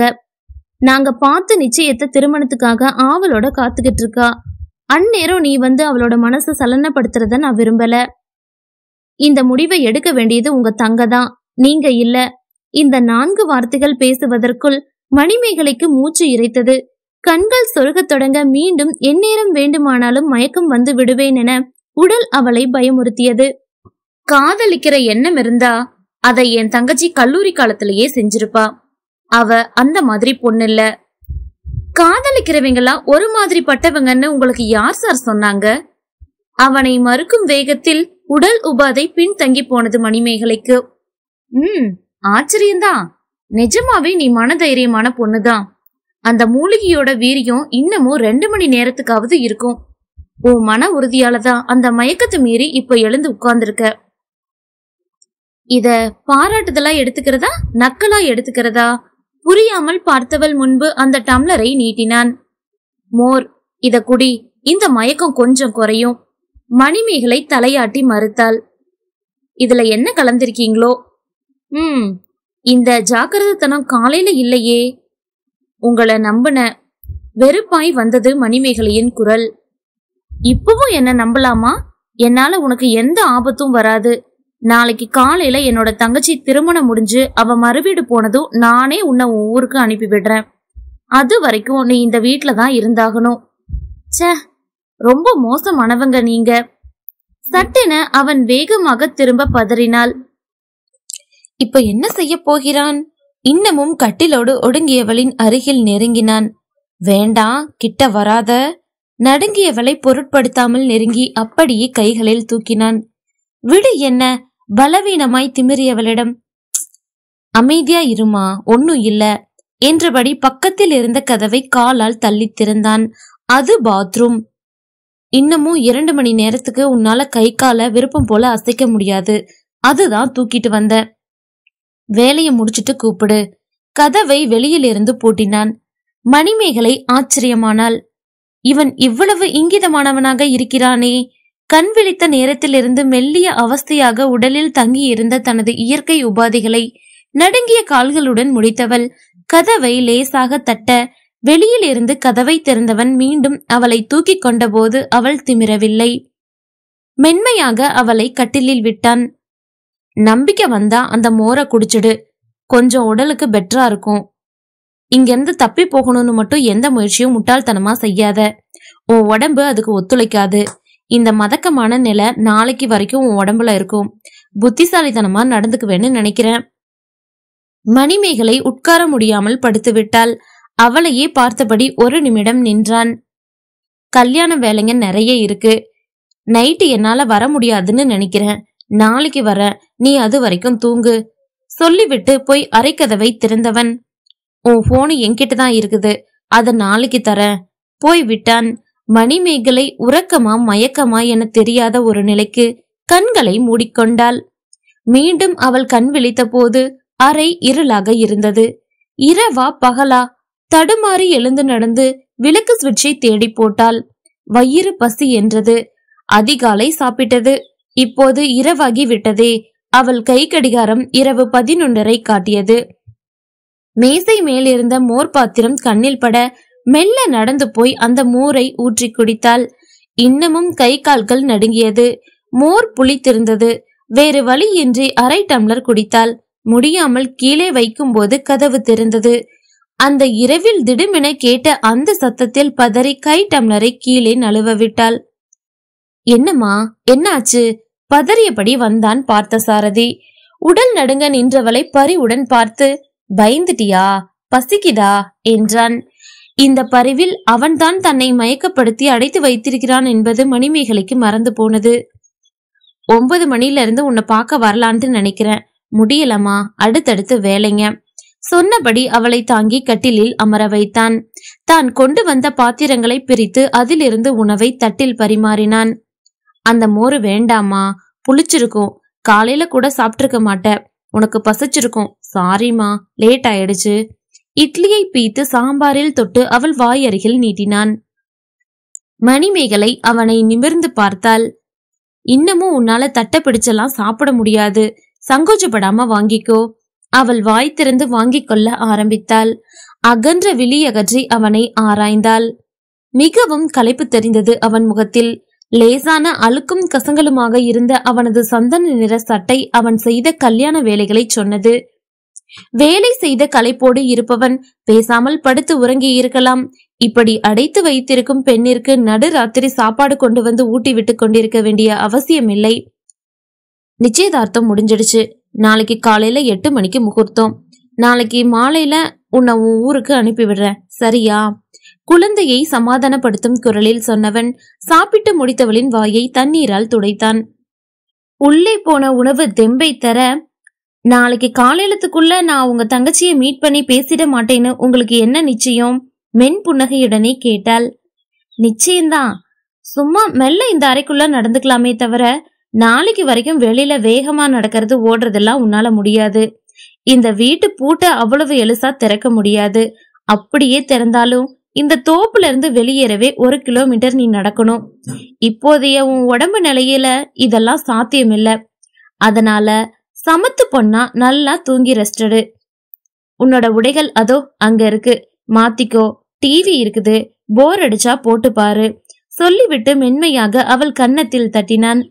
ஒரு தலையசைப்புடன் கதவை பூட்டி கொண்டு போனான். தனது பேக்கில் இருந்து நைட்டியை மாற்றிக்கொண்டு படுக்கையில் சரிந்த மணிமேகலையிடம் அடைபட்டு கிடக்கும் உணர்வின்றி சொந்த வீட்டு உணர்வு வந்திருக்க. நிம்மதியோடு கண்களை மூடி உறங்கத் தொடங்கினாள்.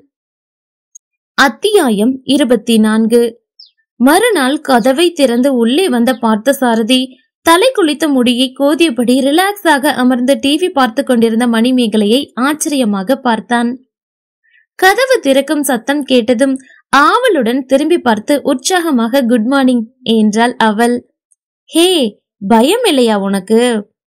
என் ஹாஸ்டலை விட இந்த வீடு பெட்டரா தெரிஞ்சது. சோ இல்லாததுக்கு ஏங்கறத விட இருக்கிறத அனுபவிக்கிறது புத்திசாலித்தனம் இல்லையா? அதான் அனுபவிக்கிறேன். எழுந்து வந்தவள் அவன் கை டிஃபன் கேரியரை வாங்கினாள். கல்யாண வீட்டு சாப்பாடு தானே? கொடுங்க. ரொம்ப பசி.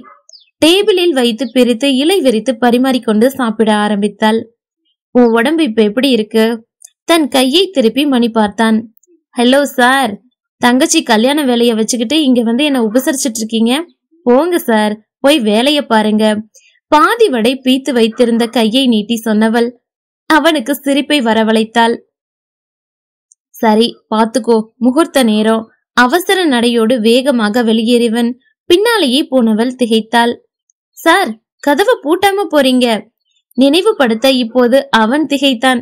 ஓ லேசாக தலையை தட்டி கொண்டவன் மீண்டும் வந்து கதவை பூட்டினான். உங்க கல்யாண வீட்டு ட்ரெஸ் நல்லா இருக்கு.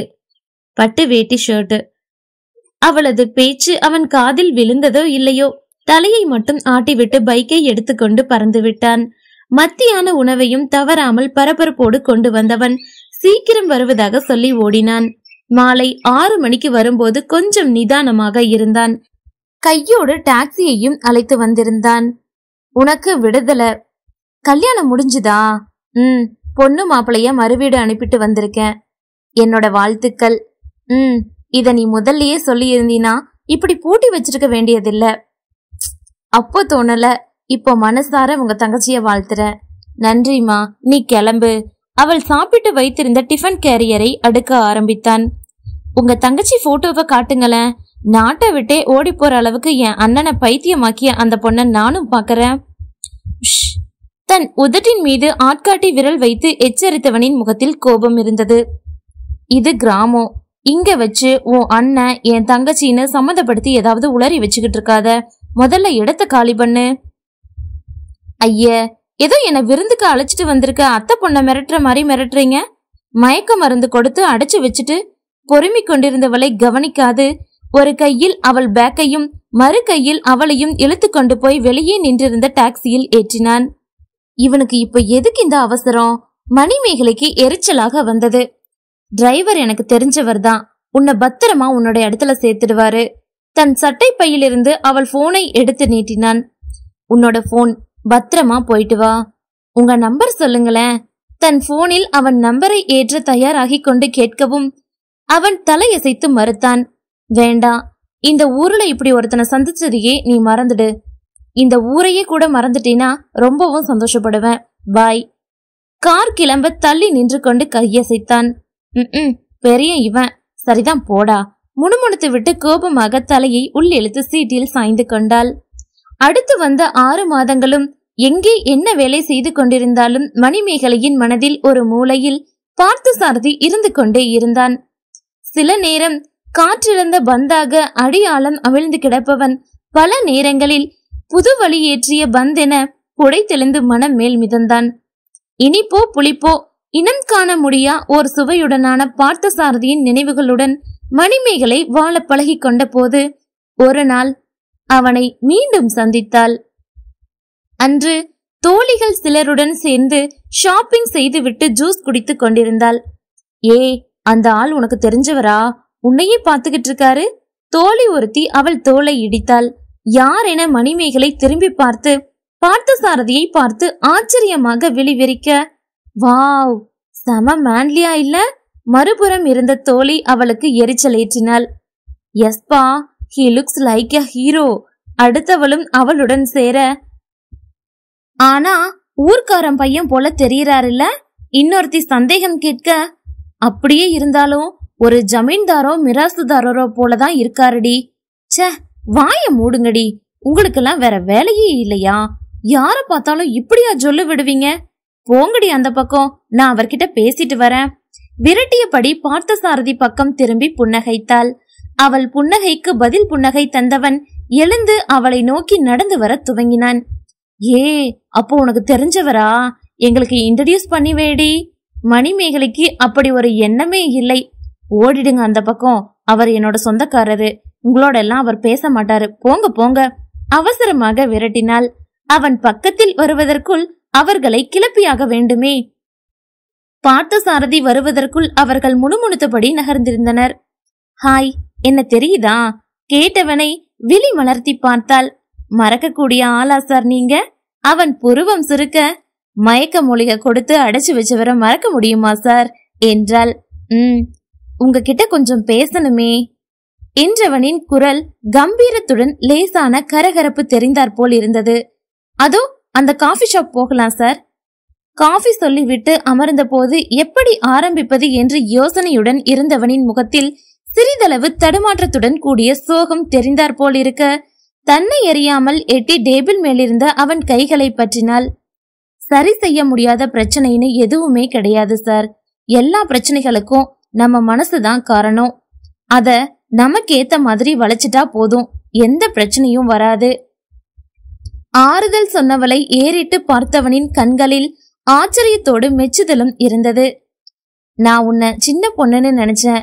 நீ ரொம்ப மெச்சூர்டா இருக்கியே. சின்ன பொண்ணா? நானா? இந்த வருஷத்தோட என்னோட காலேஜ் படிப்பே முடியுது. எனக்கு இருபத்தி மூணு வயசாகுதாக்கும். அவள் ரோஷத்தில் இதழ் பிரித்து சிறிது சத்தமாக சிரித்தான். கொஞ்சம் சின்ன பிள்ளைத்தனமா நடந்துகிட்டோமோ என்ற எண்ணம் இருந்தாலும் அவனது சிரிப்பு அந்த உறுத்தலை மறைத்து அவளையும் புன்னகைக்க வைத்தது. காஃபி குடிங்க. கப்பை அவன் புறம் நகர்த்தினாள். அவன் காஃபியை உறிஞ்சி பாதி கப்பில் இருந்தபோது மெல்ல கேட்டாள். சொல்லுங்க சார் என்ன விஷயம்? அன்னைக்கு கங்காவோட திருமணத்தை நிறுத்துற எண்ணத்துல நீ வந்தியே. உன்னை அதுக்கு அனுமதிச்சிருக்காம போனமேன்னு ஒவ்வொரு நாளும் வருந்திக்கிட்டு இருக்கேன். ஐயோ ஏன் சார்? எங்க கங்காவோட வாழ்வு ஒரே மாசம்தான். இன்னமும் அவ கணவனை சரியா கூட உணர்ந்திருக்க மாட்டா. அதுக்குள்ள விதி அவகிட்ட இருந்து கணவனை பறிச்சுக்கிடுச்சு. புது பெண்ணோட மெருகு கூட அவகிட்ட குறையல. அதுக்குள்ள கணவனை இழந்து திரும்பவும் எங்க வீட்டுக்கே வந்துட்டா? வெறுமையான அவன் குரலும் சொன்ன செய்தியும் மூளையை தாக்க சுற்றுப்புறம் மறந்து அப்படியே சமைந்து விட்டாள் மணிமேகலை. இதென்ன கொடுமை? இதுக்கு என்ன சமாதானம் சொல்றது? கடவுளே அந்த திருமணத்தை நிறுத்தணும்னு ஏதோ ஒரு கணம் நினைச்சிட்ட என்னோட தீவிர மன எண்ணம் இப்படி ஒரு அமங்கலித்தனத்தை அந்த பொண்ணுக்கு தந்துடுச்சா? இத எப்படி அந்த பொண்ணு தாங்குவா? இதோ இந்த அன்பான அண்ணன் எப்படி தாங்குவான்? மூளை முழுவதும் குழம்ப தன்னை அறியாமலே கண் கலங்கி கண்ணீர் வடிய தொடங்கியது அவளுக்கு. ஏ என்னம்மா இது? இப்படி பப்ளிக்ல வச்சுக்கிட்டு ம்ஹும், அடக்கிக் கொள்ளுமா? துயர செய்தியை சொன்னவனே அவளை சமாதானம் செய்பவனாக மாற வேண்டியவனானான். Sorry sorry. சத்தியமா நான் இப்படி நினைக்கல. மணிமேகலையின் குரல் விம்ம ஆரம்பித்தது. அது எனக்கு தெரியுமா ஏனோ இந்த விஷயத்த உன்கிட்ட பகிர்ந்துக்க வேணும்னு தோணிக்கிட்டே இருந்தது. அதனாலதான் சொன்னனே தவிர மத்தபடி உன்னை காயப்படுத்துற எண்ணம் எதுவும் எனக்கு இல்ல. ஆதரவாக அவள் கைகளுக்குள் பொதிந்திருந்த அவன் கைகள் இப்போது அவள் கைகளை மாற்றி தாங்கியிருந்தன. இதமாக தடவி வருடி ஆறுதல் படுத்தின. நான் இப்படி ஆகும்னு? மணிமேகலையின் விம்மல் கூட. பார்த்த சாரதி சட்டென அவனது எதிர்ப்புற இடத்திலிருந்து எழுந்து வந்து அவள் அருகே அமர்ந்தான். குனிந்து கிடந்த அவள் தலையருகே தானும் குனிந்து அவள் அழுகை முகத்தை பிறர் கண்ணிலிருந்து மறைத்தான். அடக்கி கொள்ளுமா? யாரும் பார்த்தா வித்தியாசமா நினைப்பாங்க. சமாதானப்படுத்தியவன் திடுமென கேட்டான். ஆமா உன் பேர் என்ன? மணிமேகலை ஆச்சரியமாக நிமிர்ந்து அவனை பார்த்தாள். அத்தியாயம் இருபத்தி ஐந்து. மணிமேகலை அவசரமாக கிளம்பிக் கொண்டிருந்தாள். ஃப்ரெண்ட்ஸ் வருவதற்குள் கிளம்பிவிட வேண்டும். எங்கே போகிறாய்? என்னவென்று குடைவார்கள்? கடைசி டச்சாக கன்னத்தில் கொஞ்சம் பவுடரை ஒத்தி எடுத்தாள். கூந்தலை ஃப்ரெஷ் செய்து ஃப்ரீயாக விட்டாள். கிளி பச்சை லெகின்ஸும் டார்க் ப்ளூ டாப்ஸுமாக தனது உடையில் திருப்தியுற்று கழுத்தில் கண்ணுக்கு தெரியாத ஒரு மெல்லிய சங்கிலியை மாட்டினாள். காதுகளில் தோலை தொடும் நீல வளையம் வளையமாக தொங்கியபடி இருந்த ஒரு கம்மல். கைகள் வெறுமையாக இருக்க விரல்களில் வரிசையாக மோதிரங்கள். இளஞ்சிவப்பு சாயத்தை இதழ்களில் ஏற்றிக்கொண்டவள் அந்த புசு புசு முயல் மூஞ்சி பேக்கை கழுத்து வழியாக தோள்களில் போட்டுக்கொண்டு ஸ்கியூட்டி சாவியுடன் கிளம்பினாள். பார்த்த சாரதியை சந்திக்க கிளம்பிக் கொண்டிருக்கிறாள். முதல் நாள் அவன் உன் பெயர் என்ன என கேட்கவும் ஆச்சரியமானாள். என் பேர் தெரியாதா உங்களுக்கு? நான் சொல்லலையா? பேர் சொல்லி அறிமுகமாகிற சூழ்நிலையில நாம அப்ப இல்ல. என் பேரு பார்த்த சாரதி தெரியுமே சொன்னீங்களே நான் மணிமேகலை. ஓ என்னை பத்தி ஓரளவு உனக்கு தெரியும். உன்னை அறிமுகப்படுத்திக்கோ. நான் இங்க காலேஜ்ல சைக்காலஜி படிச்சிட்டு இருக்கேன் என ஆரம்பித்து தனது குடும்ப விவரங்களை சொன்னாள். அந்த அளவு கௌசிக்கின் மனதை பாதித்த பெண்ணை நேரில் பார்க்க நினைச்சேன். அண்ணன் கிட்ட உங்க ஊர் அட்ரஸ வாங்கிட்டு வந்த. அவனோட காதல உங்க தங்கச்சி கிட்ட சொல்றதுதான் என்னோட முக்கிய எண்ணமா இருந்தது. முட்டாள் போல அதை நான் தடுத்துட்டேன். அந்த முட்டாள்தனத்துக்காக அன்னைக்கு உன்னை வேற வருத்தி. இப்போது வருந்தியவன் அவன்தான். ம் அன்னைக்கு நான் செய்ய நினைச்சது தப்பு தானே அதனால வருத்தம் எதுவும் இல்ல சாரதி. இயல்பாக சொல்லிவிட்டு அவனது வியந்த பார்வையில் நாக்கு நுனி கடித்தாள். சாரி அப்படி கூப்பிடலாம் தானே? அவன் பதில் சொல்லும் முன் அவனது போன் ஒலித்தது. எடுத்து பேசியவன் ரெண்டு மாசத்துக்கு ஒரு முறை இங்க சூப்பர் மார்க்கெட்டுகளுக்கு அனுப்பிய அரிசி மூட்டைகள் தானியங்கள் வசூலுக்காக சென்னை வருவேன். இப்பவும் அதுக்காக தான் வந்த ஒரு முக்கியமான வசூல். அதனால என்றபடி எழுந்தான். நாளைக்கு சந்திக்கலாமா? வேகமாக கேட்டாள். அது அவசியமா? ஏனோ என் தங்கச்சியோட நிலைய உன்கிட்ட சொல்லணும்னு எனக்குள்ள ஒரு உறுத்தல் இருந்துகிட்டே இருந்தது. அன்னைக்கு உன்னை என் தங்கச்சி கிட்ட பேச விட்டிருக்கணும். விட்டிருந்தா ஒருவேளை அவளோட வாழ்வு உதடு கடித்து வார்த்தைகளை விழுங்கினான். ஆறு மாசங்களா இங்க வரும்போதெல்லாம் தேடிக்கிட்டே இருந்த இப்போதான் நீ கண்ணில் பட்ட இனி இனி தான் நாம நிறைய பேச வேண்டி இருக்கு நிச்சயம் நாம நாளைக்கு சந்திக்கணும். சரி நாளைக்கு கபாலீஸ்வரர் கோவில்ல சந்திக்கலாம். போய்விட்டான். ஒரு அழகான இளம்பெண் தனியாக சந்திக்க வேண்டுமென்றால் அதற்கு இவன் தேர்ந்தெடுக்கும் இடத்தை பார். சரியான சாமியார். கோவிலில் தனது வண்டியை நிறுத்தியவள் போனை வெளியே எடுத்தாள். இப்போ உங்க நம்பர் கொடுத்தே ஆகணும். கொடுக்க போறீங்களா இல்லையா? என்பது போல் நின்றிருந்தவளை பார்த்து புன்னகைத்தவன் தனது எண்ணெய் கொடுத்து அவளது எண்ணை வாங்கிக் கொண்டிருந்தான். மணிமேகலை போனில் நம்பர்களை அமுக்கும் முன் நான் இங்கதான் இருக்கேன் என அவன் குரல் பின்னால் கேட்டது. எப்ப வந்தீங்க? முகம் மலர கேட்டவளுக்கு பதிலாக புன்னகையை தந்தவன் சாமி கும்பிடலாம். கோவிலினுள் நடந்தான். இருவரும் தெய்வத்தை வணங்கிவிட்டு தெப்பக்குள படிக்கட்டுகளில் அமர்ந்தனர். நான் நேத்து கௌசிக் கிட்ட பேசினேன். அவன் இன்னமும் உங்க தங்கைய விரும்புறான். திருமணம் முடிக்க தயாரா இருக்கான். மணிமேகலை நேரடியாக விஷயத்திற்கு வந்தாள். பார்த்தசாரதி தெப்பக்குள்ள நீரை வெறித்தபடி அமர்ந்திருந்தான். வேண்டாம் மணிமேகலை அது சரி வராது. ஏன் ஏன் சரி வராது? இது வரைக்கும் உன் அண்ணனுக்கு என் தங்கச்சி மீது இருந்த காதல் வேற இப்போ வந்திருக்க காதல் வேற. இந்த காதல் அவளோட வாழ்வை செப்பனிடாது அது எப்படி நீங்க சொல்லலாம்?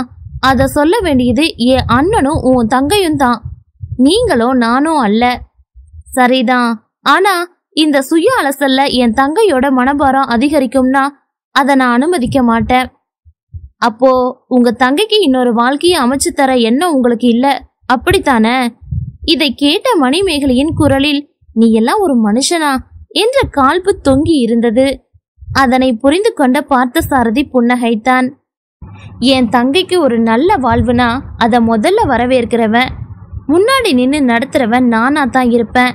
ஆனா அதுக்கு அவ ஒத்துழைக்கணுமே. உங்க தங்கச்சி படிச்சவங்க தானே? யதார்த்த உலகம் தெரியாத அவங்களுக்கு ஒரு பொண்ணோட வாழ்க்கையில கணவனோட அவசியத்தை அறியாதவங்கள அவங்க? நம்ப முடியல.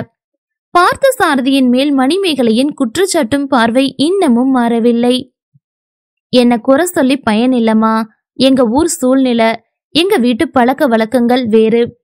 அத சொன்னா உனக்கு தெரியாது. அந்த வாழ்வு வாழ்ற எனக்கு தான் அதுல இருக்க நடைமுறை சிக்கல்கள் புரியும்.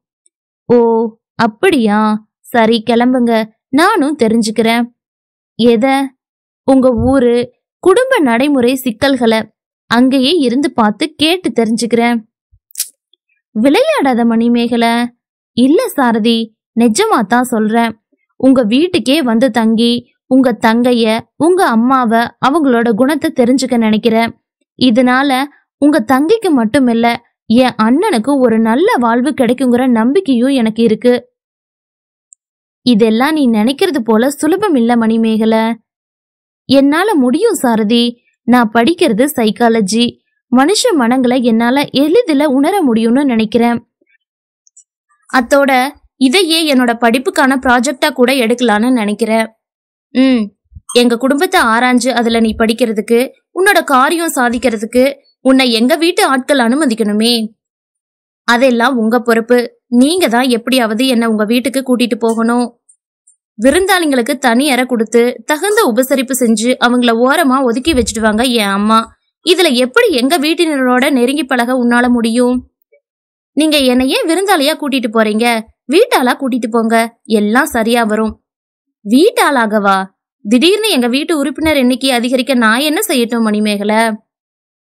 பார்த்தசாரதி மணிமேகலையின் பேச்சுக்களை இதுவரை விளையாட்டாகவே எடுத்துக்கொண்டிருந்தான்.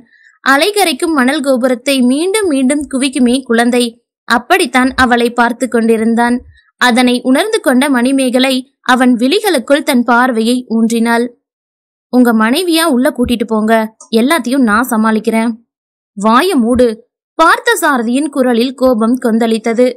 என்ன முட்டாள்தனமா பேசுற? என்னை பத்தி என்ன தெரியும் உனக்கு? உங்களால என் பெண்மைக்கு எந்த ஆபத்தும் எப்பவும் வராதுங்கிறது எனக்கு நல்லா தெரியும். நான் ஏற்கனவே கல்யாணம் ஆனவன். அது தெரியுமா உனக்கு? திடுமென அந்த தெப்ப குளத்தில் சுனாமி உருவாகி ஆழி பேரலையில் தான் மூழ்கி விட்டார் போல் உணர்ந்தாள் மணிமேகலை. அத்தியாயம் இருபத்தி ஆறு. உன் மனைவியாக கூட்டிப்போ என்ற வார்த்தையே முன்பே யோசித்து வைத்து மனதில் எழுதி வைத்து மணிமேகலை கேட்கவில்லை. தான் சீரியஸாக பேசிக் கொண்டிருந்த ஒரு விஷயத்திற்கு விளையாட்டு போல் பதிலளித்துக் கொண்டிருந்த பார்த்தசாரதியை எரிச்சலாக பார்த்தபடி இருந்தாள் அவள். விருந்தால அம்மா ஒரு அளவுக்கு மேல வீட்டுக்குள்ள அனுமதிக்கிறதில்ல என்ற அவனது வாதத்திற்கு விருந்தாளியா இல்ல வீட்டாளியா கூட்டிட்டு போ என சொன்னாள். திடுமென ஒரு வீட்டு உறுப்பினருக்கு நான் எங்க போக என அவன் விளையாட்டை தொடர தன்னை எறியாமல் மணிமேகலை வாயிலிருந்து அந்த வார்த்தை வந்துவிட்டது. தன் வாய் உச்சரித்ததை தன் காதுகளில் கேட்ட பின்பேதான் சொன்னதை உணர்ந்த அவள் திகைத்துக் கொண்டிருக்கும் போதே பார்த்த சாரதி அதட்டி விட்டான் தொடர்ந்து அவன் திருமணமானவன் என்றதும் மணிமேகலை சுழலும் சுழலொன்றை தன்னை சுற்றி உணர்ந்தாள். தன் உச்சந்தலையின் மேல் ஆதரவாக கரம் வைத்த பார்த்த சாரதி அழுத்தவுமே அதீத தன் அதிர்ச்சியை தான் வெளிப்படையாக காட்டிவிட்டதை உணர்ந்தாள். நிலை குத்தி நின்றுவிட்ட தனது விழிகளை தலைத்துக் கொண்டாள். உதடுமடித்து தன் துயரத்தை அமிழ்த்த முயன்றாள். யார்கிட்ட என்ன பேசுறன்னு அறியாம இனி இது போல உளரக்கூடாது. பார்த்த சாரதியின் ஆதரவு குரலில் கண் கலங்கி விடுமோ? என்ற பயத்துடன் விழிகளை அகல விரித்துக் கொண்டு அந்த தெப்பக்குள படிக்கட்டுகளை எண்ணத் தொடங்கினாள். அவள் எண்ணுவதை அறிந்தானோ எண்ணி முடிக்கட்டும் என நினைத்தானோ? பார்த்தசாரதி அவளது தலைமையிலிருந்து கைகளை அகற்றாமல் அழுத்தி வைத்தபடி பேசாமல் இருந்தான். அந்த நேரத்தில் அந்த சிறு ஸ்பரிசம் ஒன்றுதான் மணிமேகலைக்கு பெரும் ஆறுதலாக இருந்தது. தனக்கு ஒருபடி மேலே அமர்ந்திருந்தவனை மெல்ல அன்னார்ந்து அவன் முகத்தை கேள்வியாக பார்த்தாள். அவன் லேசாக தலையசைத்தான். அதில் திருப்தியுற்று நிஜந்தானா? மெல்ல கேட்டாள். ம் சுனந்தா என் மனைவி. மணிமேகலை சட்டென தனது விழிகளை இறுக மூடிக்கொள்ள அவன் குரல் தடுக்கிட்டு நின்றது. ஆனா இப்போ அவ இல்ல. மணிமேகலையின் விழிகள் திக்கென திறந்து கொண்டன. பரிதவிப்புடன் அவன் விழிகளை நோண்ட அங்கேயும் ஒரு பரிதவிப்பு. அவ என்னை விட்டு போயிட்டா? கடவுளே. முனகி மீண்டும் விழி மூடினாள் மணிமேகலை. இவன் மனைவியை இழந்தவனா? எதற்கு இவர்கள் குடும்பத்திற்கு இத்தனை துயரங்கள்? அந்நேரத்தில் மணிமேகலைக்கு உடனடியாக தனிமை தேவைப்பட்டது. தான் கேட்ட அதிர்ச்சிகளை ஜீரணித்து விழுங்க அவளுக்கு நேரம் வேண்டி இருந்தது சட்டென எழுந்தாள் அவள். நம்ம நாளைக்கு சந்திக்கலாம் சாரதி. எனக்கு கொஞ்சம் யோசிக்கணும். அவனது பதிலை எதிர்பாராமல் எழுந்து நடந்து விட்டாள். அங்கிருந்து வந்த நொடியிலிருந்து இமைகள் துளி மூடவில்லை அவளுக்கு. அறைக்குள்ளேயே நடந்து நடந்து கால்கள் வலிக்கத் தொடங்கின. சன்னல் வழியை பார்த்தபோது வெளிர ஆரம்பித்து விட்ட வானம் விடியலை சொல்ல என் வாழ்வின் விடியல் இது என்று நினைத்தபடி குளியர் அறைக்குள் நுழைந்தாள். ஹலோ? போனில் ஒலித்த பார்த்தசாரதியின் குரலில் மிகுந்த சோர்விருந்தது. இன்னும் என்ன தூக்கம்? நான் எப்பவோ எழுந்து குளிச்சு கிளம்பியாச்சு. இன்னும் ஒரு மணி நேரத்துல கபாலீஸ்வரர் கோவில் தெப்ப குளத்துல இருப்பேன். நீங்களும் வரணும். சொல்லிவிட்டு அவன் பதிலை எதிர்பாராமல் கட் செய்தாள். கிளம்பினாள். இப்போதும் அவளுக்கு முன்பாக வந்து காத்திருந்தான் அவன். அவசர அவசரமாக அவன் கிளம்பி வந்திருப்பது தெரிந்தது. ஒரு விவரமும் சொல்லாம இப்படியா போனை கட் பண்ணுவ? என்ற அவனது அதட்டலை கவனிக்காமல் சாமி கும்பிடலாம் என உள்ளே நடந்தாள். உங்க மனைவியா? என்ன நீங்க உங்க வீட்டுக்கு அழைச்சிட்டு போறீங்க? உறுதியான குரலோடு தெப்ப படிக்கட்டுகளில் அமர்ந்தாள். இமையா விழிகளுடன் தீர்க்கமாக அவளை பார்த்தான் பார்த்த சாரதி துணையை இழந்த பெண்ணோட மறுமணத்தை தான் மிக யோசிப்பாங்க. ஆனா ஆண்களுக்கு அந்த பிரச்சனை இல்ல. மனைவி இறந்த மறு மாசமே அவன் புது மாப்பிள்ளதான் அதனால நீங்க பயப்பட வேண்டாம். அவனை குத்தினாள் அப்படி ஒரு எண்ணம் இருந்திருந்தா நான் புது மாப்பிள்ளையாகி ஒரு வருஷம் ஆகியிருக்கும். அவனது உடனடி பதிலில் மௌனமானாள். எனக்கு திரும்பவும் திருமணம் செய்யற எண்ணம் இல்ல. ஏன்? ஒரு ஆதிசங்கரர் ஒரு புத்த பெருமான் இப்படி உங்க வாழ்க்கைய கழிக்கிற எண்ணமா? பார்த்தசாரதி பதிலின்றி பெருமூச்சு விட்டான். எனக்கு கீழே மூணு தங்கச்சிங்க இருக்காங்க. முதல் தங்கச்சி திருமணம் முடிஞ்ச கையோட வாழ்க்கையை இழந்துட்டு நிக்கிறா. அவளோட வாழ்க்கைய சரி செய்யணும். அடுத்தடுத்து திருமண வயசுல இருக்க தங்கைகளுக்கு திருமணம் செய்யணும். இத்தனை பொறுப்புகள்ல எனக்குன்னு ஒரு வாழ்க்கைய நான் நினைக்கிறதா இல்ல? வெகு நிச்சயம் தெரிந்த அவன் குரலில் மௌனமான மணிமேகலை உங்களை பாராட்டுறேன் என்றால் என் குடும்பம்? நான் பாக்குறேன். இதுல உன் பாராட்டு எனக்கு தேவையற்றது. ஒரு தோழியா உங்களுக்கு கொஞ்சம் உதவ சந்தர்ப்பம் கேக்குறேன். புரியல.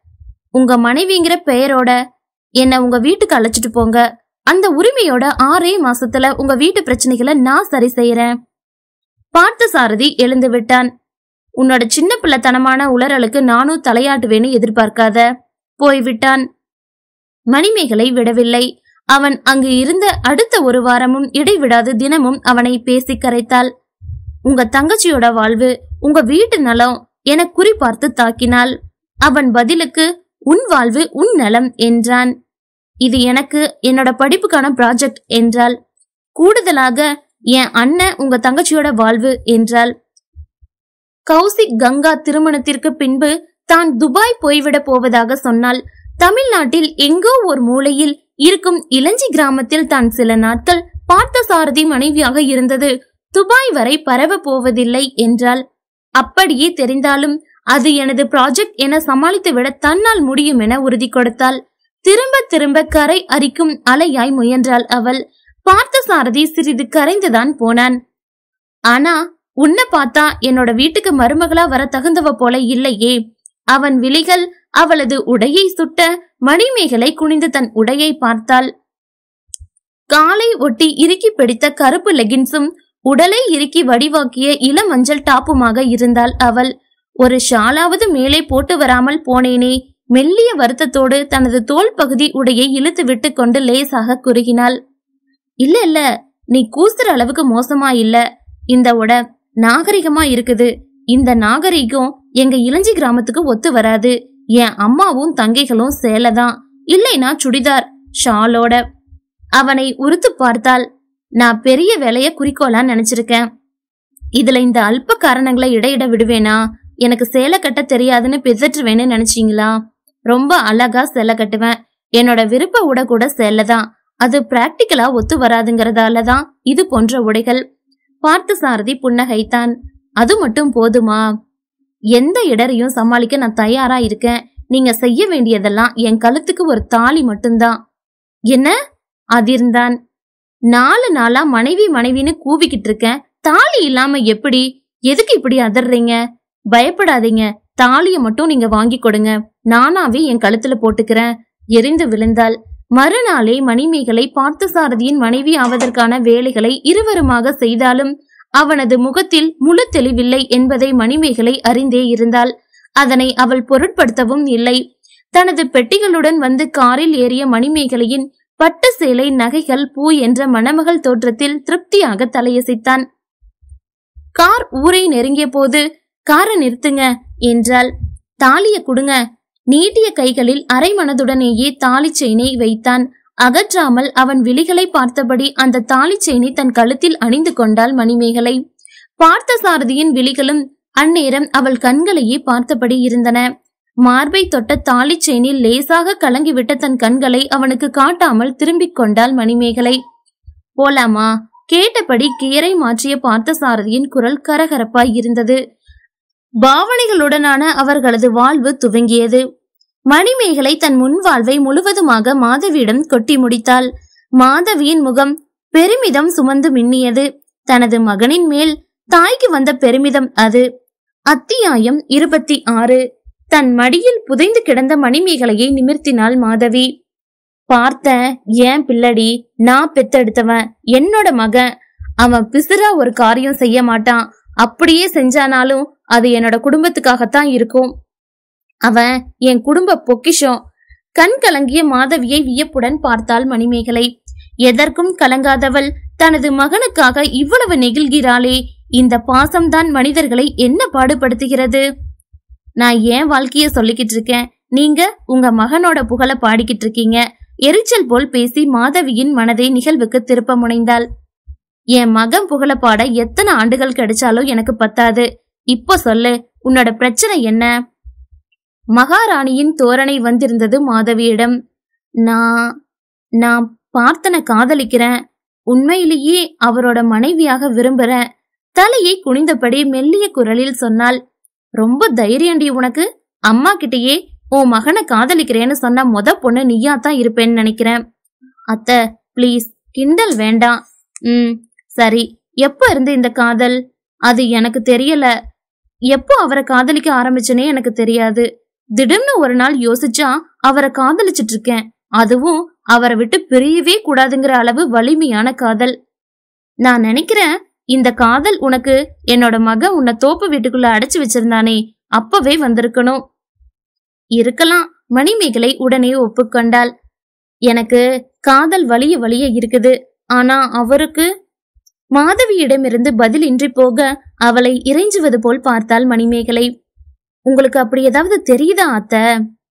எப்பவுமே என் மகன் யாருடைய கணிப்பிற்கும் அப்பாற்பட்டவன். அவன் தனித்துவமானவன். மாதவியின் பெருமையில் இடையிட்டாள். போதும் உங்க மகன் பெருமை பாடினது. முதல்ல எனக்கு ஒரு பதில் சொல்லுங்க அம்மாவும் மகனும். உம் என் கணிப்புப்படி அவனுக்கு உன் மேல கொஞ்சம் அதிக கவனம் இருக்குதுன்னு சொல்லுவேன். இந்த வீட்ல நிறைய நடைமுறைகளை உனக்காக மாத்துனானே. அதெல்லாம் நான் கேட்டுட்டேன். இந்த வீட்டுக்காக தியாகம் செய்ய வந்திருக்கேனா? எனக்காக அவர் இத செய்யறாராம் ஓ. ஆனா உன்னை பார்க்கும்போது அவன் கண்கள்ல ஒரு மின்னல் தெரியுதே. நான் கங்கா யமுனா காவேரி எல்லாரும் அவருக்கு ஒண்ணு தாங்கறாரு. நான் அந்த இடத்த விட்டு ஓடி வந்துட்டேன். என்ன? நீயும் என் தங்கைகளை போலுங்கிறானா? மாதவிக்கு சிரிப்பு பீரிட சட்டென அவள் கைகளில் அடித்தாள் மணிமேகலை. என் வேதனை உங்களுக்கு சிரிப்பா இருக்குதா? மாதவி வாயை கைகளால் பொத்திக்கொண்டாள் அவரு அவரு அந்த சுனந்தாவோட ரொம்ப வந்து அந்யோன்யமா இருந்தாங்களா ரெண்டு பேரும்? தயங்கி தயங்கி கேட்டால் மாதவியின் சிரிப்பு நின்றது. நான் தான் சொன்னனே என் மக யாருடைய கணிப்புக்குள்ளேயும் அடங்க மாட்டான்னு. அவனோட திருமண வாழ்க்கையையும் இப்போ வரை என்னால ஒரு வரையறைக்குள்ள அடக்க முடியல. வெளியில நின்னு பார்த்தா அது ஒரு நிறைவான திருமண வாழ்வுதான். ஆனா ஆராய்ஞ்சு பார்த்தா உண்மையா சொல்ல போனா அவனோட உணர்வுகளை என்னால புரிஞ்சுக்க முடியலைங்கிறது தான் உண்மை. ம் இதுக்கு ஏன் மக? எனக்கு தெரியும்னு பெருமை பேசாட்டி என்ன? முணுமுணுத்தவளின் தலையில் கொட்டினாள் மாதவி. ஏ என்ன பகச்சுக்காதடி. பிறகு என் மக உனக்கு கிடைக்க மாட்டான். Sorry sorry. நான் என்ன செய்யணும் அத்த? ம். மகனை கைக்குள்ள போட்டுக்க மாமியார்கிட்ட ஆலோசனை கேக்குற மருமக. எங்கேயாவது நடக்குமா இது? மாதவியின் அழுத்தலில் நெகிழ்ந்த மணிமேகலை அவள் மடியில் தலை சாய்த்து கொண்டாள். தேங்க்ஸ் அத்த. என்ன மருமகளா உங்களை மாமியாரா ஏத்துக்கிட்டதுக்கு. இதுல என்னோட சுயநலமும் இருக்குது மணிமா. என் மகன் இப்படியே தனியானவனாவே இருக்கிறத நான் விரும்பல. அவனும் எல்லாரையும் போலவே ஒரு இயல்பான வாழ்க்கை வாழணும்னு நினைக்கிறேன். அதுக்கு உன்னை போல ஒரு தைரியமான பொண்ணு அந்த தெய்வாவை பத்தி கவலை இல்லாத பொண்ணு எனக்கு வேணும். போச்சுடா. இதுல அந்த தெய்வ அம்மா எங்கிருந்து வராங்க? வராளா? அவ இங்கதான் இருக்கிறா. உன்னை வச்சுதான் நான் அவளை ஜெயிக்க போறேன். என் வீட்டோட பிரச்சனைகளை ஜெயிக்க போறேன். என் பிள்ளைகளோட எல்லாரோடைய வாழ்க்கையையும் சீர்படுத்த போறேன். மாதவியின் குரலில் நிரம்பி வந்த தன்னம்பிக்கையை கலைக்க விரும்பாத மணிமேகலை தானும் அவளுடன் கைகோர்த்தாள் நானும் என் பார்த்தனை ஜெயிக்க போறேன். மனதுக்குள் சொன்னபடி மாதவியின் கை கோர்த்து கொண்டாள். பார்த்தேன் சின்ன வயசுல இருந்தே எதுக்குமே எத்தனையோ பெரிய பிரச்சனைகளுக்குமே என்னையோ வேற யாரையோ ஆதரவுக்காக தேடினதில்ல. ஆனா உங்க எல்லோருக்கும் நான் இருக்கிறேங்கிற ஒரு ஆதரவு பார்வையை மட்டும் ஒவ்வொரு கணமும் எங்களுக்கு தந்துகிட்டே இருப்பான். அவனோட கஷ்ட காலத்துல எல்லாம் ஒரு தாயா அவனை அணைச்சு மடி சாச்சுக்க விரும்பி இருக்கேன். ஆனா அவன் அதுக்கு அனுமதிச்சது இல்ல. நான் என்னாலைன்னு எப்பவும் நிமிர்ந்தே நின்று இருக்கான் இதோ இப்ப கூட அவனை மடிசாச்சுக்க மிகவும் விரும்புறேன். ஆனா அவன் நானும் தான் அவனை மடிசாச்சுக்க விரும்புறேன். மனதிற்குள் சொல்லிக்கொண்ட மணிமேகலை மாதவியின் கைகளை ஆதரவாக வருடினாள். அத்த பொண்ணுங்க கூட்டணி வச்சா ஒரு நாட்டோட ஆட்சியையே பிடிக்கலாம். இந்த வீட்டோட ஆட்சியை பிடிக்க முடியாதா? சரியா சொன்ன மணிமா நம்ம ரெண்டு பேருமா சேர்ந்து அவனை ஒரு வழி பண்ணுவோம். ம் அது அதென்ன? எப்ப பார்த்தாலும் முசுடு மாதிரி மூஞ்ச வச்சுக்கிட்டு வெறப்பா இருக்கிறது. இதுக்கெல்லாம் அவர் நமக்கு பதில் சொல்லணும் அத்த. எந்த வீட்டிலும் இல்லாத அதிசயமாக அங்கே மாமியாரும் மருமகளும் சேர்ந்து மகனுக்கு எதிராக திட்டம் தீட்டினர். அத்தியாயம் இருபத்தி எட்டு. நான் அறிஞ்ச வரைக்கும் அவனோட மனசுல நீ இருக்க மணி. ஆனா அவன் அத அவ்வளவு எளிதா காட்டிக்க மாட்டான். நீ தான் அவனோட காதலை வெளிக்கொண்டு வரணும். அதுக்கு நான் என்ன செய்யறது அத்தை? மருமகளுக்கு மாமியார் ஆலோசனை வழங்க விழிப்பு வந்த பார்த்தசாரதி மணிமேகலையை தேடி வந்தான். மாடிப்படியில் அவனது காலடி ஓசை கேட்கவுமே மாதவி பரபரத்தாள். மணி நீ போ. நம்ம ரெண்டு பேரும் ஃப்ரெண்ட்ஸ் ஆனது யாருக்கும் தெரிய வேண்டாம். அப்போதான சுதந்திரமா திட்டங்கள் போட முடியும். சீக்கிரம் போ. பின் வாசலில் இருந்து வந்தவளை சந்தேகமாக பார்த்த பார்த்த சாரதி மணிமேகல இந்த நேரத்துல இங்க என்ன செய்யற? அவள் பதில் இல்லாமல் அவன் முகத்தை விழிகளால் விழுங்கியபடி நின்றாள். ஏ உன்னைத்தான் கேக்குறேன். ஏன் ஒரு மாதிரி தூக்கத்துல நடக்கிறவள போல நிக்கிற? அடப்பாவி நான் உன் ஏக்கத்துல சொக்கி போய் நின்னா நீ தூக்கத்துல நிக்கிறேங்கிறியா? உன்னை எல்லாம் வச்சுக்கிட்டு நான் எப்படி கொண்டு செலுத்த போறேனோ தெரியல. மணிமேகலை அழுத்து கொண்டபடி தண்ணி குடிக்க வந்தேன். சொல்லிவிட்டு மாடி ஏறினாள் பார்த்த சாரதியும் அவள் பின்னாலேயே படியேறவும் மாதவி மெல்ல நடந்து வந்து தன் அறைக்குள் நுழைந்து கொண்டாள். அறைக்குள் நுழைந்ததும் எங்க போன மேகா? மீண்டும் கேட்டான். சொன்னனே படுக்கையில் சரிந்து கொண்டாள். ம் எனக்கு நம்பிக்கை இல்ல. அந்த குன்று பக்கம் போனியா? உன் புத்தி எனக்கு தெரியும். அப்பா பெலச்சேன் போ. இந்த அளவாவது என்ன தெரிஞ்சு வச்சிருக்கியே? பதில் இல்லாமல் அவனை பார்த்தபடி இருந்தாள். ஏய் என்ன ஆச்சு உனக்கு? ஒரு மாதிரி முழிக்கிற ஒரு வடிவா பாக்கற அவளுக்கு முன் நின்றபடி தன் பாணியில் இடுப்பில் இரு கைகளையும் வைத்தபடி கேட்டவனை பார்க்க பார்க்க தகிக்க மணிமேகலை முகத்தை திருப்பி தலையணையில் புதைத்து கொண்டாள். எனக்கு தூக்கம் வருது. இப்ப தூங்கு. காலையில என் கேள்விக்கெல்லாம் பதில் சொல்லணும். சொல்லிவிட்டு போய்விட்டான். போடா. கழுத்தை சுத்தி உன் துண்டை போட்டுட்டு இருக்கேன். உன் குடும்பமே கவனிச்சு என்னன்னு கேக்குது. உன் கண்ணுல அது படவே இல்லை. நீ எல்லாம் இஷ்டம் போல் அவனுக்கு மனதிற்குள் அர்ச்சித்தபடி அவனது துண்டை மார்போடு சேர்த்து அணைத்து கொண்டு தூங்கி போனாள் மணிமேகலை. இங்க என்ன செய்யற யமுனா? கையில் இருந்த பேப்பர்கள் பறக்க யமுனா தடுமாறி திரும்பினாள். இல்ல சும்மா தந்தி அடித்த அவளது குரல் மணிமேகலையின் சந்தேகத்தை வலுப்படுத்த கீழே பறந்த பேப்பர்களை குனிந்து எடுத்தாள். அவை அன்று காலையில் தான் யமுனாவிற்கு ஏற்ற வரன்களின் ஜாதகங்கள் என ஒரு புரோக்கர் கொண்டு வந்து கொடுத்து போனவைகள். இதனை ஏன் இவள் எடுத்துக்கொண்டிருக்கிறாள் மணிமேகலைக்கு பொறி தட்டியது. கோல நோட்டு எடுக்க வந்த ஏதோ ஒரு நோட்டை எடுத்துக்கொண்டு வெளியேறினாள் யமுனா. சும்மாவே நிக்கிறதுக்கு இந்த புல்ல ஒதுக்கி கட்டி ஓரமா போடலாமல்ல? சொன்ன மாதவியை கோபமாக பார்த்தாள் மணிமேகலை. பின்புற மாட்டு கொட்டகையில் இறைந்து கிடந்த புல்கட்டுகளை சேர்த்து கட்டி ஓரமாக ஒதுக்கி கொண்டிருந்தாள் மாதவி. அந்த பக்கமாக அங்கும் இங்குமாக நடந்து கொண்டிருந்த மணிமேகலையை ஏவினாள். கொஞ்ச நேரம் சும்மாவே இருக்க மாட்டீங்களா நீங்க? சும்மாவே இருந்தா தின்ன சோறு எப்படி ஜீரணமாகும்? ஓஹோ அப்ப நான் சாப்பிட்டு சாப்பிட்டு சும்மா இருக்கிறேங்கிறீங்களா? நான் சொல்லல. நீயே தான் உன் வீர தீர பராக்கிரமங்களை சொல்லிக்கிட்டு இருக்க. வீர தீரமா? தோணாமல் தன்னை நக்கல் அடிக்கும் மாதவியின் தலையில் ஒன்று போட்டால் என்ன? என்று தோன்றியது மணிமேகலைக்கு. குனிந்து அவள் கட்டிக்கொண்டிருந்த புல்கட்டை தூக்க முடியாமல் கையால் அழுத்தினாள். கசகசன்னு இப்படி ஏதாவது வேலை பார்த்துட்டே இருக்க கூடாதுன்னு தான் சமையலுக்கு கூட ஆள் ஏற்பாடு செஞ்சேன் அப்பவும் இப்படி ஏதாவது வேலையை இழுத்து போட்டு செஞ்சா எப்படி? வேலை பார்க்காம சும்மா இருந்தா என் உடம்பு துரு பிடிச்சுடுண்டி கையை எடு. மாதவி இழுக்க மணிமேகலை விடாமல் தடுக்க சேர்த்து கட்டியிருந்த புல்கட்டு அவிழ்ந்து சிதற பகையாளிகள் போல் ஒருவரையொருவர் முறைத்து கொண்டு கையில் கிடைத்த புல்குவியலை இழுத்தபடி இருந்தவர்களை பார்த்து அந்த பக்கம் வந்த பார்த்த சாரதி திகைத்தான். மணிமேகலை என்ன செய்யற? விடு அதட்டியபடி வந்தான். ஆஹா வந்துட்டாரியா நாட்டாம? என நினைத்தபடி நான் ஏன் விடணும்? அவங்கள விட சொல்லுங்க. பிடியை இன்னமும் இறக்கினாள்.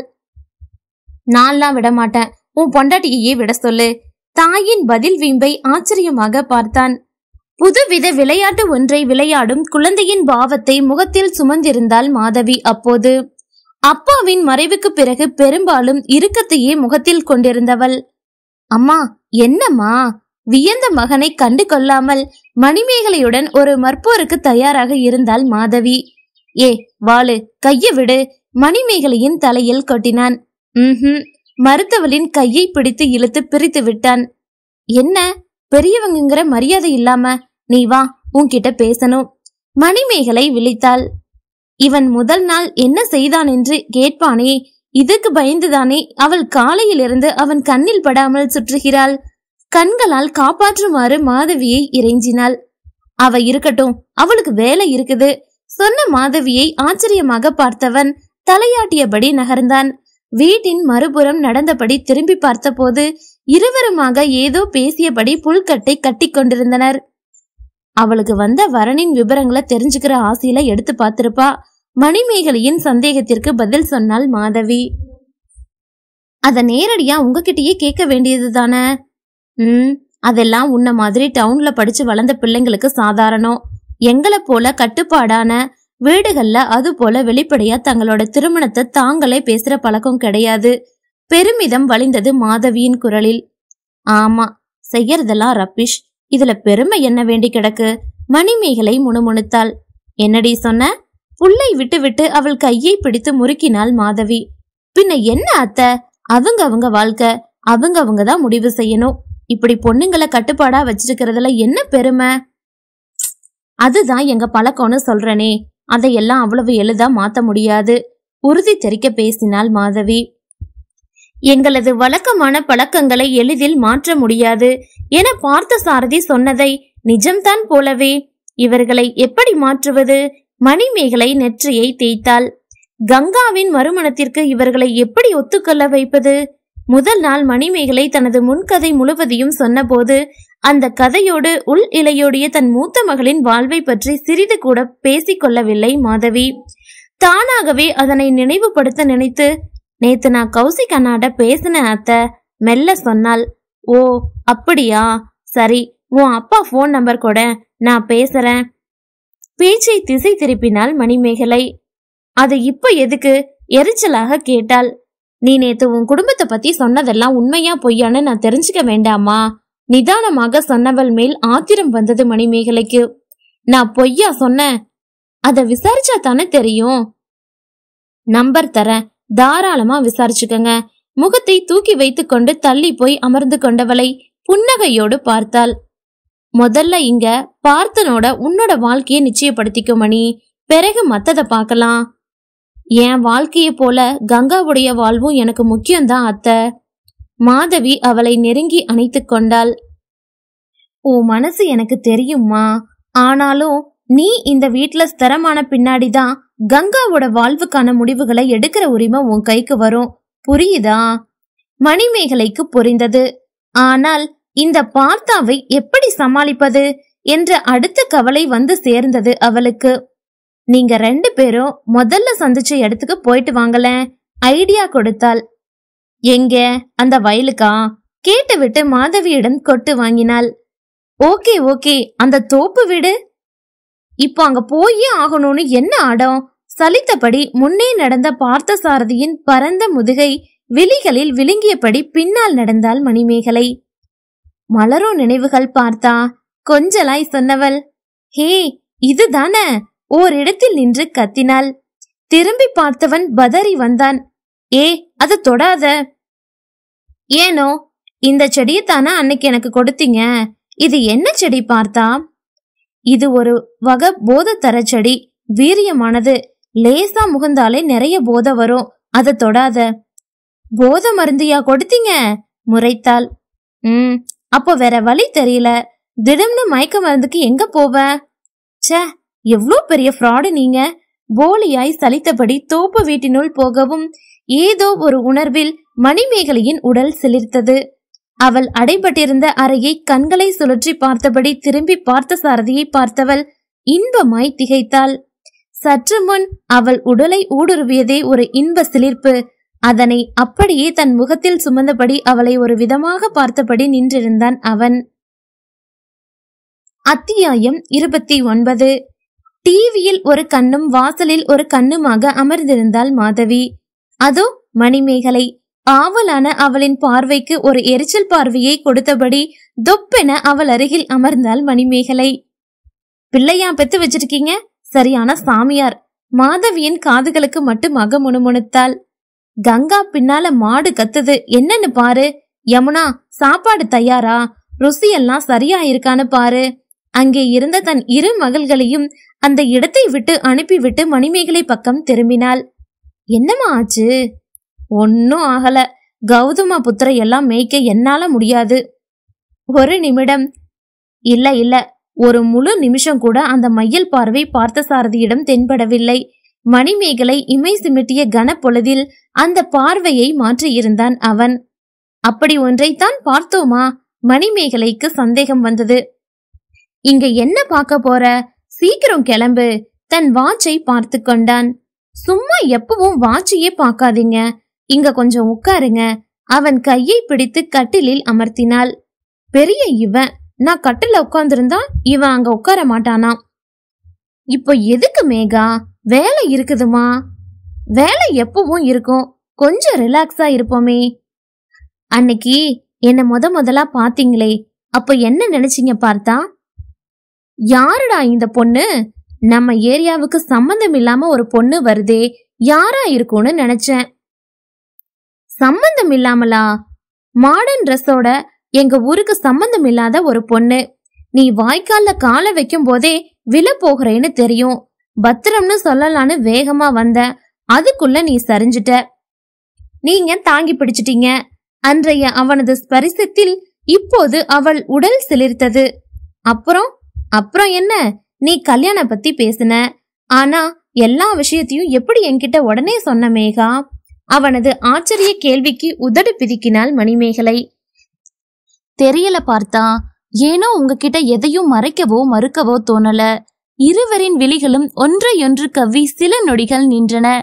முதலில் சுதாரித்து கொண்டவன் பார்த்த சாரதிதான் அதுக்காக முன்ன பின்ன தெரியாதவங்க பின்னாடி அப்படியா நம்பி போவ? எனக்கு உங்களை பார்த்தா அறிமுகமற்றவருங்கிற எண்ணமே வரல. இப்போதும் மணிமேகலை அவன் கண்களோடு கண்கள் கலக்க விரும்பினாள். ஆனால் பார்த்த சாரதியின் பார்வை எதிர்புற சுவற்றிற்கு போயிருந்தது. பிறகு அங்கேயே ஆணி அடித்து நின்றது. உங்க புண்ணியத்துல நிறைய போதையெல்லாம் உணர்ந்துகிட்டனே கண் சிமிட்டினாள். எல்லாத்துலயும் விளையாட்டு உனக்கு தலையில் கொட்டினான். மறுநாள் கதவை திறந்து வந்து பார்த்தப்போ நிதானமா டிவி பார்த்துக்கிட்டு உட்கார்ந்திருந்த பாரு என்னால ஏன் கண்ணையே நம்ப முடியல? இப்போது அவனுக்கு சிரிப்பு வந்தது. எனக்கு தான் அந்நிய வீடுங்கிற எண்ணமே வரலையே. உடன் சேர்ந்து சிரித்தவள் கட்டில் மேல் தன் கால்களை தூக்கி வைத்து கட்டிக்கொண்டு அதில் தலை சாய்த்து கொண்டு அவனை பார்த்தாள். அன்னைக்கே உன்னை கங்கா கிட்ட அழைச்சிட்டு போயிருக்கணும் மேகா. பார்த்த சாரதியின் தங்கை நினைவில் மணிமேகலையும் நெகிழ்ந்தாள். விடுங்கப்பா ஒன்னும் பெருசா நடந்துடல. எல்லாத்தையும் சரி செஞ்சிடலாம். உம் என்று அவன் ஒற்றை பதில் எழுத்தில் அவனது மனதுயரம் உணர்ந்தவள்.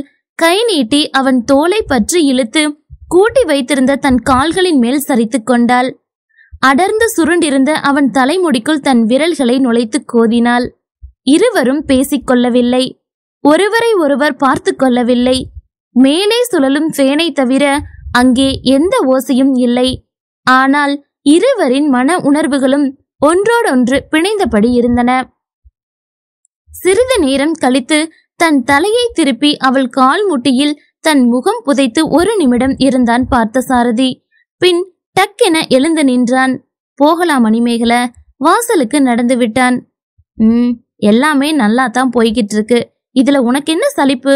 கேட்ட மாதவியை முறைத்தாள். இப்படி பேசிக்கிட்டு இருக்கும்போது பாதியில எழுந்து போனா ஆ அது என்னை இன்சல் பண்றது போல இருக்குது. இதுக்கு மேல இருந்தா தனது நெகிழ்ச்சி உனக்கு தெரிஞ்சிடும்னு நினைச்சிருப்பான். அப்படியா அத்த? உற்சாகம் கரை புரண்டது மணிமேகலையின் குரலில். இந்த அளவு கூட அவன் தன்னை என்கிட்ட வெளிப்படுத்தினதில்ல. அதனால நீ அவனுக்கு கொஞ்சம் ஸ்பெஷல் தான். கண்கள் ஒளிர இருந்த மணிமேகலைக்கு அம்மா என்று அழைத்தபடி வந்த கங்காவின் மீது எரிச்சல் வந்தது. என்ன என்ன வேணும்? மாதவியை முந்திக் கொண்டு கேட்டாள். அருகருகே ஒட்டி அமர்ந்தபடி கிசுகிசுத்துக் கொண்டிருந்த தாயையும் அண்ணியையும் பார்த்து கங்கா தயங்கி நிற்க எங்க வீட்டுக்குள்ள எங்களை நிம்மதியா அஞ்சு நிமிஷம் பேச விட மாட்டீங்களா? இருக்க வேண்டிய இடத்துல தங்காம வந்துட்டு இங்க ஏன் தலையை உருட்டுறாங்கப்பா? நன்றாக தெளிவாக முணுமுணுப்பது போல் பேசினாள். மணிமேகல என்ன பேசுறீங்க? ஒழுங்கா பேசுங்க. கங்கா அதிர்ந்து நிற்க அக்காவிற்கு சப்போர்ட்டாக வந்தாள் யமுனா. ஏய் யார பேர் சொல்லி கூப்பிடுற? மரியாதையா பேசு. நான் உன் அண்ணி. மணிமேகல பலவீனமான குரலுடன் எழுந்த மாதவியின் கையை பிடித்து திரும்ப சோபாவிற்கே தள்ளினாள் மணிமேகலை. நீங்க சும்மா இருங்க. மணிமேகலை கர்ஜனையாக கேட்ட குரலில் அனைவரும் அதிர்ந்து திரும்பி பார்க்க சிம்மமாய் நடந்து வந்தான் பார்த்தசாரதி. அவனது ரௌத்ரத்தில் மணிமேகலை ஒரு கணம் ஸ்தம்பித்து நிற்க யமுனா முதலில் சுதாரித்து அண்ணனை நோக்கி ஓடினாள். அண்ணா இவங்க கங்காவ என்ன நம்ம அம்மாவ மரியாதை இல்லாம பேசுறாங்க. கங்காவ ஏன் இங்க வந்து உட்கார்ந்துட்டு இருக்கேன்னு கேக்குறாங்க. அம்மாவ நீங்களே பாத்தீங்களே தள்ளி விட்டாங்க. எனக்கு இவங்கள பார்த்தாலே பயமா இருக்குது. அண்ணனின் மார்பில் சாய்ந்து அழ ஆரம்பித்தாள். எப்போதும் தைரியமாக இருக்கும் தங்கை இப்படி ஒரு நாளும் ஆதரவிற்காக அண்ணனின் மார்பை நாடினவளில்லை இன்றோ வாழ்வை வெறுத்தது போல் இப்படி குமரி அழுதது பார்த்த சாரதியை ரொம்பவே பாதித்தது. வெறுப்பை கண்களில் தேக்கி மணிமேகலையை பார்த்தான். அந்த பார்வையில் மனதில் அடிபட்டாள் மணிமேகலை. பேசுவதற்காக வாயை திறந்தவளை கையை உயர்த்தி தடுத்தான். போ ஒரே ஒரு எழுத்துதான். அது மணிமேகலையின் உயிரையே கொடூரமாக குடித்தது. உடல் ரத்தம் முழுவதும் சுண்டிவிட்டது போல் முகம் வெளுத்து போன மணிமேகலை மீண்டும் பேச முயல. இங்கிருந்து போன உன் லிமிட்டை தாண்ட நீ. இப்போது அவன் குரல் உயர்ந்திருக்க அடுப்படியில் இருந்த சமையல்காரம்மாவும் அடுத்த அறையில் இருந்து வீடு சுத்தம் செய்யும் பெண்ணும் எட்டி பார்க்க மணிமேகலையின் முகம் அவமானத்தில் சிவந்தது. பார்த்தா மாதவி மகனை சமாதானப்படுத்தும் நோக்கில் அவன் தோலை தொட நீங்க கொஞ்ச நேரம் சும்மா இருங்கம்மா. தாயின் தோள்களை தன்னோடு சேர்த்து கொண்டான். தாயும் தங்கையுமாக சேர்ந்து நின்றிருந்தவனை வெறுமையான பார்வையால் பார்த்துவிட்டு தளர்ந்த நடையுடன் மாடி ஏறினாள் மணிமேகலை. அத்தியாயம் முப்பது. அந்த குன்று அவளை பார்த்து சிரிப்பது போல் தோன்றியது. மணிமேகலைக்கு நிம்மதியாக இருந்து விடுவாயா நீ? என கேட்காமல் கேட்பது போல் இருந்தது. மணிமேகலை மொட்டை மாடி கைப்பிடி சுவரில் வந்து உட்கார்ந்து கொண்டு அந்த குன்றை வெறித்து பார்த்தபடி இருந்தாள். இந்த வீட்டில் யாரையும் நிர்மல மனதுடன் இருக்க விடமாட்டேன் என ஒரு குரல் மனதினுள் ஒலிப்பது போல் இருந்தது. கண்களை இறுக்க மூடிக்கொண்டாள் மணிமேகலை. தடுமாறி தத்தளித்த மனதை கூட்டிக் கோர்த்து நிலை சேர்க்க முயன்றாள். தெய்வாம்மா உங்களை ஜெயிக்க விடமாட்டேன். தன் மன அழுத்தத்துடன் மனதினுள் பேசிக்கொண்டாள் மேகா இதமாக அவள் தலை வருடப்பட்டது.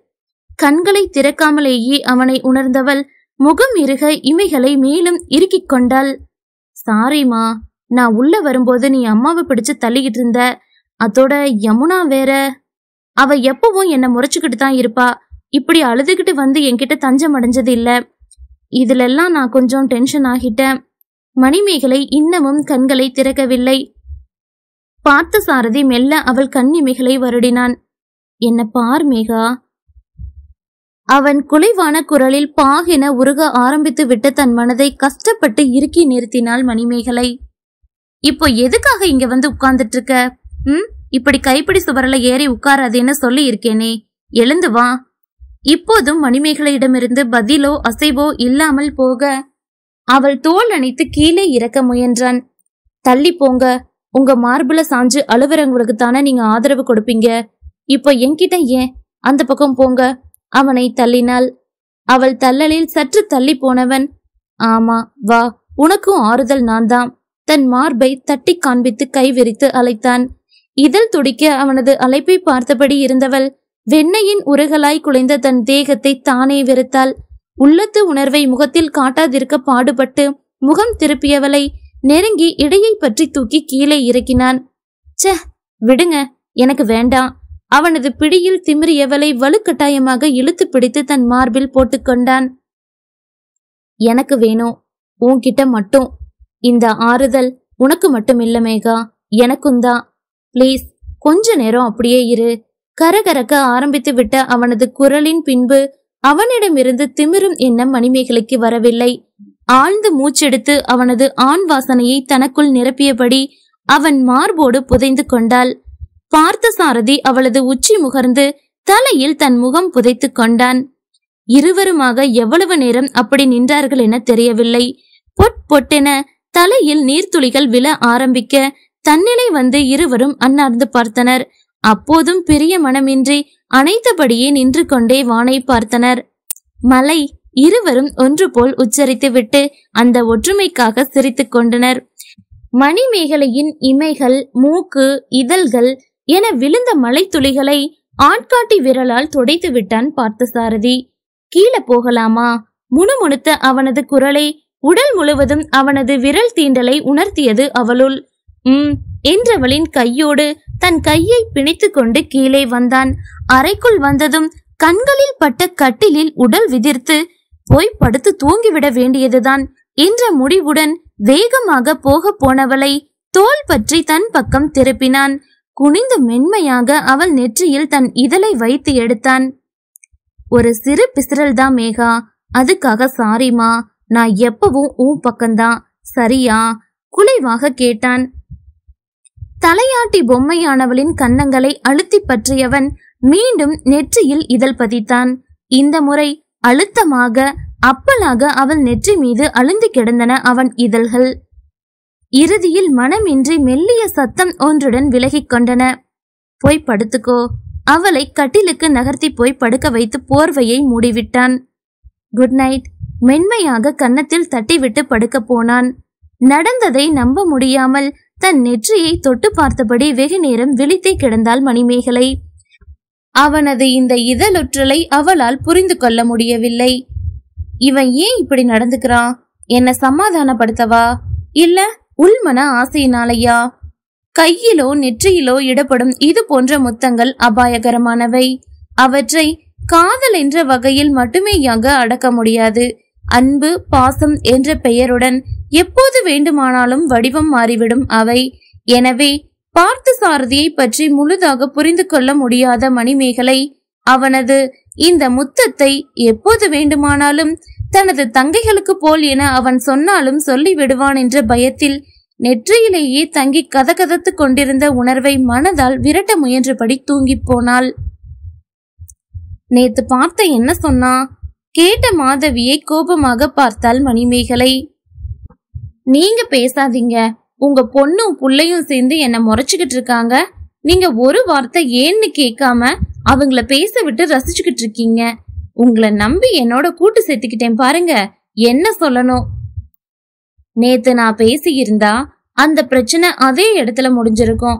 அப்படி அந்த பிரச்சனை முடியறத நான் விரும்பல. அத பார்த்தந்தான் முடிச்சு வைக்கணும் மணிமேகலை. அதனாலதான் நான் ஒதுங்கி இருந்துகிட்டேன். விவரித்தவளை ஆச்சரியமாக பார்த்தாள் மணிமேகலை. என்ன ராஜதந்திரம்? என்ன? ஆரம்பித்தவனே சுமூகமா முடிச்சும் வச்சான் தானே? கிண்டலோடு புருவம் உயர்த்தினாள். அனுபவங்களோட கணிப்பு தவறதில்ல அத்த. நீங்க பெரியவங்க. நான் எல்லாம் உங்ககிட்ட நிறைய படிக்கணும். ம் சரி சரி. போனா போகுது. உன்னை என்னோட சிஷ்யையா ஏற்றுக்கிறேன். இருவருமாக வீட்டை சுற்றி வாக்கிங் போல் நடந்தபடி பேசிக் கொண்டிருந்தனர்.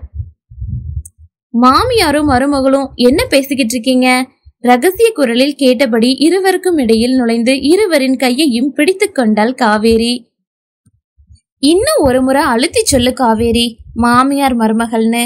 அழுத்த மணிமேகலையை பார்வையால் எச்சரித்தாள் மாதவி. அதுக்கென்ன? இன்னமும் பத்து தடவை கூட சொல்றேன். நல்ல மாமியார் நல்ல மருமக. இருவரின் தோள்களிலும் கை போட்டு கண்டாள். தள்ளி நின்று இந்த மூவர் கூட்டணியை வெறுப்புடன் பார்த்தாள் யமுனா. அவளை பார்த்ததும் தன் முகபாவத்தை சிறிது கடினமாக மாற்றிக்கொண்டாள் மணிமேகலை. இந்த வீட்லயே பிரச்சனை இல்லாத ஆள் நீதான் காவேரி. அதனால எனக்கு உன்னை மட்டும்தான் இங்க ரொம்ப பிடிக்குது. மாதவி காவேரியின் கையை எடுத்து விட்டு விட்டு ஏதோ வேலை போல் உள்ளே போய்விட்டாள்.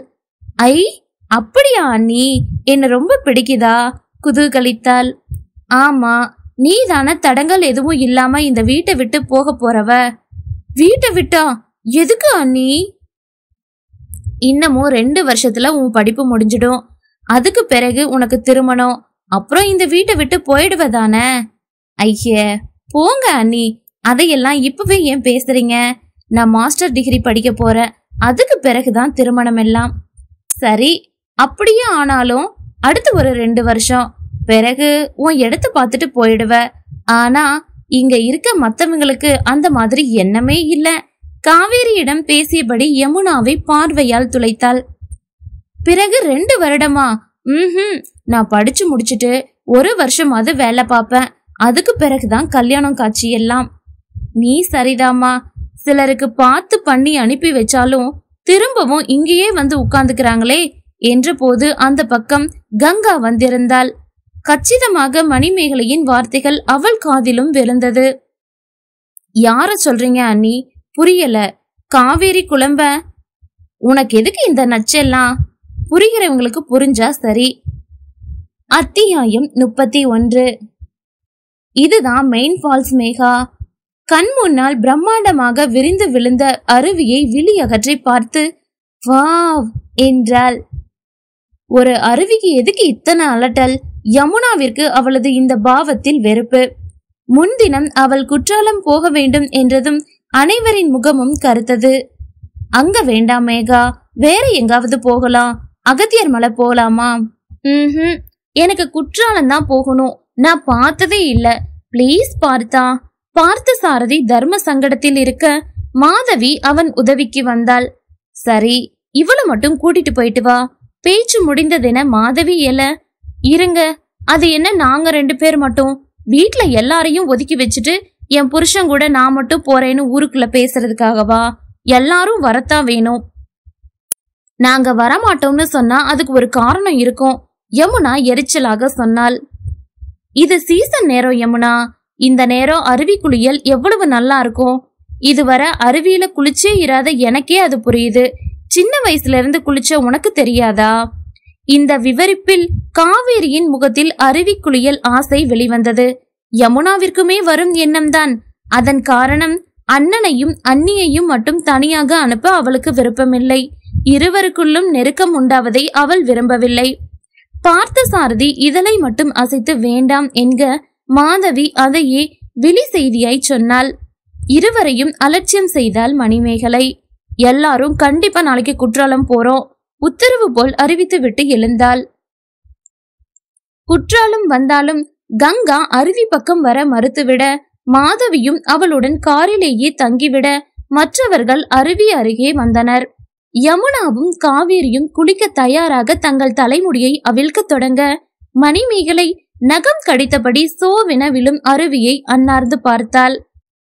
ஏய் பயம்தானே வீட்ல எல்லாரையும் அதிகாரம் செஞ்சு கூட்டிட்டு வந்த இப்போ உள்ள போக பயந்துட்டு நிக்கிற பார்த்த சாரதி அவளை சீண்டினான். உடனே அருவியினுள் நுழைந்திருந்த லேசான தயக்கத்தை மறைத்து கொண்டு எவ்வளவு கூட்டம் பாருங்க பார்த்தா வரிசையில நின்னு குளிக்க வேண்டியது இருக்கு. அதுவும் டைம் வச்சுட்டு வெளியேத்திடுறாங்க. குளிச்ச மாதிரியே இருக்காதுப்பா என்றாள். அதென்ன? இவளுக்கு அண்ணனோடு பேசும்போது மட்டும் குரல் இப்படி கொஞ்சம் ஆரம்பிச்சிடுது. மணிமேகலையின் கொஞ்சலை வெறுத்து போய் பார்த்தாள் யமுனா. அண்ணா நம்பாதீங்க. அன்னைக்கு பயம்தான் காவேரி குதித்தாள். உம் இப்ப தெரிஞ்சிடும். மேகா உனக்கு கூட்டம் தானே பிரச்சனை? வா கூட்டம் இல்லாத அருவி ஒண்ணுக்கு நான் கூட்டிட்டு போறேன். இப்படி சொல்லி அவன் கூட்டி போன அருவி பாதை அதிக ஆள் நடமாட்டம் இல்லாமல் வளைந்து நெளிந்து காட்டிற்குள் கூட்டி போனது. மலை மேல் இருந்தது. ஐந்து பிரிவுகளாக பிரிந்து வெண்நுரைகளாக நுரைத்து விழுந்து கொண்டிருந்த ஐந்து அருவிக்கு மேலிருந்த மலைப்பாதைக்குள் கார் சென்றது. பெரிய கேட் இவர்களுக்காக திறந்து விடப்பட்டது. அந்த கேட்டை தாண்டியதுமே அதிக ஆள் நடமாற்றமற்ற காட்டு பூச்சிகளின் ரீங்காரத்தோடு காட்டு மரங்களின் வாசனையோடு வேறு ஏதோ தனி உலகத்திற்குள் நுழைந்த உணர்வு எழுந்தது. மூலிகை கலந்த காற்று ஈரப்பதத்தை சுமந்தபடி வந்து நாசியில் மோதியது. மணிமேகலை ஆழ்ந்து மூச்செழுத்து அந்த சுத்தமான காற்றை நுரையீரல்களில் நிரப்பி தன் உடலை புதுப்பித்துக் கொண்டாள். ஆவலுடன் விழிகளை சுழற்றி அடங்கா தாகத்தோடு சுற்றுப்புறத்தை விழுங்கினாள். ஃபண்டாஸ்டிக் குதூகலித்தாள். யமுனாவிற்கு அவள் தலையில் கொட்ட வேண்டும் போல் இருந்தது. எப்போது பார்த்தாலும் என்ன இந்த பச்சை பிள்ளை வேடம்? நீங்கெல்லாம் அடிக்கடி இங்க வந்திருப்பீங்கல்ல யமுனா? உங்களுக்கு இது சாதாரணமா தான் இருக்கும் ஆனா நான் இப்பதான் வந்திருக்கேன். எனக்கு இதெல்லாம் சொர்க்கம் போல தெரியுது. ஆனா இந்த இயற்கை சூழலையும் சிலர் எப்படித்தான் இப்படி களிமண் மாதிரி உட்கார்ந்திருக்காங்களோ? கார் ஜன்னல் வழியே வெளியே வெறித்து அமர்ந்தபடி இருந்த கங்காவை பார்த்து சொன்னாள். கங்கா பார்வையை அகற்றாமல் இருக்க மாதவியும் யமுனாவும் அவளை முறைத்தனர். பார்த்தா திடீர்னு இங்க பின்னால ஒரே அனலா இருக்குது. நான் அங்க உங்க பக்கத்துல வந்துடுறனே. சொன்னபடி எழுந்து அவளுக்கு முன் சீட்டில் அமர்ந்திருந்த கங்கா யமுனாவின் கால்களை நினைவாக மிதித்து இரு காரை நிறுத்துறேன் என்று பார்த்த சாரதியும் அலட்சியம் செய்து முன் சீட்டை தாண்டி அவனது தோள்களை பற்றியபடி முன்னால் வந்தாள். சொன்னதை கேட்கவே மாட்டியா? இப்போ எதுக்கு அவ்வளவு அவசரமா தவ்வி குதிச்சு வந்த? பின்னால இருக்க முடியலப்பா. ஆளை எரிக்கிற மாதிரி அப்படி ஒரு பார்வை. அப்பா வெளிப்படையாகவே பின்னால் கையை வீசி காட்டி அழுத்து கொண்டவளை என்ன செய்வதென பார்த்தனுக்கே தெரியவில்லை. அருவிக்கு கூட்டிட்டு போகணும். அத மட்டும்தான் செய்யணும். அவன் பார்வைக்கு முணுமுணுத்தாள். பார்த்த சாரதி புன்னகைத்தபடி கவனிச்சு கேளு என்றான். காதை சாய்த்து கேட்டவள் அருவி சத்தம் வந்துட்டோமா? காரை நிறுத்திவிட்டு நடக்கும் வரை சத்தம் தான் கேட்டதே தவிர அருவி கண்ணுக்கு தெரியவில்லை. அண்ணாந்து பார்த்து மற்ற அருவிகளைப் போல் மலையை தேடி அழுத்தவள் அருவி எங்க பார்த்தா? சினுங்கினாள். அடர்ந்த புதர் போல் மண்டி இருந்த சிறு புதர்களை தாண்டியதும் அந்த அருவி கண்ணிற்கு கிடைத்தது. பெரிய மலை மேல் இருந்து பயமுறுத்துவது போல் விழவில்லை. சிறு பாறைகளுக்கிடையே மிக சாதுவாக ஓடி வந்து கொண்டிருந்தது. விழும் இடத்தில் சிறு குளம் போல் கொட்டி சேர்ந்த பின் கற்பாறைகளிடையே பிரிந்து ஓடியது. என்ன அருவி பார்த்தா இது? மணிமேகலை பிரமிப்பில் விழி விரித்தாள். இது பழத்தோட்ட அருவி மேகா. இதோ சுற்றி இருக்கிறதெல்லாம் பல தோட்டங்கள். ஐந்து அருவிக்கு மேல இருக்கிறது. இந்த தண்ணீர் தான் விழுந்து ஓடி ஐந்து அருவிக்கு போகுது. இந்த அருவி நம்ம தமிழ்நாடு கவர்மெண்ட் பொறுப்புல இருக்குது. இது பொதுமக்களுக்கான அருவி இல்ல. ஸ்பெஷல் பர்மிஷன் வாங்கியவங்க மட்டும்தான் இங்க வர முடியும். அவன் சொல்வது சரி என்பது போல் மற்ற அருவிகளில் இருந்த வரிசை இங்கே இல்லை. அங்கொன்றும் இங்கொன்றுமாக மிக சிலரே குளித்துக் கொண்டிருந்தனர். கூட்டம் இல்ல குளிக்கலாம் தானே? ஓ என திரும்பி பார்த்தவள் ஆச்சரியமானாள். காவேரியும் யமுனாவும் அதற்குள் அருவியினுள் புகுந்திருந்தனர். உம் நீயும் போ. அவள் தோல் பிடித்து மெல்ல தள்ள மணிமேகலைக்கு முதல் அருவி குளியல் லேசான தயக்கத்தை தந்தது. வா நானும் வரேன். அவள் கைப்பிடித்து அருவி வரை கூட்டி போனவன் நொங்கும் நுரையுமாக குமிழிட்டு கொண்டிருந்த அருவி முன்னிருந்த அந்த சிறு குளத்தின் அருகே வந்ததும் அவளை மென்மையாக உள்ளே தள்ளிவிட்டான். ஜில் என்ற நீர் முதலில் சுளீர் என்று உடலை தாக்க முதலில் தடுமாறியவள் இரண்டே நிமிடங்களில் இடுப்பு வரை மட்டுமே இருந்த அந்த தண்ணீரின் குளிர்ச்சிக்கு பழகிவிட்டாள். அருவி முன்னால நின்னுக்கிட்டு கையால தண்ணிய மேல ஊத்திக்கிறவன் நீயா தான் இருக்கும். அருவிக்குள்ள போ மேகா.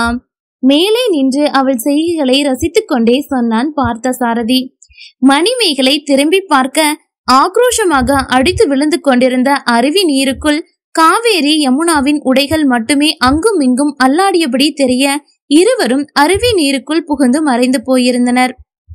பயமா இருக்கு பார்த்தா நீங்களும் வாங்கல அண்ணாந்து அவனை பார்த்து சொன்னாள். உம் இப்பதான் உண்மை வெளியே வருது. ஏ உண்மைய சொல்லு அப்போ இருந்து உனக்கு பயம் தானே ப்ளீஸ் பார்த்தா தலை சாய்த்து சினுங்கியவளின் அருகே சிரித்தபடி குதித்தான் பார்த்த சாரதி அவள் தோள்களை வளைத்து அணைத்தபடி அருவியை நோக்கி அழைத்து போனான். அருவியை நெருங்க நெருங்க ஓவென்ற இரைச்சல் அதிகரிக்க நீர்த்துளிகள் மேலே தெறிக்க உடல் குளிரில் நடுங்கியது. மணிமேகலை அவன் மார்பில் ஒன்றினாள். அருவிக்குள்ள போற வரைக்கும் அப்படித்தான் இருக்கும். உள்ள போயிட்டா சரியாயிடும் மேகா. ஆதரவாய் அவள் தோள்களை தடவியபடி அருவி நீருக்குள் அவளை இழுத்தான். தட் தட்டென மேலே விழுந்த அருவி நீரில் முதலில் தடுமாறி பின் கால்களை அழுந்த ஊன்றி நின்று அருகில் இருந்த பார்த்த சாரதி தோள்களை பற்றிக்கொண்டு ஒரு வழியாக சமாளித்தாள். முதலில் சிறு கற்கள் எரிந்தது போல் மேனியை நோக வைத்த அருவி நீர் அந்த வேகத்தை உடல் பழகியதும் அழுத்தமான மசாஜ் போல் சுக அணைப்பாக உடலில் இறங்கியது. உச்சந்தலையில் ஊறி உடலில் வழிந்த அந்த சுத்தமான நீரில் உடலோடு மனமும் லேசாக கண்களை மூடியபடி அருவி குளியலை அனுபவிக்க ஆரம்பித்தாள் மணிமேகலை. இப்போ ஓகே தானே மேகா? அருவி சத்தத்தை தாண்ட அவளோடு ஒட்டி அவள் காது மடல்களை உரசின பார்த்த சாரதியின் இதழ்கள். குளிர்ந்த நீரில் காதோடு மட்டும் வெப்பமேறி தகிக்க விழுந்து கொண்டிருக்கும் அருவி நீருக்குள் அவன் முகம் பார்க்க முடியாமல் தலையை மட்டும் அசைத்தாள். அவள் முகத்தை பற்றி அருவிக்கு வெளியே இழுத்தவன். சரி இனி நீயா குளிச்சுக்குவியா? நான் அங்க கூட்டம் போறேன். அதுதான் ஆண்கள் குளிக்கிற பகுதி. கூட்டம் இல்லாததால நான் இங்கே இறங்குனது யாருக்கும் தவறா படல. கொஞ்சம் தள்ளி இருந்த ஆண்கள் பகுதியை காட்டினான். இன்னும் கொஞ்ச நேரம் இருங்களேன். அவன் கைகளுடன் கை கோர்த்தாள். அவர்கள் நின்றிருந்த இடத்திற்கு பின்னால் ஒரு பாறை மீது விழுந்து கொண்டிருந்தது அருவி நீர். காவேரியும் யமுனாவும் வசதியாக பாறை மீது அமர்ந்து குளித்துக் கொண்டிருக்க அவர்களை தட்டி நகர்ந்து உட்காருமாறு சொல்லிவிட்டு மணிமேகலையின் இடையை பற்றி தூக்கி அவர்கள் இருவருக்கும் இடையில் அமர்த்தினான். சரியா பாத்துக்கோங்கம்மா தங்கைகளிடம் சொல்லிவிட்டு வெளியேறி தனது குளியல் இடத்தை நோக்கி போனான். தங்கள் தோள்களை உரசியபடி உட்கார்ந்திருந்த மணிமேகலையின் தோலை ஆதரவாக காவேரி பிடித்துக்கொள்ள யமுனா அவளை அப்படியே இந்த குளத்தினுள் தள்ளிவிட்டாள் என என யோசிக்க ஆரம்பித்தாள். யமுனா வேண்டாம் நம்ம ரெண்டு பேருக்குள்ள என்ன பிரச்சனை இருந்தாலும் அதை பேசி தீர்த்துப்போம். அராஜகமா கொலை முயற்சியெல்லாம் இறங்கிடாத அருவி சத்தத்தை தாண்டி அவள் காதில் படும்படி பதட்டமாக கத்தினாள் மணிமேகலை. லட்டு மாதிரி கையில கிடைச்ச சான்ஸ மிஸ் பண்ணுவேனா? சொன்னபடி மணிமேகலையை உந்தி கீழே தழுவது போல் யமுனா செய்ய அவள் கத்தினாள். சட்டென அவளை மீண்டும் நீருக்குள் இழுத்து கொண்டவள் ஏன் கத்தி தொலைகிற உன் புருஷன் அங்கிருந்து ஓடி வந்துட போறாரு. என்றாள் யார சொல்ற? மணிமேகலை மலர்ந்த முகத்துடன் சுவாரஸ்யமாக கேட்க காவேரி சிரித்தாள் யமுனா கடுத்தாள். என் அண்ணன் என்று சொல்லாமல் யமுனா உன் புருஷன் என்று சொன்னது மணிமேகலைக்கு மிகுந்த உவகையை கொடுத்தது. ஏன் புருஷன்? பார்த்த சாரதியை மனதில் நினைத்தபடி தனக்குள் சொல்லி பார்த்தபடி அருவி குளியலில் ஆழ்ந்தாள். திடமென உட்கார்ந்திருந்த பாறையில் இருந்து நீருக்குள் குதித்தவள் கரையை நோக்கி போனாள். அண்ணி எங்க போறீங்க? காவேரி கத்த. போகட்டும் விடுடி அப்படியே தண்ணியோட போக்கலையே. ஐந்து அருவி வர போகிற ஐடியா வச்சிருப்பாளா இருக்கும் யமுனா நொடித்தாள். அருவியை விட்டு வெளியே போன மணிமேகலை கைப்பிடியாய் கங்காவை இழுத்து வந்து கொண்டிருந்தாள். இங்க பாருங்களேன் நீருக்குள் எதையோ காட்ட கங்கா குனிந்து பார்த்தபோது அவளை பிடித்து நீருக்குள் தள்ளினாள். ஏய் என்ன செய்யற? கங்கா கத்த. இனிதான் செய்ய போற உங்களை நல்லா வச்சு செய்ய போற சொன்னபடி தானும் குதித்து அவளை நீருக்குள் அழுத்தினாள். உதவிக்கு ஜாடையாக காவேரி யமுனாவை அழைக்க அவர்களும் குதூகலத்துடன் இணைந்து கொண்டு கங்காவை இழுத்து போய் அருவிக்குள் நனைத்தனர். முதலில் மறுத்த கங்கா பிறகு மெல்ல அருவி குளியலில் ஒன்றி போனாள். தலையை அண்ணாந்து அருவி நீரை முகத்தில் வாங்கினாள் கங்கா. அருவி நீரோடு அவள் கண்ணீரும் கலந்து வழிந்தது. குளிக்கும் போது அழக்கூடாது அண்ணி. நீருக்குள் கை நுழைத்து அனுமானமாய் அவள் கண்களை துடைத்த மணிமேகலை அந்நேரம் கங்காவின் கண்ணீருக்கு வான் இறங்கி நீராட புவி வந்த தேவ கன்னிகையாய் தோன்றினாள். அத்தியாயம் முப்பத்தி ரெண்டு இவளை எங்கிருந்து புடிச்சிட்டு வந்தீங்கன்னா? கங்காவின் கேள்வியில் முதலில் திகைத்து பின் புன்னகைத்தான் பார்த்த சாரதி. கங்காவின் குரலில் எரிச்சல் இல்லை. கொஞ்சம் ரசனை இருந்தது. குளித்து முடித்ததும் கட்டிக்கொண்டு வந்த புளியோதரையும் தயிர் சாதத்தையும் ஒரு பிடி பிடித்துவிட்டு ஓய்வாக ஒரு போர்வையை விரித்து அதில் அமர்ந்திருந்தனர் அவர்கள். தங்கை தனிமையில் அமர்ந்திருப்பதை பார்த்து அவள் அருகில் வந்து அமர்ந்தான் பார்த்த சாரதி என்னம்மா ரொம்ப தொல்லை பண்றாளா? உம் ரொம்ப. இரண்டு கைகளையும் விரித்த கங்காவின் கைகள் தட்டி மடக்கப்பட்டது. நான் நடக்க வேண்டாமா? எதுக்கு இப்படி கைய விரிக்கிறீங்க? படபடுத்தபடி அவர்களுக்கு நடுவே உட்கார்ந்து கொண்டாள் மணிமேகலை. அந்த பக்கம் போக போறதா தானே சொன்ன? இங்க உட்கார்ந்தா எப்படி?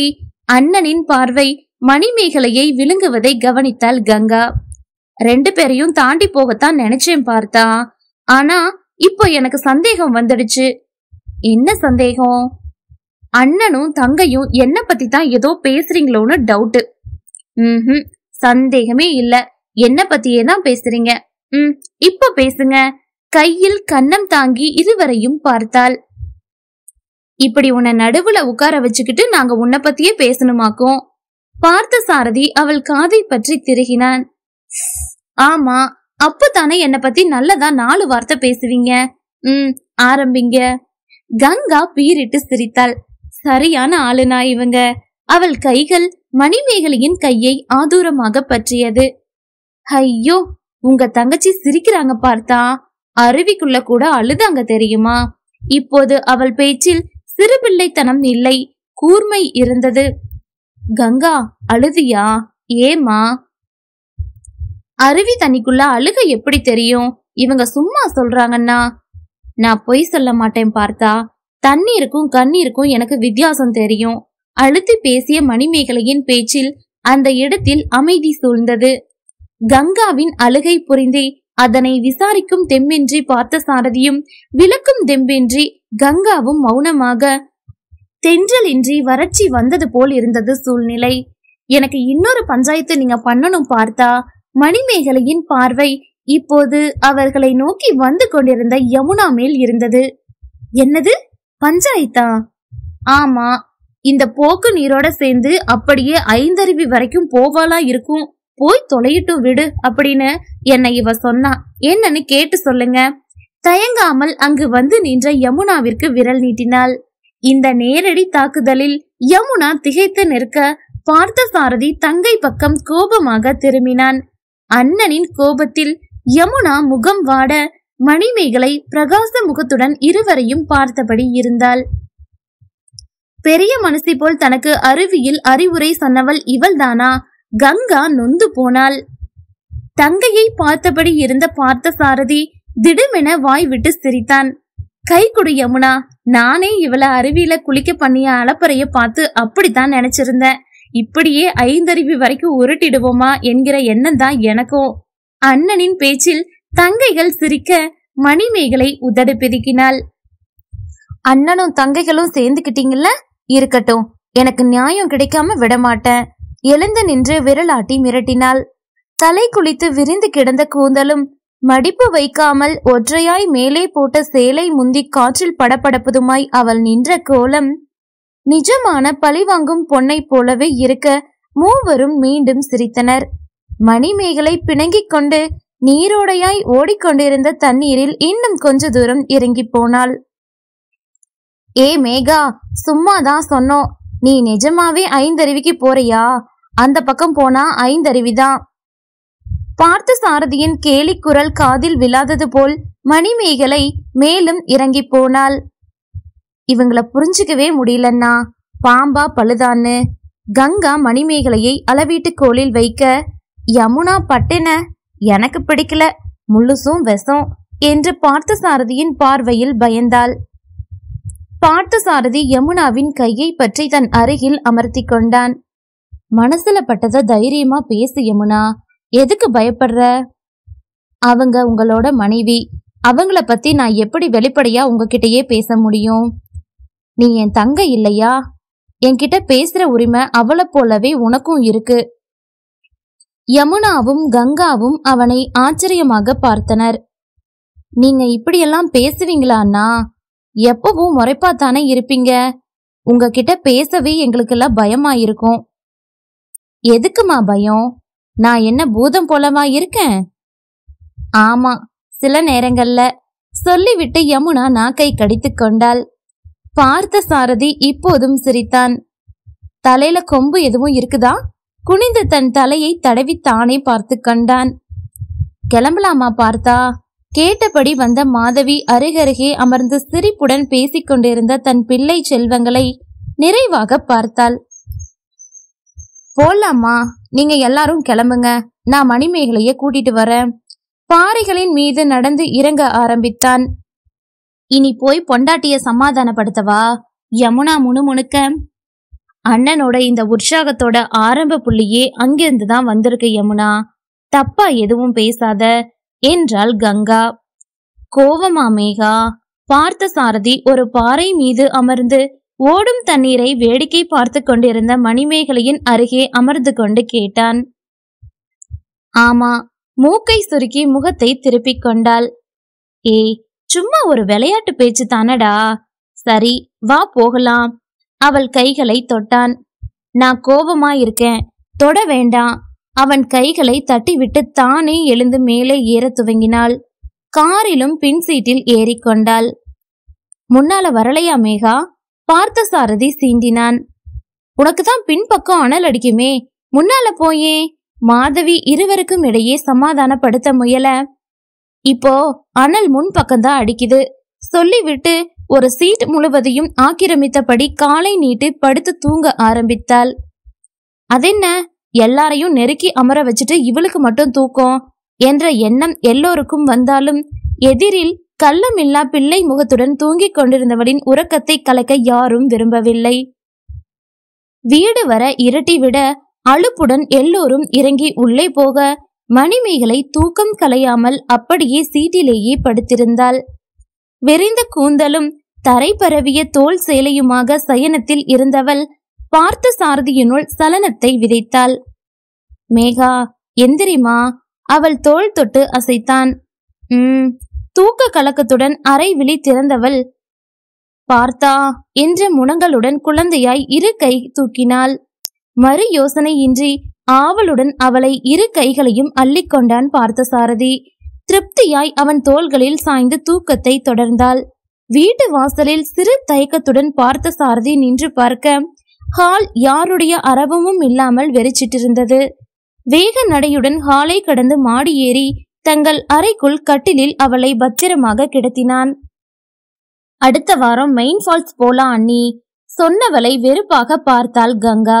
நான் வரமாட்டேன்.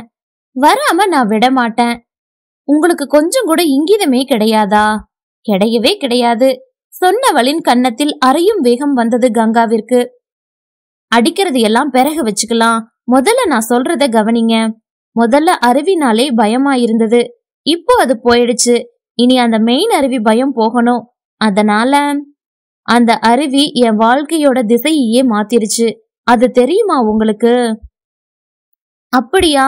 அதெப்படி மாத்துச்சு? கங்கா பதில் சொல்லாது அவளை வெறித்தாள். உங்க கழுத்துல தாலி கட்டினவரு அந்த அருவியோட போயிட்டாரு.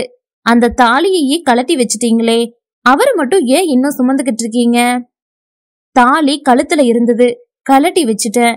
அவரு என் மனசுல இருக்காரு அப்படி கலட்ட முடியாது.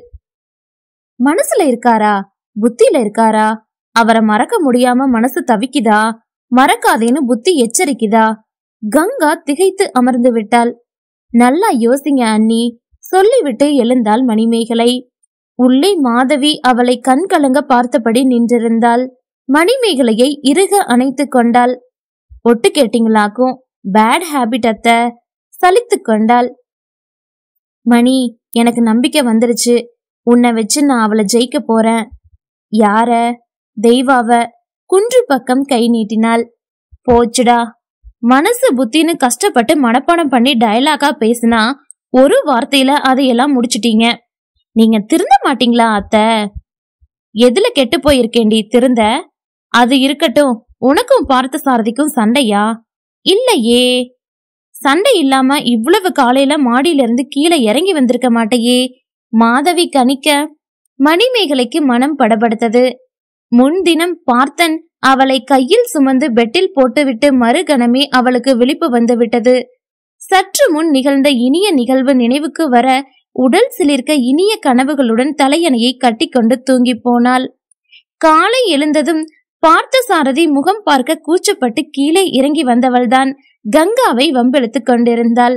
வண்ணக் கலவையாய் குலைந்து ஒளி வீசிய மணிமேகலையின் முகத்தை மாதவி ரசித்து பார்த்து கொண்டிருந்த போது அம்மா என அழைத்தபடி பார்த்த சாரதி வர மணிமேகலை மேலும் முகம் சிவக்க பின்வாசல் வழியாக தோட்டத்திற்குள் மறைந்தாள். அத்தியாயம் முப்பத்தி மூன்று அந்த பெங்களூர் வரன நாளையே யமுனாவை பெண் பார்க்க வர சொல்லலாமே பார்த்தா. என்ன அவசரம் மேகா? பொருத்தம் இருந்ததே. குடும்பமும் நல்ல குடும்பம். ஏன் தள்ளி போடணும்? எந்த வரனன்னா யமுனா தடுமாறினாள். இது அவள் முன் ஜாதக பேப்பரை ஆட்டினாள் மணிமேகலை. அதை பற்ற போன யமுனாவின் கையில் இருந்து மேலே தூக்கி தன் கைகளுக்குள் இழுத்து கொண்டாள். யமுனா முகம் வாட பார்த்த சாரதி இந்த வாரத்துக்குள்ள நல்ல நேரம் பார்த்து ஏற்பாடு செய்யுங்கம்மா என்று விட்டு எழுந்தான். நீ சொன்னது நிஜம்தான் மேகா. யமுனாவோட முகத்துல எவ்வளவு பதட்டம். ஆனா ஏன்? ஒருவேளை அவ யாரையாவது காதலிக்கிறாளோ? தடுமாறி நின்றவனின் முகத்திற்கு நேராக தன் முகத்தை சரித்து பார்த்து பக் என்று சிரித்தாள் மணிமேகலை. பதட்டம் இப்போ உங்ககிட்ட தான் பார்த்தா. காதலிச்சா தப்பா? அவள் கண்களுக்குள் பார்த்தவன் இல்ல காதலிக்கிறது தப்பில்ல என்றான். உம் பிறகு எதுக்கு அப்படி நர்வஸா இருந்தீங்க? பனிக்கத்தியாய் மனதில் இறங்கிய பார்த்தனின் பார்வையின் வீரியத்தை தாங்க முடியாத தவிப்பு மணிமேகலையிடம்.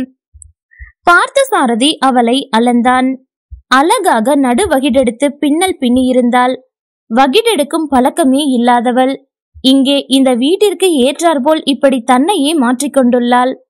அவனது ஆட்காட்டி விரல் அவள் தலைவகட்டின் வழி வருடி போனது. இந்த வகடு உனக்கு ரொம்ப அழகா இருக்குது மேகா. தானே தனது உச்சியை தொட்டு பார்த்து கொண்டாள். நிஜமாகவா? ம். துபாய் பொண்ணுன்னு சத்தியம் பண்ணினாலும் யாரும் நம்ப மாட்டாங்க. பக்கா இளஞ்சி பொண்ணாயிட்ட. துபாய் என் தாய் நாடா? பிள்ளைக்கு போன இடம். மென் சினுங்கினாள். அவள் முகத்தடியில் ஒற்றை விரல் கொடுத்து தூக்கி தன் முகத்தின் நேராக வைத்துக் கொண்டவன். நேத்து அருவியில கோபமாடா. சும்மா கிண்டல் செஞ்ச. நீ பாட்டுக்கு இறங்கி போயிட்டியே. கோபம் எல்லாம் இல்லப்பா. நீங்க அண்ணன் தங்கைகளா சேர்ந்து ஜாலியா இருக்கிறது போல இருந்துச்சு. உங்களுக்கு பிரைவசி இருக்கட்டும்னு தான் கொஞ்ச நேரம் விலகி போனேன். நம்ம ரெண்டு பேரும் சண்டை போட்டா யமுனாவுக்கு சந்தோஷம் வரும்னு தோணுச்சு. அதுதான் உங்களோட சும்மா ஒரு பாவ்லா சண்டை. எங்களுக்காக நீ நடிச்சியா? சீட்டி போல் குவிந்து மணிமேகலையின் மூக்கில் மோதியது அவன் குரல். அதுல தப்பில்ல பார்த்தா. நீங்க கொஞ்சம் அவங்க பக்கம் பேசினதும் உங்க தங்கச்சிங்க எப்படி சந்தோஷப்பட்டாங்க பாத்தீங்களா? இது போன்ற வெளிப்பயணங்கள் குடும்பத்தினர்கிட்ட ஒரு அந்யோன்யத்தை உண்டாக்கி உறவை பிணைப்பாக்கும். இனி கொஞ்சம் அவங்களோட இது போல இயல்பா பேசி பழகி இருங்க. நேரடியாக அவன் கண்களை பார்க்க முடியாமல் மணிமேகலையின் கண்கள் அவன் கண்ணம் மூக்கு மீசை கழுத்து என தத்தி தத்தி அலைபாய்ந்தது. அவனோ அவள் கண்களை விட்டு இம்மியும் பார்வையை நகர்த்தவில்லை. இவன் ஏன் இப்படி பார்க்கறான்? பார்த்த சாரதியின் கண்ணோடு கண் பார்வை மணிமேகலையின் உடல் முழுவதையும் தித்திப்பான ஜீராவினுள் அமுத்தியது. ம் அம்மாவையும் தங்கையையும் கணவர்கிட்ட இருந்து பிரிச்சுட்டு போறத பத்தியே நினைக்கிற பெண்களுக்கிட்ட அவங்களோட ஒட்டி பழகுன்னு எனக்கு அறிவுரை தர ஒரே மனைவி நீயா தான் இருப்ப. இப்போது வெளிப்படையாகவே அவன் பார்க்கவே அவள் உடல் சிலிர்த்தது. அவனது மனைவியில் உள்ளம் சிலுசிலுக்க நிமிர்ந்து அவன் முகம் பார்த்தாள். உன் மனைவியா நான்? என்ற கேள்வியையும் பார்வையில் வைத்தாள். என் மனைவி என் மனைவி என்று சொல்லி சொல்லி நீ மனைவியா நடிக்க வந்திருக்கிறதே மறந்துடுச்சு மேகா. கொஞ்சலும் குலாவலுமாய் தொடர்ந்தது அவன் குரல். ஆனால் இந்த நடிப்பு பேச்சை மேற்கொண்டு தொடர விரும்பாத மணிமேகலை சுனந்தா உங்க மனைவி எப்படி இருந்தாங்க? இந்த வீட்ல இங்க உள்ளவங்களோட சுமூகமா பழகுனாங்களா? என்றாள். அவள் என ஆரம்பித்தவன் தோள்களை குலுக்கினான். விட்டுட்டு போனவளை பத்தி இப்ப என்ன பேச்சு? அந்த சுனந்தாவின் பேச்சு பார்த்த சாரதியின் உல்லாச மனநிலைக்கு சிறிதளவு இடையூறு செய்யவில்லை. எப்போதும் சுனந்தாவை பற்றி பேச்செடுத்தாலும் இவன் இப்படித்தான் நலவரான் மணிமேகலையும் வந்த நாளில் இருந்து சுனந்தாவை பற்றி ஏதாவது ஒரு விஷயம் அவனிடமிருந்து வாங்க முயல்கிறாள். வாயை திறக்க மாட்டேன்கிறான் கல்லுளி மங்கன். மனதிற்குள் திட்டிக் கொண்டாள். அந்த கல்லுளி மங்கன் உச்சியை வருடிய விரலால் அவள் முன்னெற்றியில் கிடந்த முடியை விரலில் சுருட்டியபடி இருந்தான். மணிமேகலையின் கை விரல் அவன் சட்டையை நீவியபடி இருந்தது. பெரிய பெரிய விஷயங்களை பேசுபவர்கள் போல் ஒன்றுமே பேசாமல் அருகருகே நின்றிருந்தனர் இருவரும். நிமிர்ந்து பார்க்காமலேயே குவிந்த அவன் உதடுகளை மணிமேகலையால் உணர முடிந்தது. முத்தமிடப் போகிறானா? படபடவென அடித்துக் கொள்ள துவங்கியது அவள் இதயம். சற்று நேரம் அவன் பக்கத்தில் இருந்து எந்த அசைவும் இல்லாதிருக்க இவனும் இவனோட முத்தமோ? சர்ச்சு பாதர் போல முத்தம் கொடுத்து வைப்பான். எந்த கணக்குலையும் சேர்க்க முடியாது. மனதிற்குள் அவள் சலித்து முடித்த வினாடி சூடாக அவள் கன்னத்தில் பதிந்தது அவனது இதழ்கள். நம்ப முடியாது தன் கன்னத்தை தொட்டு பார்த்தபடி அவள் நிமிர்ந்து பார்த்தபோது இதுவரை பார்க்காத ஓர் உணர்வு. முகத்தில் தெரிய நின்ற பார்த்த சாரதியை பார்த்தாள். மோகமோ தாபமோ போல் ஏதோ அவள் மனதை கெடுக்கும் ஓர் உணர்வு. இது இத்தோடு நிற்கப் போவதில்லை. இன்னமும் இருக்கிறது என சொல்லாமல் சொல்லியது.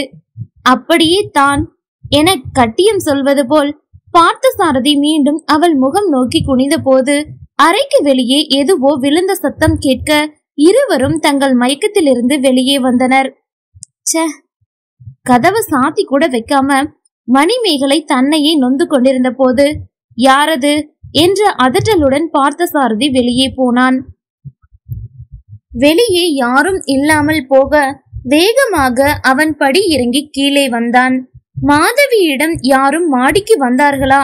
என பார்த்த சாரதி விசாரித்தபடி இருக்க மணிமேகலையும் அவனை பின்தொடர்ந்தாள். பாதிப்படி இறங்கியதும் ஏதோ தோன்ற மீண்டும் மாடி ஏறினாள்.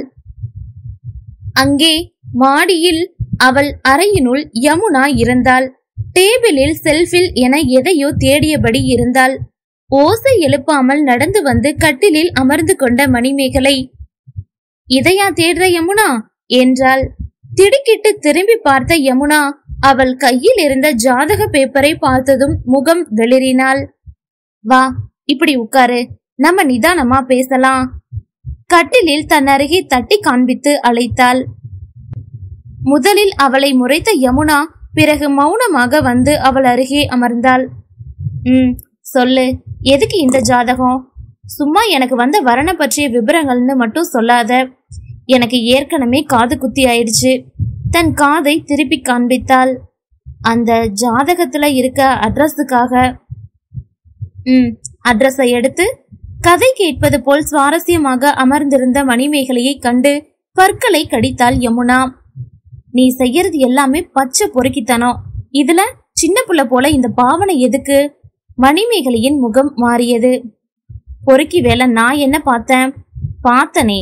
கொஞ்ச நேரம் முன்னாடி பட்ட பகல்ல கதவை கூட மூடாம சீச்சி ஒரு குடும்ப பெண்ணு செய்யற வேலையா இது? மணிமேகலை எழுந்து நின்று விட்டாள். அவள் முகம் கோபத்தில் சிவந்திருந்தது. யமுனா வீணா வார்த்தைகளை சிதற விடாத. என் வீடு என்னோட அறை ஏன் புருஷன்? திருட்டு புத்தியோட சத்தம் இல்லாம இங்க வந்தது நீ. ஊ வீடா உனக்கு முன்னால இது என்னோட வீடு. உனக்கு இங்க என்னம்மா உரிமை? எப்பவாவது வந்து போகலாமே தவிர காலம் முழுசும் இந்த வீட்ல உரிமையோட வாழ போறது நான் தான் அதிகாரம் சொட்டிய மணிமேகலையின் குரலில் யமுனா மனதில் அடிபட்டாள். யாரும் வரல மேகா குரங்கா இருக்கும்னு நினைக்கிறேன். மொட்டை மாடி கதவை பூட்டாம விட்டுட்டியா?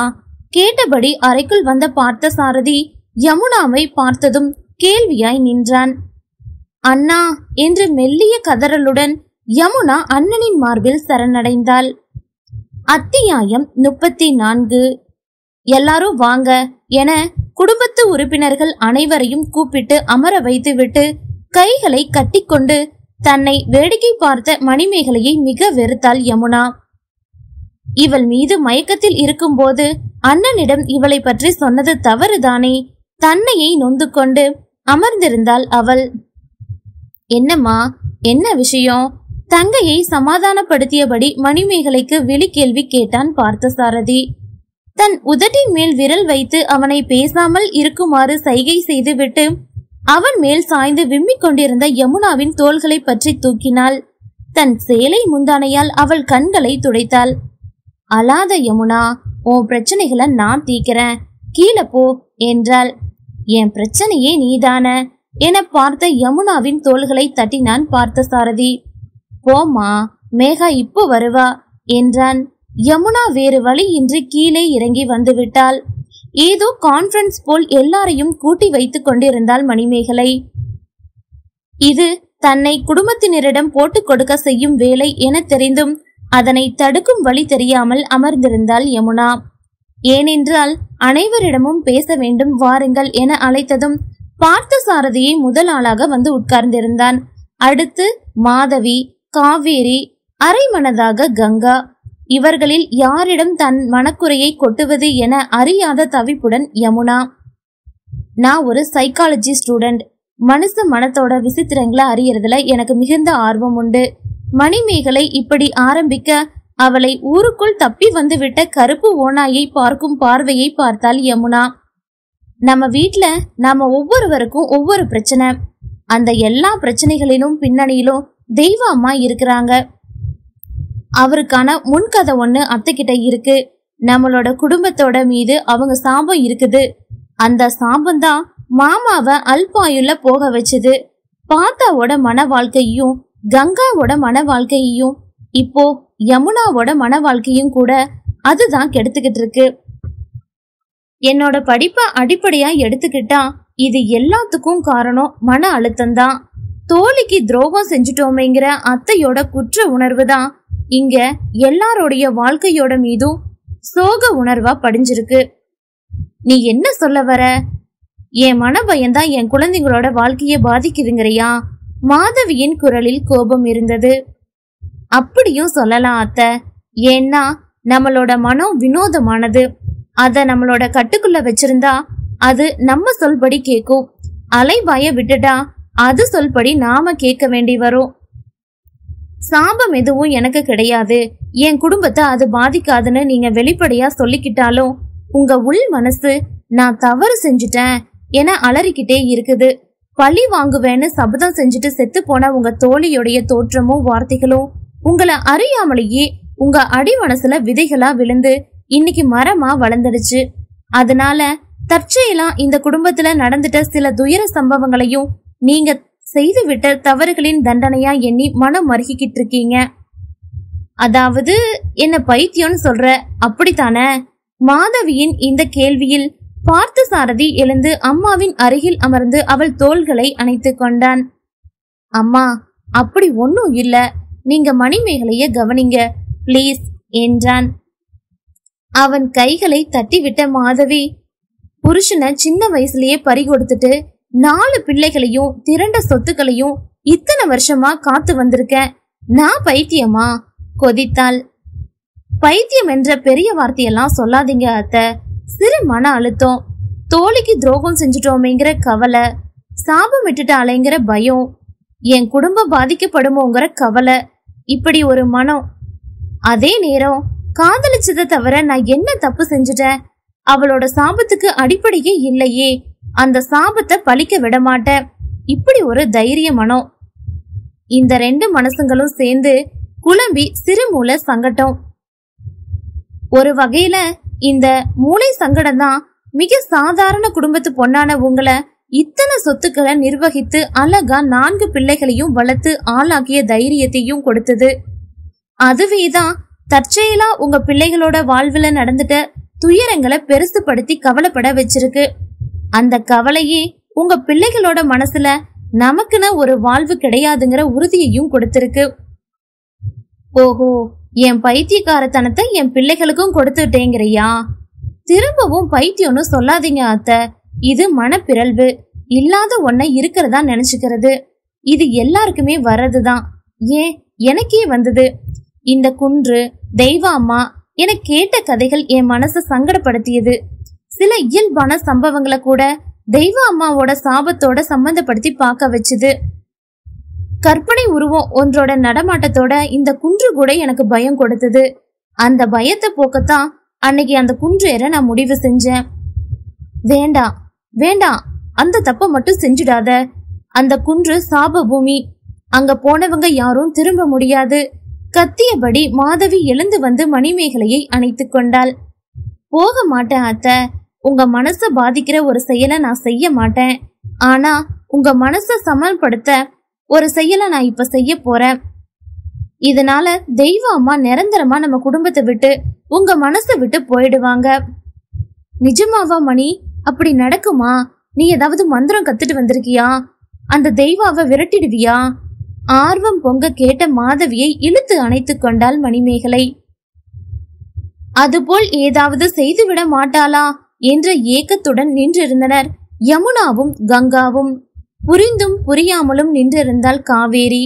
கை நீட்டி அவர்களையும் அருகே அழைத்த மணிமேகலை அவர்கள் கைகளையும் பிடித்து கொண்டு நம்ம எல்லாரும் சேர்ந்து அந்த தெய்வ அம்மாவை அவங்க சாபத்தையும் நம்ம வீட்டை விட்டு விரட்டுவோம். வாங்க என்றாள். ஐந்து பெண்களும் திரும்பி பார்த்த சாரதியை பார்க்க காக்கும் கடவுளின் நம்பிக்கையுடன் புன்னகையோடு அவர்களை அழைத்தபடி வீட்டின் பின்புறம் நடந்தான். அனைவரும் அந்த குன்றை நோக்கி நடந்தனர். அந்த குன்றின் அடியில் சிலர் ஏதோ வேலை செய்து கொண்டிருந்தனர். மண்வெட்டியும் கடப்பாறையுமாக இருந்த அவர்களை பார்த்த மாதவியின் முகம் மாறியது. குன்றை இடிக்க போறாங்களா என்ன? அது சாபத்தை இன்னமும் அதிகப்படுத்தும் இல்லையா மாதவி இன்னமும் மனம் கலங்க தொடங்கினாள். அத்தியாயம் முப்பத்தி ஐந்து. பயப்படாதீங்க அத்தை. குன்றை இடிக்கல. இது மேல இருக்க உங்க தோழிய சமாதானப்படுத்த போறோம். அவ்வளவுதான். என்றபடி மணிமேகலை காட்டிய இடத்தில் நீளமாக செதுக்கி வைக்கப்பட்டிருந்த மூன்று கருங்கல் தூண்கள் இருந்தன. குழி வெட்டி இரண்டு தூண்களை நட்டு வைத்திருந்தனர் வந்திருந்த ஆட்கள். வாங்கம்மா. அம்மாவையும் தங்கைகளையும் அழைத்து அந்த மூன்றாவது தூண் அருகே சென்ற பார்த்த சாரதி ஐவரையும் அந்த தூணை பிடிக்க வைத்தான். தூணின் நடுபாகத்தை தூக்கி பெருமளவு கணத்தை தான் வாங்கி கொண்டவன். அந்த தெய்வம்மாவோட மனசுல பொங்கிக்கிட்டு இருக்க வஞ்சத்தையும் வன்மத்தையும் சமணப்படுத்த இந்த சுமை தாங்கி கல்ல தூக்கி வைப்போம். பாரமா நிக்கிற இந்த கல் பாரமேறி இருக்கும் அவங்க மனசை இலகுவாக்கும். போர்ல வேற அகால முறையில மரணம் அடைஞ்சவங்களோட ஆன்மா சாந்தி அடையத்தான் அந்த காலத்துல இது போன்ற சுமை தாங்கி கற்களை வச்சாங்க. இப்போ அதே முறைய நம்பிக்கையோட நாமும் செய்வோம். பார்த்த சாரதியின் பேச்சில் முழு நம்பிக்கை இல்லாவிட்டாலும் ஏதோ ஒரு உணர்வு உந்த எல்லோரும் தங்கள் மூச்சை பிடித்து அந்த பெரிய கல்லை தூக்கி நின்று கொண்டிருந்த அந்த தூணின் மீது வைத்தனர். கையை அழுத்திய பாரத்தை இறக்கி வைத்ததும் மனபாரம் குறைவதாக உணர்ந்தார்கள். சுமைதாங்கி கல்லின் அடியில் ஒரு மாடத்தை அமைத்தனர். அதில் பெரிய அகல் விளக்கு ஒன்றை வைத்து அதற்கு எண்ணெய் ஊற்றி திரிவிட்டு மாதவியை ஏற்ற சொன்னாள் மணிமேகலை இன்னைக்கு முதல் உன்னை எங்க வீட்டு தெய்வமா ஏத்துக்கிறோம். பத்திரமா எங்களை பார்த்துக்கோ என்று வேண்டிக்குங்க அத்தை. மணிமேகலை சொன்னதை சிறு மறுப்பின்றி செய்தாள் மாதவி. அவளை பின்பற்றினர் காவேரி யமுனா கங்கா மணிமேகலையும். ஐந்து பெண்களும் சேர்ந்து விளக்கேற்றி முடித்து கண்மூடி தியானித்து நின்றபோது உண்மையிலேயே மனம் லேசானது போன்ற உணர்வு தோன்றியது. இப்போ ஓகே தானே யமுனா? இனி உனக்கு வர ஜாதகங்களுக்கு போன் செஞ்சு பேசி திருமணத்தை நிறுத்த மாட்டதான மணிமேகலை யமுனாபுரம் சாய்ந்து கிசுகிசுப்பாக கேட்க யமுனா வியந்தாள். உங்- உங்களுக்கு தெரியுமா? நல்லா தெரியும். வர்ற வரணையெல்லாம் நீ தட்டி விட்ட விதமும் தெரியும் காரணமும் தெரியும். யமுனாவின் மரியாதை பன்மையை மனதினுள் உணர்ந்து புன்னகைத்தாள் மணிமேகலை. கங்காவை போல ஒரு விதவ வாழ்க்கைய நான் விரும்பல. அதுக்கு பதில் இப்படியே கன்னியாவே காலம் முழுசும் அம்மா அண்ணன் கூடவே இருந்துடலான்னு நினைச்சேன். இது தப்பாச்சே. பெண் பிள்ளைங்க நீங்க எல்லாரும் பிறந்த வீட்லயே தங்கிட்டா என் நிலைமை இங்க என்ன ஆகிறது? கேட்டவளை முதலில் முறைத்தவள் பிறகு சிரித்தாள். இப்படி பேசி பேசியே இந்த வீட்டை விட்டு போயிடணுங்கிற எண்ணத்தை எங்களுக்குள்ள கொண்டு வந்துட்டீங்க. அப்பா அந்த எண்ணம் வந்துடுச்சா? இதையே உன் அக்கா கிட்டையும் சொல்லுமா. மூணு நாத்தனாரையும் வச்சு மேய்க்க என்னால முடியாது. மூணு பேரும் காலாகாலத்துல வெளியேறிடுங்க. இந்த பக்கம் நின்ற கங்காவின் காதுகளில் தெளிவாக விழும்படி யமுனாவையே சொல்லச் சொன்னாள். கங்காவின் முகமும் நம்பிக்கை புன்னகையை பூசிக்கொண்டது. யமுனாவை அடுத்து நீங்க தான் அண்ணி வெளியேறணும். கங்காவிடம் சொன்னாள் இல்ல அண்ணி அக்கா தான் மூத்தவங்க. முதல்ல அவங்கள வெளியேத்துங்க. சொன்ன யமுனாவை திகைப்பாக பார்த்தாள் கங்கா. என்னது? நானா? நான் ஏ எப்படி? எங்க? எனக்கு ஏது போக்கிடம் என்ற தடுமாற்றம் கங்காவின் குரலில். நீதான் கங்கா. முதல்ல உன் வாழ்க்கைய சரிப்படுத்தணும். இல்லையா அண்ணி? கேட்டபடி அக்காவின் கை கோர்த்து கொண்டாள்.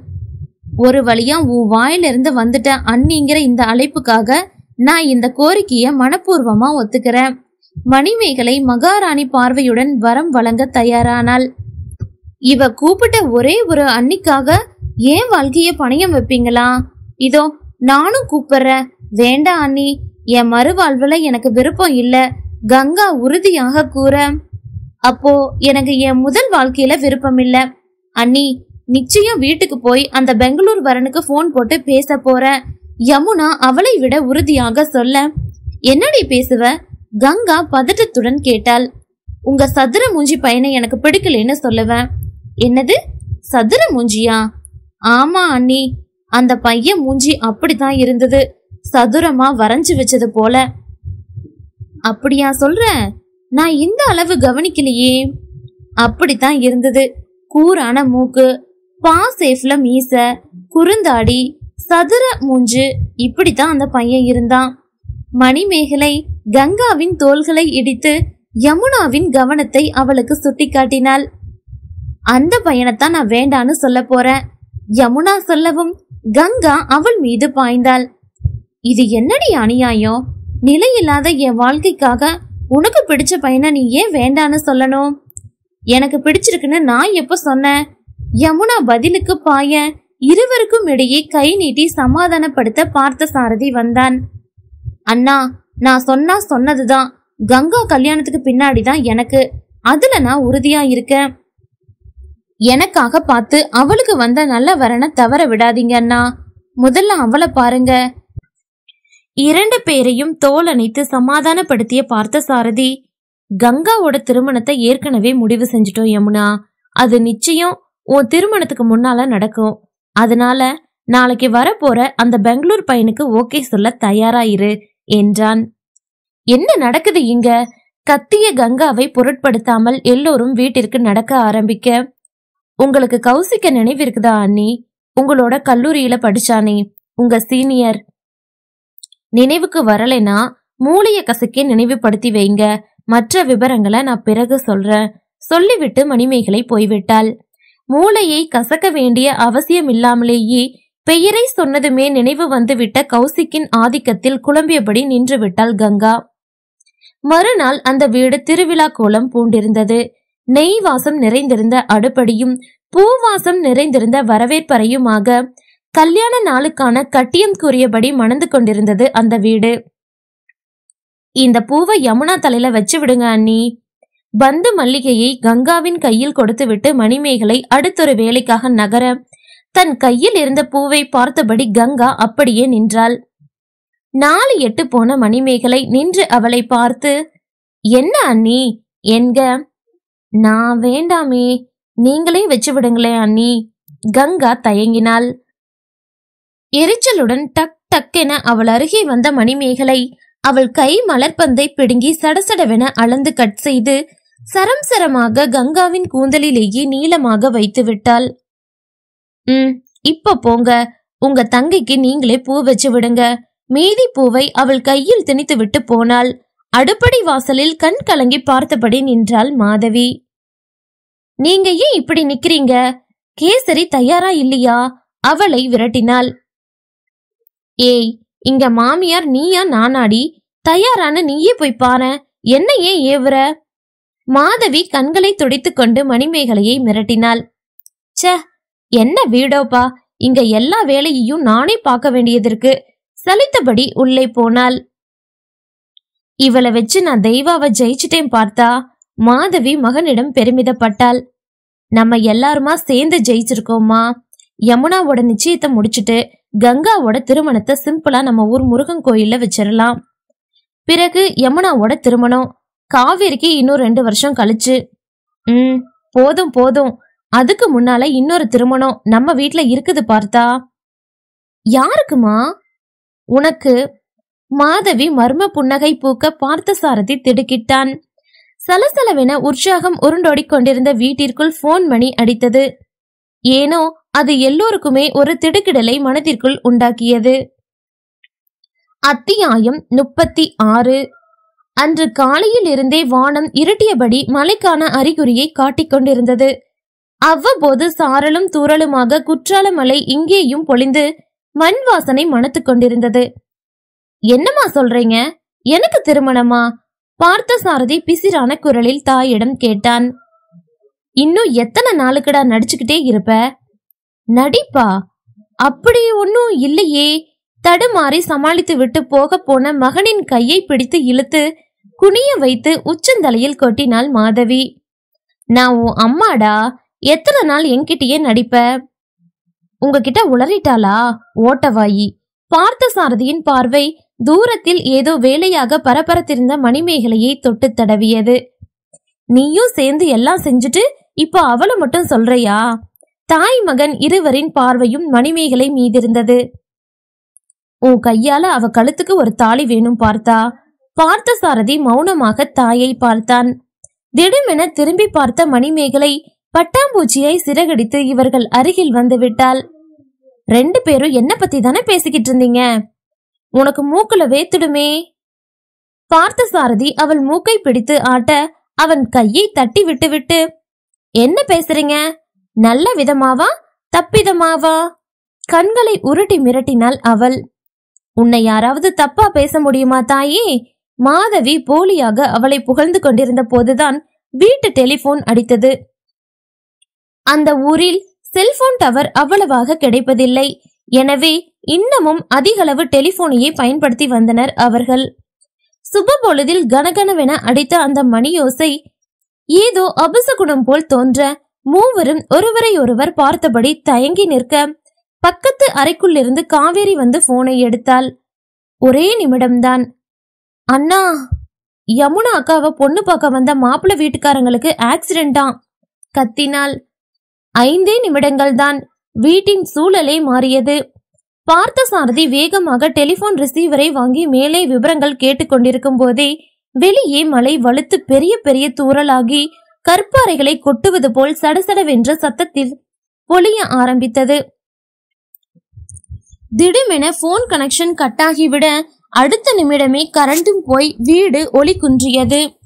மழையினால் பகலிலேயே இருள் சூழ்ந்துவிட இன்வெர்டரின் உதவியால் சிக்கனமாக ஆங்காங்கே ஒளிர்ந்த மின் விளக்குகளால் வீடு பாதி இருளுடனும் அதிர்ந்து போய் கிடந்த வீட்டினருடனும் அமானுஷ்யத்தோடு அடர்ந்து போய் கிடந்தது. திடுமென வெடித்த அழுகையோடு மாதவி குலுங்க அனைவரும் அவள் அருகே ஓடினர். நாம ஏமாந்துட்டோம் பார்த்தா அந்த தெய்வா ஜெயிச்சிட்டா. அவளோட ஆக்ரோஷம் குறையவே இல்ல. அவ நம்மள பழி வாங்கிட்டா. இந்த வீட்டுக்கு ஒரு நல்லது நடக்க அவ விட மாட்டா. கதறி அழுதாள். அம்மா என்னம்மா? நீங்களா இப்படி? எத்தனையோ துயரங்களை கூட துளி கண்ணீர் இல்லாம கடந்து வந்தீங்களே. இப்ப இப்படி கதறீங்களே. தாயின் தோல் அணைத்து சமாதானப்படுத்த முனைந்தான். என்னைக்காவது ஒரு நாள் விடியுங்கிற நம்பிக்கையோட தான் இத்தனை நாளா கடந்து வந்தேன். இனி எனக்கு அந்த நம்பிக்கை இல்ல. நம்ம குடும்பத்துக்கு அவ சாபத்துல இருந்து விமோச்சனமே கிடைக்காது. மாதவி தன்னிலை இழந்து கதறினாள். அத்தை நிறுத்துங்க. இது என்ன பைத்தியக்காரத்தனம்? இயல்பாக நடந்துவிட்ட ஒரு விஷயத்துக்கு உங்க பழைய வாழ்வுக்கும் ஏன் சம்மந்தப்படுத்துறீங்க? இது ஏதோ எதேச்சியா நடந்துட்ட சம்பவம். இத பெருசுபடுத்தி நீங்க உடைஞ்சு போயிடாதீங்க. மணிமேகலை சமாதானப்படுத்த முனைந்தாள். ஏய் வாய மூடுடி. நீ தாண்டி காரணம். நாங்க பாட்டுக்கு எங்க விதிய நொந்தபடி வாழ பழகி இருந்தோம். இடையில நீ தான் வந்து எங்க மனசுல ஆசைய தூண்டி விட்டு தப்பான பாதைக்கு எங்களை திருப்பி தெய்வாவோட கோபத்துக்கு எங்களை ஆளாக்கிட்ட. அவளோட இந்த கோபம் இன்னும் யாரையெல்லாம் பழி வாங்க போகுதோ? நீ போ. ஏன் முன்னால நிக்காத? மாதவி மணிமேகலையை பிடித்து தள்ளத் தொடங்கினாள். அனைவரும் அவளை தடுக்க முயல அவர்களை தாண்டி அபரிமிதமாய் இருந்தது மாதவியின் வேகம். மணிமேகலை அதிர்ந்து போய் நின்றாள். பார்த்தா அவளை போக சொல்லுடா உடனே போகச் சொல்லுடா எனக்கு அவளை பார்க்க பிடிக்கல. திமிரிய தாயை சமாளிக்க முடியாமல் நீ மாடிக்கு போ மணிமேகலை. சொன்னவனை அதிர்ச்சியாக பார்த்தாள். அவளது அதிர்ச்சிக்கு சமாதானம் சொல்ல அங்கே யாரும் இல்லை அனைவரின் பார்வையும் மாதவி மீதே குவிந்திருக்க மணிமேகலை தளர்ந்த நடையுடன் மாடி ஏறினாள். அம்மாவிற்கு தூக்க மாத்திரை கொடுத்து தூங்க வைத்துவிட்டு ஒரு மணி நேரம் கழித்து மாடிக்கு வந்தான் பார்த்த சாரதி அத்தை எப்படி இருக்காங்க? பரிதவிப்பான அவள் கேள்விக்கு பதிலாக நீ இங்கிருந்து கிளம்பு மணிமேகலை என்றான். எப்போதும் படபடவென பேசுபவள்தான். இப்போது பேச்சின்றி உறைந்து நின்றாள். என்ன சொன்னீங்க? இத்தனை நாள் எனக்காக என் வீட்டினருக்காக இங்க நீ நடிச்சது போதும். இத்தோட உன் ப்ராஜெக்ட் முடிஞ்சது. நீ போகலாம். மணிமேகலை துடித்து போனாள். ஏன் ப்ராஜெக்டா? அப்படி நினைச்சா நான் இங்க தங்கி இருந்தேன்? தழுதழுக்க ஆரம்பித்தது அவள் குரல். வேண்டாம் மணிமேகலை. நான் ஏற்கனவே ரொம்பவுமே நொந்து போயிருக்கேன். நீ தைரியமான பொண்ணு. எந்த சூழ்நிலையிலையும் கலங்காம நிமிர்ந்து நிக்கிறவ. இப்போ அழுது என்ன மேலும் நோகடிக்காத. கெஞ்சனாய் ஒழித்த அவன் குரலில் தன் துயரத்தை அடக்கி உதட்டை கடித்துக்கொண்டு அவனை வெறித்து பார்த்தாள். இப்போ காத்து மலையுமா இருக்குது. இப்போ வேண்டாம். நாளைக்கு காலையில உனக்கு காருக்கு ஏற்பாடு பண்றேன். இவனால் எப்படி உடனடியாக திட்டங்கள் போட முடிகிறது? திடமென தோன்றிய வேகத்துடன் எட்டி அவன் சட்டை காலரை பிடித்தாள். எவ்வளவு சுலபமா வெளியேத்த முடிவெடுக்கிறீங்க? அம்மா ரொம்பவுமே வெறுத்துட்டாங்க.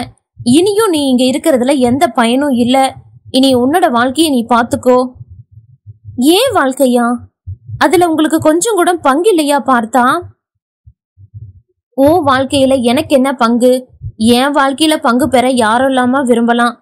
அந்த சந்திரா முதல்ல நீ வர. ஆனா என் மனசுல எப்பவும் இருக்கிறது சுனந்தாதான் இத நான் முன்னாடியே உனக்கு சொல்லி இருக்கேன் உன் மூளையில ஏறுச்சா? இனியாவது புரிஞ்சுக்கோ. என் வாழ்க்கையை விட்டு விலகிடு. உணர்ச்சியற்ற குரலில் சொல்லிவிட்டு இறுக்கி அவன் சட்டையை பற்றி இருந்த அவள் கையை வலுக்கட்டாயமாக பிரித்து அவளை விட்டு விலகி நடந்தான். உச்சந்தலையில் ஆணி அடித்தது போல் மணிமேகலை அப்படியே தரையில் உட்கார்ந்து விட்டாள். மலை தனது ஆக்ரோசத்தை மெல்ல குறைத்து சாரலான போது இரவு வந்திருந்தது. மணிமேகலை ஒரு முடிவோடு எழுந்தாள். மாதவி அவள் அறையில் தூக்கத்தில் இருக்க பார்த்தசாரதி அவள் அருகே நாற்காலியில் உட்கார்ந்தபடி கண்ணயர்ந்திருந்தான். மற்றவர்கள் ஆங்காங்கு அமர்ந்து அரை தூக்கத்திலே துக்கத்திலே கண்மூடி இருக்க மணிமேகலை சத்தமின்றி வீட்டின் பின்புறத்தை அடைந்தாள். எதையும் பாதியில விட்டுட்டு போற பழக்கம் எனக்கு இல்லை முணுமுணுத்தபடி அந்த குன்றை நோக்கி நடந்தாள். பசியோடு இருக்கும் ஓனாய் வாய் பிளந்திருப்பது போல் உயர்ந்து நின்றிருந்தது அந்த குன்று. அத்தியாயம் முப்பத்தி ஏழு. அந்த குன்று முழுவதும் பாறையால் ஆனதில்லை. ஆங்காங்கே பாறையும் நிறைய மணலுமாகத்தான் இருந்தது அது. மழை நீரினால் அந்த குன்றின் மணல் நிறைய இடங்களில் அரித்து சரிந்து இன்னமும் சில இடங்களில் சிறு ஓட்டையாக மழை நீர் ஓடிக்கொண்டிருந்தது. அந்த இடங்கள் கால் வைத்ததும் வழுக்க பிடிப்பிற்காக பக்கத்தில் இருந்த சிறு பாறைகளை பிடித்தபடி பாதத்தை அழுத்தமாக ஊன்றி மேலே ஏறினாள் மணிமேகலை. தெய்வானின்னு ஒருத்தர் இருந்தா அவங்கள நான் நேரிலேயே சந்திக்கிறேன். மனதின் உறுதி உடலில் வெளிப்பட எஃகாக இறுகிய உடல் முருக பலம் கூட வேக வேகமாக ஏறினாள். இடறிய செறிப்புகளை உதறிவிட்டாள். கல்லும் முள்ளும் பாதத்தை பதம் பார்க்க உறுதி குலையாமல் ஏறினாள். எதை தேடி போகிறாள் என தெரியாது. எதற்கு போகிறாள் எனவும் தெரியாது.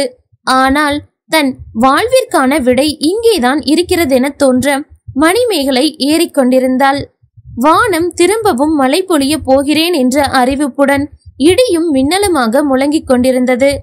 கொஞ்சம் பெரிய பாறை ஒன்றின் மீது மண்டி போட்டு ஏறி நின்ற மணிமேகலை சுளீர் என்ற ஒளியும் சலீர் என்ற ஒளியுமாக வானுக்கும் அந்த குன்றுக்குமாக நீண்ட ஒரு மின்னலை தனக்கு வெகு அருகாமையில் கண்டாள். ஒரு கணம் சுற்றுப்புறம் இருள விழி மூடி திறந்தபோது கண்கள் சருக தலை சுற்றத் தொடங்கியது.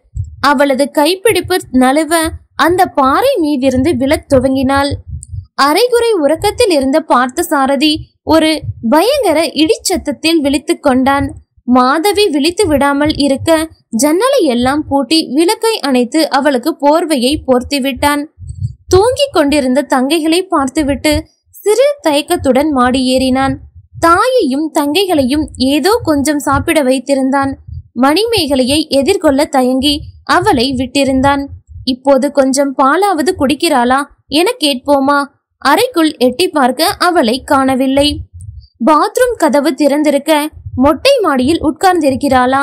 வேகமாக படியேறினான். வழக்கமாக மணிமேகலை அமரும் கைப்பிடி சுவர் வெறுமையாக இருக்க பார்த்த சாரதியின் மனதில் ஏதோ விபரீதம் பட்டது. கண் நிமிர்ந்தவனின் பார்வையில் அந்த குன்று பட சரீரென ஓர் உணர்வு பரவியது உடலில்.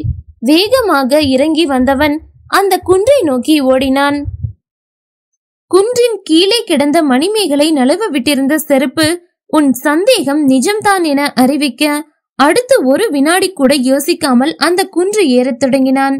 நின்றிருந்த மலை மீண்டும் பெய்யத் தொடங்கி இருக்க பார்த்த சாரதியின் மலையேறல் மிக கடினமாக இருந்தது. ஆனால் அது அவனுக்கு ஒரு பொருட்டாக இல்லை. கை கால்கள் சிராய்க்க சிராய்க்க வெறி கொண்டவன் போல் ஏறினான். மேகா மேகா நீ எங்க இருக்க? நான் சொன்னது தப்புதான். அதுக்காக மன்னிச்சிடு. என்ன கோபம் இருந்தாலும் அதையெல்லாம் மறந்துட்டு வந்துடு மேகா. ஏறியபடி இப்படி பலவாறாக கத்தினான். கிட்டத்தட்ட குன்றின் உச்சிக்கு வந்து விட்டான். இதுவரை மணிமேகலையை காணவில்லை. மாடம் போல் குவிந்து சேர்ந்திருந்த இரு பெரிய பாறைகளின் அருகே வந்து நின்றான். மேகா நான் உன் பார்த்த வந்திருக்கேன் என் குரல் கேக்குதா? எங்க இருக்க மேகா? நான் உச்சியில அந்த ரெண்டு பெரிய பாறைகளுக்கு இடுக்குல இருக்கேன். உடனே வா மேகா. நீ இல்லாம என்னால வாழ முடியாது மேகா. ப்ளீஸ் வந்துடு. சூறை காற்றும் கொட்டும் மழையையும் தவிர வேறு எந்த சத்தமும் கேட்கவில்லை. நீ இல்லாத வாழ்க்கை எனக்கு வீண் மேகா. நான் உன்னை என் உயிரை விட அதிகமா விரும்புறேன் மேகா. வந்துடு மேகா. உயிரை உருக்குவதாக இருந்தது பார்த்த சாரதியின் குரல். இப்போது அவன் குரலுக்கு பதில் வந்தது. ஓ நான் நல்லா இருக்கேன் டேட். இங்க இளஞ்சியில தான் இருக்கேன். ஓ அதுவா? இங்க ஒரே மலை டாடி. இடி மின்னல் அந்த சத்தம் தான் உங்களுக்கு கேக்குது. எந்த பிசிறும் இல்லாமல் கணீர் என்று கேட்டது மணிமேகலையின் குரல். பார்த்த சாரதி உடல் முழுவதும் நிரம்பிய பரவசத்துடன் குரல் வந்த பக்கம் கணித்து திரும்பினான். குரல் அந்த பாறை இடுக்கினில் இருந்து வந்தது. அதனுள் எட்டி பார்த்தான். கொஞ்சம் அகலமாக மழைநீர் படாமல் சிறு கூடாரம் போல் பாதுகாப்பாக இருந்தது அந்த இடம். அங்கே வசதியாக பின்னால் சாய்ந்து அமர்ந்து காலை நீட்டி உட்கார்ந்து கொண்டு போனில் பேசிக் கொண்டிருந்தாள் மணிமேகலை. அவனை பார்த்தும் பார்க்காதது போல் தன் போன் பேச்சை தொடர்ந்தாள். அம்மா எப்படி இருக்காங்க டாடி? இல்ல இல்ல தூங்குனா எழுப்ப வேண்டாம் நான் காலையில கால் பண்ணி அம்மா கிட்ட பேசுறேன். பார்த்த சாரதி தலை குனிந்து அந்த இடுக்கினுள் நுழைந்து அவள் அருகே வந்து அமர்ந்து கொண்டான். மணிமேகலை அவனை கண்டு கொள்ளாமல் கால்களை ஆட்டியபடி பேசியபடி இருந்தாள். இல்ல டாடி நிச்சயம் காலையில கால் பண்ற. இங்க டவரே கிடைக்க மாட்டேங்குது. அதனாலதான் நினைச்ச நேரம் பேச முடியல. பார்த்த சாரதி தன் நீல கால்களை மடக்கி உட்கார்ந்து அவளை பார்த்தபடி இருந்தான். ம் ஓ அப்படியா? சரிதான். வேண்டுமென்றே தேவையில்லாத ஊர் உலக கதையெல்லாம் இழுத்து தன் அப்பாவுடன் பேசி முடித்துவிட்டு நிதானமாக தன் போனை கட் செய்தாள். பின் அதனை இடுப்பில் சொருகிக் கொண்டு வெளியே பொழிந்து கொண்டிருந்த மலையை வேடிக்கை பார்க்க துவங்கினாள். மேகா ஏய் இந்த இடி சத்தத்துல உனக்கு காது செவிடாகிடுச்சா? கோபம் பாதி தாபம் பாதியுமாக அவள் காது மடல்களை பற்றிய பார்த்த சாரதியின் கைகள் அவளது உடல் ஸ்பரிசம் உணர்ந்தவுடன் கோபமெல்லாம் காணாமல் போய் தாபமும் மோகமும் மட்டுமே உடல் முழுவதையும் பற்றி எரிக்க இழுத்து அவளை தன்னோடு சேர்த்து இருக்கினான் இவ்வளவு வேகமான அவனது அணைப்பை எதிர்பார்த்திராத மணிமேகலை திணறினாள். அவனை தள்ள முயன்றாள். ஆனால் இம்மி கூட அவனிலிருந்து விலக முடியவில்லை. நெற்றி வகிட்டில் ஆரம்பித்து வரிசையாக அவள் மீது முழுவதும் பதிய ஆரம்பித்தன அவன் இதழ்கள். அந்த இடைஞ்சலான இடம் அனுமதித்த அளவு அவளை அள்ளி தன் மடியில் அமர்த்தி தன்னுள்ளேயே புதைத்துக் கொள்பவன் போல ஆவேச ஆலிங்கனம் கொண்டான். மூச்செடுக்க திணறி தவித்து அவனது தொடர் செய்கைகளின் தீவிரத்தில் உடலோடு மனமும் வெட்கமும் கூச்சமுமாக சிவக்க முதலில் தடுமாறிய மணிமேகலையின் தேகம் பின் கொஞ்சம் கொஞ்சமாக அவனது அணைப்புகளையும் அழுத்தங்களையும் புரிந்து மெல்ல மெல்ல இயற்கையாக அவனது வேகத்திற்கேற்ப ஒத்துழைக்க தொடங்கியது. இந்த புரிதலில் வேகம் கூடிய பார்த்தன் இன்னும் இன்னும் என தீவிரமாக அவளுள் மூழ்க தயாராக மணிமேகலையின் பெண்மை விழித்துக் கொண்டது. அவனது உதடுகளுக்குள் சிக்கி கிடந்த தன் இதழ்களை அரும்பாடுபட்டு பிரித்து கொண்டவள் சுதந்திரமாக அவள் உடலில் ஊர்ந்து கொண்டிருந்த அவன் கைகளையும் தடுத்தாள். ஏய் போடா உன் மனசு முழுசும் உன் முத பொண்டாட்டிய வச்சுக்கிட்டு என் கூட இப்படி நடந்துக்கிற? தள்ளிப்போ முத பொண்டாட்டியா? அது யாரு? என்னோட ஒரே பொண்டாட்டி நீ தாண்டி அவளது விலகலை அலட்சியம் செய்துவிட்டு அவள் மேல் படிந்து அப்பிக்கொள்ள முயன்றான். உருண்டு வெளியே போக முனைந்தவளை ஏ வெளியில மலை சொல்லியபடி இடை வளைத்து மீண்டும் தன் கீழ் இழுத்து கொண்டான். ஒன்னும் வேண்டாம். உனக்கு அந்த சுனந்தா தானே பிடிக்கும். நீ என்கிட்ட வர வேண்டாம். ஓ அவன் மார்பில் குத்தினாள்.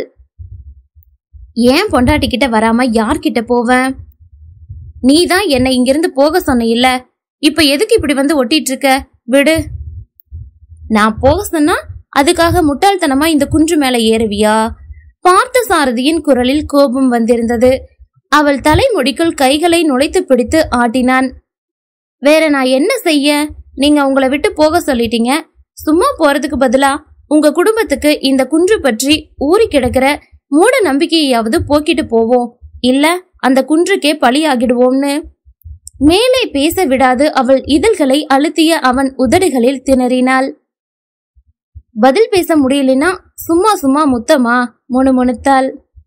உன்னை பார்த்த நாள் முதலா கொடுக்க முடியாம சேர்த்து வச்சிருந்த முத்தங்கள். இனி நீ எவ்வளவு தடுத்தாலும் நிக்காது. சொன்னதையே செய்பவன் போல் மீண்டும் தன் இதழொற்றலை ஆரம்பித்து விட்டான். என்ன? பார்த்த முதல் நாளாவா? ம் மயங்கி கிடந்த உன்னை கைகள்ல தூக்கிட்டு நடந்தனே அன்னையிலிருந்து. பார்த்தா ஆச்சரியமாக மணிமேகலையின் குரல் ஒலித்தது. நிஜந்தா மேகா அன்னையிலிருந்து இன்னைக்கு வரைக்கும் என் மனசுல நீ தான் இருக்க. உனக்கு ஏற்ற வாழ்வு என்னுடைய வீடு இல்லைங்கிற எண்ணம் எனக்கு. அதனாலதான் என் ஆசைய மனசுக்குள்ளேயே புதைச்சுக்கிட்டேன். அன்னைக்கு நீ ஃபோன் நம்பர் கேட்டப்ப கூட இனி நமக்குள்ள தொடர்பு வேண்டான்னு மறுத்தேன் ஆனா கங்காவோட வாழ்க்கை துயரமானதும் அந்த துக்கத்தை உடனடியா உன்கிட்ட பகிர்ந்துக்கணும்னு என் மனம் வினோதமா அடம்பிடிச்சு வெளிப்படையா சொல்ல வேண்டான்னு அப்போ உன் மடியில படுத்து என் தங்கச்சியோட வாழ்வு அவலத்தை சொல்லி அழ தோணுச்சு. பார்த்த சாரதியின் குரல் தழுதழுக்க மணிமேகலை பதறி அவனை இழுத்து தன் மடியில் போட்டுக்கொண்டு மார்போடு இறுக அணைத்துக் கொண்டாள். கொஞ்ச நேரம் பேச்சின்றி கலைய பார்த்த சாரதி திரும்ப பேச ஆரம்பித்தான். தெய்வாதீனமா உன்னை நான் மீண்டும் சந்திச்சேன் நீ நம்ம வீட்டுக்கு வர. அதுவும் ஏன் மனைவியா வர முடிவெடுத்தத? இதோ இப்ப வரைக்கும் என்னால நம்ப முடியல. அன்னைக்கு காருக்குள்ள வச்சு என் முகத்தை பார்த்து தாலி கட்டினியே. அப்பவே என் மனசுல நீ என் மனைவியா நினைச்சிட்ட. ஆனா அப்போ உன் மனநிலை தெரியாததால உன்னை விட்டு விலகியே இருந்தேன். நிறைய படிச்ச வசதியான குடும்பத்தை சேர்ந்த அழகான இளம் பொண்ணுக்கு கிராமத்துல தங்கைகள் தாய்னு கூட்டத்தோட மனைவியை இழந்து நிக்கிற ஒருத்தன் பொருத்தமானவன் இல்லைங்கிற எண்ணம் உன்கிட்ட இருந்து என்னை தள்ளி நிறுத்திக்கிட்டே இருந்தது. ஆமா இப்போ வர அதுக்கு காரணம் சுனந்தாம்பிங்க மணிமேகலையின் மனக்காயம் ஆறவில்லை. அது உன்கிட்ட இருந்து என்னை விலக்கி நிறுத்த நானே போட்டுக்கிட்ட தடுப்பு. அந்த சுனந்தா தான் என் மனசுல இருக்கான்னு நினைச்சுக்கிட்டீங்களா? இல்ல உங்க குடும்ப சாபத்தை நம்பி அந்த சுனந்தா போல நானும் பலியாகிடுவேன்னு நம்பிட்டீங்களா? எதுக்காக என்னை வீட்டை விட்டு போக சொன்னீங்க? அம்மா கங்கா யமுனாவோட பயம் எனக்கு இல்ல மேகா. ஏன்னா அந்த சாபம் என் வாழ்க்கையில வேலை செய்யல. ஆனா வேலை செய்ய ஆரம்பிச்சிடுமோங்கிற பயம் எனக்கு வந்துச்சு. ஐயோ கடவுளே ஒன்னும் புரியல. தெளிவா சொல்லுங்க. மணிமேகலை கத்தினாள். பார்த்த சாரதி தன் மன ரகசியங்களை வெளியிட ஆரம்பித்தான். அத்தியாயம் முப்பத்தி எட்டு டம டமவென தொடர்ந்து கேட்டுக்கொண்டிருந்த இடிச்சத்தத்தில் மாதவிக்கு விழிப்பு வந்துவிட்டது. எழுந்து பார்த்தால் எல்லோரும் தூங்கிக் கொண்டிருக்க பார்த்த சாரதியையும் மணிமேகலையையும் காணவில்லை என்றதும் அவளுக்கு திக்கென்றது. இருவரும் எங்கே? பதட்டத்துடன் தேடியபடி பின்னால் வர அந்த குன்று உயர்ந்து நின்று அவளை கையை நீட்டி அழைப்பது போல் இருந்தது. இருவரும் முட்டாள்தனமா மேல ஏறி இருப்பாங்களோ? நினைத்த மறுநொடியே மாதவி குன்றேற ஆரம்பித்தாள். தெய்வா வேண்டாம். நீ இதுவரைக்கும் என் குடும்பத்துக்கு செஞ்ச சோதனைகள் போதும். இப்ப என் குழந்தைங்களை விட்டுடு. வாய் விட்டு வேண்டியபடி ஏறினாள். சுனந்தா அம்மா ஆசையா தேடி ஆயிரம் பொருத்தம் பார்த்து எனக்கு மனம் முடிச்சு வச்ச பொண்ணு. எங்க முதல் இரவின் போது என்ன பிடிக்கலைனா? காரணம் நிறைய படிச்ச அவளோட படிப்பு. நாகரீக சென்னை வாழ்வு. எப்பவும் கூட்டம் அதிகமா இருக்க உறுப்பினர்களோட எங்க வீடு. இப்படி நிறைய சொன்னா ஓ அந்த பாதிப்பினாலதான் அவளோட நிலைமையில இருக்க என்னையும் அதே போல நினைச்சீங்களா? தலையசைத்த பார்த்த சாரதி இது எல்லாத்தையும் விட அவளுக்கு பிடித்த மின்மைக்கு இன்னொரு காரணம் அவளோட காதல். மணிமேகலையின் உடல் அதிர்ந்து குலுங்கியது. என்ன சொல்றீங்க? அவளது மனம் போன்ற தகுதிகளோட இருந்த ஒருத்தனை அவ காதலிச்சிருக்கா. சாதிய காரணம் சொல்லி அவளை எனக்கு திருமணம் செஞ்சு வச்சுட்டாங்க அவளோட பெற்றோர். இதையெல்லாம் எங்களோட முதல் இரவின் போது சொல்லி அழுதவள நான் எப்படி தேற்ற அதுக்கு பின்னாடி அவளை மனைவியா மனதோரமாவது நினைக்க முடியுமா? ஏனோ அவ மேல எனக்கு பரிதாபம் தான் வந்தது. அதனால அவளோட காதலை சேர்த்து வைக்கிறதா வாக்கு கொடுத்தேன். அவளோட காதலனை சந்திச்சு பேசணும். அவனுக்கு கொஞ்ச நாள்ல வெளிநாட்டு வேலை கிடைச்சிடணும். அது வரைக்கும் அவளை என்னோட பாதுகாப்புல வச்சிருக்கணும்னு கேட்டுக்கிட்டான். சுனந்தாவோட பெற்றோர் அவளது காதலை ஏத்துக்க மாட்டாங்கங்கறதால நானே அவளை என்னோட பாதுகாப்புல வச்சிருக்க வேண்டியதாயிடுச்சு. கடைசியா அவளை அவ காதலனோட வெளிநாடு அனுப்புற நாள் அன்னைக்கு அவளோட பெற்றோரை அழைச்சு அவர்கிட்ட சுனந்தாவை விலக்கி சமாதானப்படுத்தி அவங்க சம்மதத்தோட அவங்கள அனுப்பி வச்சேன். சுனந்தாவோட அப்பாவுக்கு என் மேல மதிப்பு அதிகமாகிக்கிட்டே போனது. இங்க ஊருக்குள்ள என்னோட மதிப்பு கெடாம இருக்கிறதுக்காக தன்னோட மக செத்து போனதாவே இருக்கட்டும்னு சொல்லி ஒரு பொய்யான விபத்தை உண்டாக்கி ஏதோ ஒரு பிணத்தை ஏற்பாடு செஞ்சு இங்க ஊருக்கு கொண்டு வந்து எல்லாம் அவர் ஏற்பாடு. கடைசியா அவர் ஊருக்கு போகும்போது நிஜமாவே என் காலை தொட்டு கும்பிட்டு போனாரு. மணிமேகலை இடமிருந்து சத்தம் ஏதும் வராமல் போக பார்த்த சாரதி அவளை திரும்பி பார்த்தான். விழிகள் அகன்றிருக்க அவனை பிரமிப்புடன் பார்த்தபடி இருந்தாள் அவள். அவன் பார்வையை சந்தித்ததும் பட்டென அவன் கழுத்தை கட்டிக்கொண்டு அவன் முகம் முழுவதும் முத்தமிடத் தொடங்கினாள். நீ ஏண்டா? இப்படி இவ்ளோ நல்லவனா இருக்க அவன் உச்சந்தலையை பிடித்து ஆட்டினாள். ஏண்டி நல்லவனுக்கு கொடுக்கிற மரியாதை இதுவா? இப்படியா என்ன பாராட்டுவ? நான் அப்படித்தான். ராஸ்கல் இதையெல்லாம் என்கிட்ட முதல்லயே சொல்ல மாட்டியா? நான் உன்கிட்ட இருந்து தள்ளி நிக்க சுனந்தாவோட பேரை உபயோகிச்சிட்டு இருக்கேன் எப்படி உன்கிட்ட சொல்லுவேன் ஆனா நான் தான் கொஞ்ச நாட்களாவே உங்களை உங்க காதல புரிஞ்சுக்கிட்டேனே. ம் நானும் உன் காதல புரிஞ்சுக்கிட்டேன். என் துண்ட சால்வையா போட்டுக்கிட்டு சுத்திக்கிட்டு இருந்தியே அன்னையில இருந்து ஆனாலும் நம்ம வீட்டு நன்மைக்காக வந்த பொண்ணை இப்படி காதல்ங்கிற பேர்ல நெருங்கிறது சரியாங்கிற குழப்பம் என் மனசுல இருந்துகிட்டே இருந்தது. அப்போ சரி இப்ப எல்லாம் கூடி வரும்போது என்னை ஏன் வெளியே போக சொன்னீங்க? இப்போ யமுனாவுக்கு வந்த வரனோட நிலைய கேட்ட பிறகு எனக்கு ஒரு பயம் வந்துடுச்சு மேகா. ஒருவேளை அம்மாவோட பயம் உண்மைதானோ? நம்ம குடும்பத்துக்கு சாபம் இருக்குதோங்கிற பயம். பார்த்தா நீங்களுமா இப்படி அன்பும் காதலும் மிக மோசமானவைகள் மேகா. அது மிக உறுதியான மனச கூட கலங்க வச்சிடும். என் அம்மாவோட உறுதியான மனச அவங்க பிள்ளைங்க மேல வச்சிருக்க அன்பு கலங்கடிச்சுது. என்னோட இரும்பு இதயத்தையும் உன் மீது வச்சிருக்க காதல் உருக வச்சிடுச்சு. எங்க குடும்ப சாபம் எங்களோட போகட்டும். உனக்கு வேண்டான்னு தான் உன்னை இங்கிருந்து போக சொன்னேன். மணிமேகலையால் பார்த்த சாரதியை திட்ட முடியவில்லை.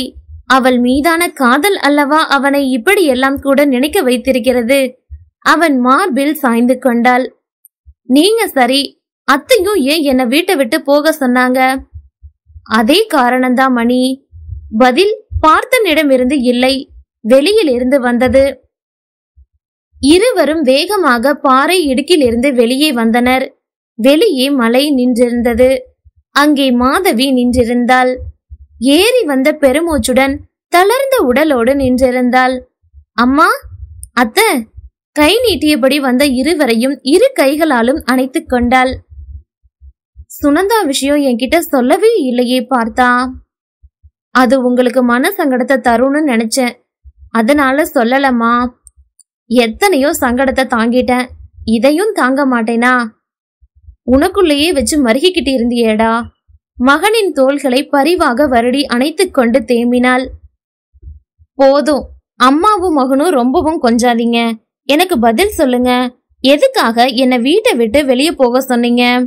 இடுப்பில் கை வைத்து அதட்டிய மணிமேகலையை இருவரும் கை நீட்டி தங்கள் அருகே இழுத்து கொண்டனர். பார்த்த சொன்ன அதே காரணம்தான் மணி. நீ சொன்ன சுமைதாங்கி கல் பரிகாரம் மிகவும் அருமையானது. சரியானதும் கூட. அதனால என்னோட மனபாரம் இறங்கியதும் உண்மைதான்.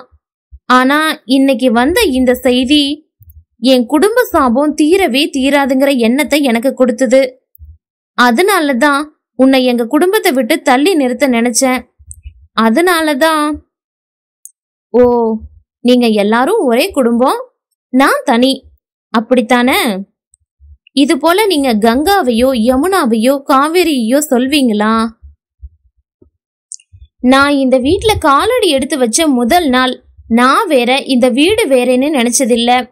ஆனா நீங்க என்ன வேறுபடுத்தி தானே நினைச்சிருக்கீங்க? அதனால தானே அப்படி சொன்னீங்க? மணிமேகலையின் கேள்வியில் இருந்த உண்மையை இருவரும் திகைப்புடன் உணர்ந்தனர். தங்கள் தவறை உணர்ந்தனர். இருவருமாக அவளை சமாதானம் செய்ய துவங்கினர். அது அவ்வளவு எளிதாக இல்லை. தோப்பு கரணம் போடாத குறையாக இருவருமாக கெஞ்சி கொஞ்சி சமாதானப்படுத்தி முடித்தபோது வானம் வெளுக்க ஆரம்பித்திருந்தது. முதலில் ஒரு புள்ளியாய் ஆரம்பித்த வான் ஒளி பிறகு வான் முழுவதும் பரவி அங்கிருந்த அந்த குன்றிற்கும் இறங்கியது.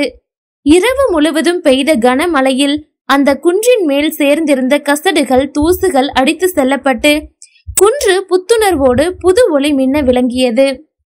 மூவருமாக கைகளை கோர்த்து கொண்டு கீழே இறங்கத் தொடங்கினர். அவர்கள் மூவரின் முகமும் புத்தொளி சுமந்து மின்னியபடி இருந்தது. அடிவாரத்தை அடைந்தபோது கங்கா அவர்களை நோக்கி ஓடி வந்தாள். அம்மா நீங்கெல்லாம் எங்க போயிட்டீங்க? ஃபோ- ஃபோன் வந்தது. யமுனாவை பெண் பார்க்க வந்தவங்களுக்கு பெரிய விபத்து எதுவும் இல்லையா? சும்மா கார் பள்ளத்துல இறங்கிடுச்சான் டிரைவருக்கு மட்டும்தான் லேசான சிராய்ப்பான். கொஞ்சம் ரெஸ்ட் எடுத்துட்டு நாளைக்கு வரோன்னு அவங்க மேரேஜ் புரோக்கர் கிட்ட சொல்லி இருக்காங்க அவர் ஏதோ தப்பா புரிஞ்சுக்கிட்டு நம்ம கிட்ட பெருசா சொல்லிட்டாரு போல. திரும்ப சரியான தகவல் சொல்ல நம்ம தொடர்பு கொள்ள அவரால முடியல. ஃபோன் கிடைக்கல. நேரில வரதுனா மழையால முடியல. இப்பதான் ஃபோன் சரியாகி அவர் பேசினாரு.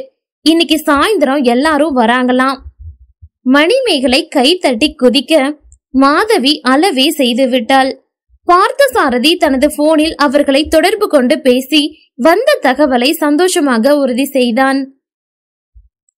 மலச்சரிவுல உருண்டிருக்க வேண்டிய காராம் நம்ம யமுனாவோட ராசியால தான் அந்த பள்ளத்தோட நின்றுச்சுன்னு சொல்றாங்க அவங்க. பார்த்தசாரதியின் பார்வை வாஞ்சையோடு அங்கு வந்த தங்கையை பார்த்தது. யமுனா இந்த செய்தியை நம்ப முடியாமல் பார்க்க சகுனங்கள் எல்லாம் அவங்க அவங்க எடுத்துக்கிறதுல தான் இருக்குது யமுனா. இந்த பொண்ணோட ராசியால தான் விபத்து நடக்க பார்த்ததுங்கிறத விட இந்த பொண்ணு ராசியால நடக்க இருந்த விபத்து நின்னுடுச்சுங்கிறதும் ஒரு வகைதான் உனக்கு ஏற்பட போகிற குடும்பத்தோட உறவு ரெண்டாவது வகையை சேர்ந்தவங்க. அவங்க காலம் முழுசும் உன்னை நோகடிக்க மாட்டாங்க. பக்குவமா பேசி தாங்குவாங்க. மணிமேகலை மயிலிறகு தடவலாய் யமுனாவிற்கு ஏற்பட இருக்கும் நல்வாழ்வை புரிய வைக்க அவள் விமலுடன் மணிமேகலையின் தோல் சாய்ந்தாள். உங்களுக்கு இந்த பயம் போயிட்டது தானே அத்தை? மணிமேகலை குன்றை காட்டி கேட்க மாதவி அந்த சுமைதாங்கி கல்லை பார்த்தாள். இந்த கல்லை நீ வச்ச நேரம் தெய்வாவோட உக்கரம் குறைஞ்சிருச்சு அவ நம்ம குடும்பத்தின் மீது கருணை வச்சுட்டா. இனி நமக்கு கவலை இல்ல. தெய்வமா இருந்து அவ நம்மள தாங்குவா. கை காலெல்லாம் காயப்படுத்தி குன்று ஏறி தெய்வான்னு ஒரு கேரக்டரே கிடையாதுன்னு நிரூபிச்சது நானு. உங்க அம்மா அந்த கல்லை கொண்டாடிட்டு இருக்காங்க. பாருங்களேன்.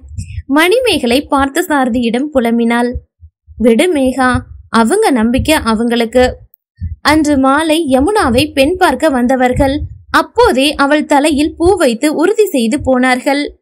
அடுத்த வாரம் பரிகார திருமணம் என இளஞ்சி முருகன் சந்நிதியில் பார்த்தசாரதி மணிமேகலைக்கு உண்மையான திருமணம் அவளது பெற்றோர்களுடன் நடந்தது. அடுத்த மாதம் அதே கோவிலில் வைத்து கௌசிக் கங்கா திருமணம் நடக்க பெற்றோர் ஸ்தானத்தில் இருந்து தாரை வார்த்து கொடுத்தனர் பார்த்தசாரதியும் மணிமேகலையும். இரண்டாவது நாளே மணமக்கள் வெளிநாடு கிளம்பி சென்றனர். மூன்றாவது மாதத்தில் ஊரை வளைத்து பந்தல் போட்டு மிக விசேஷமாக யமுனா சந்தீப் திருமணம் அனைவரும் வியந்து பார்க்க நடந்தது. மாதவி குடும்ப சாபம் நீங்கிவிட்டது. அவளது குடும்பம் நன்றாக வாழ ஆரம்பித்து விட்டது என ஊர் முழுவதும் பேச ஆரம்பிக்க மாதவி மனம் முழுக்க சந்தோஷத்துடன் ஊரை வலம் வந்தாள். மேகா செல்லம் இன்னும் சரியா விடியலையே. ஏன்டா அதுக்குள்ள எழுந்துச்சுக்கிட்ட வாயே இன்னும் கொஞ்ச நேரம் தூங்கலாம். பின்னிருந்து அனைத்து இழுத்த பார்த்த சாரதியின் கரங்களில் மோகம் பொங்கி வடிந்தபடி இருந்தது. மணிமேகலை அசையாமல் இருக்க அவள் பார்வை போன பக்கம் பார்த்தான். அங்கே அந்த குன்று இருந்தது. அது முன்பு போல் காய்ந்து போய் கரடு போல் இருக்கவில்லை.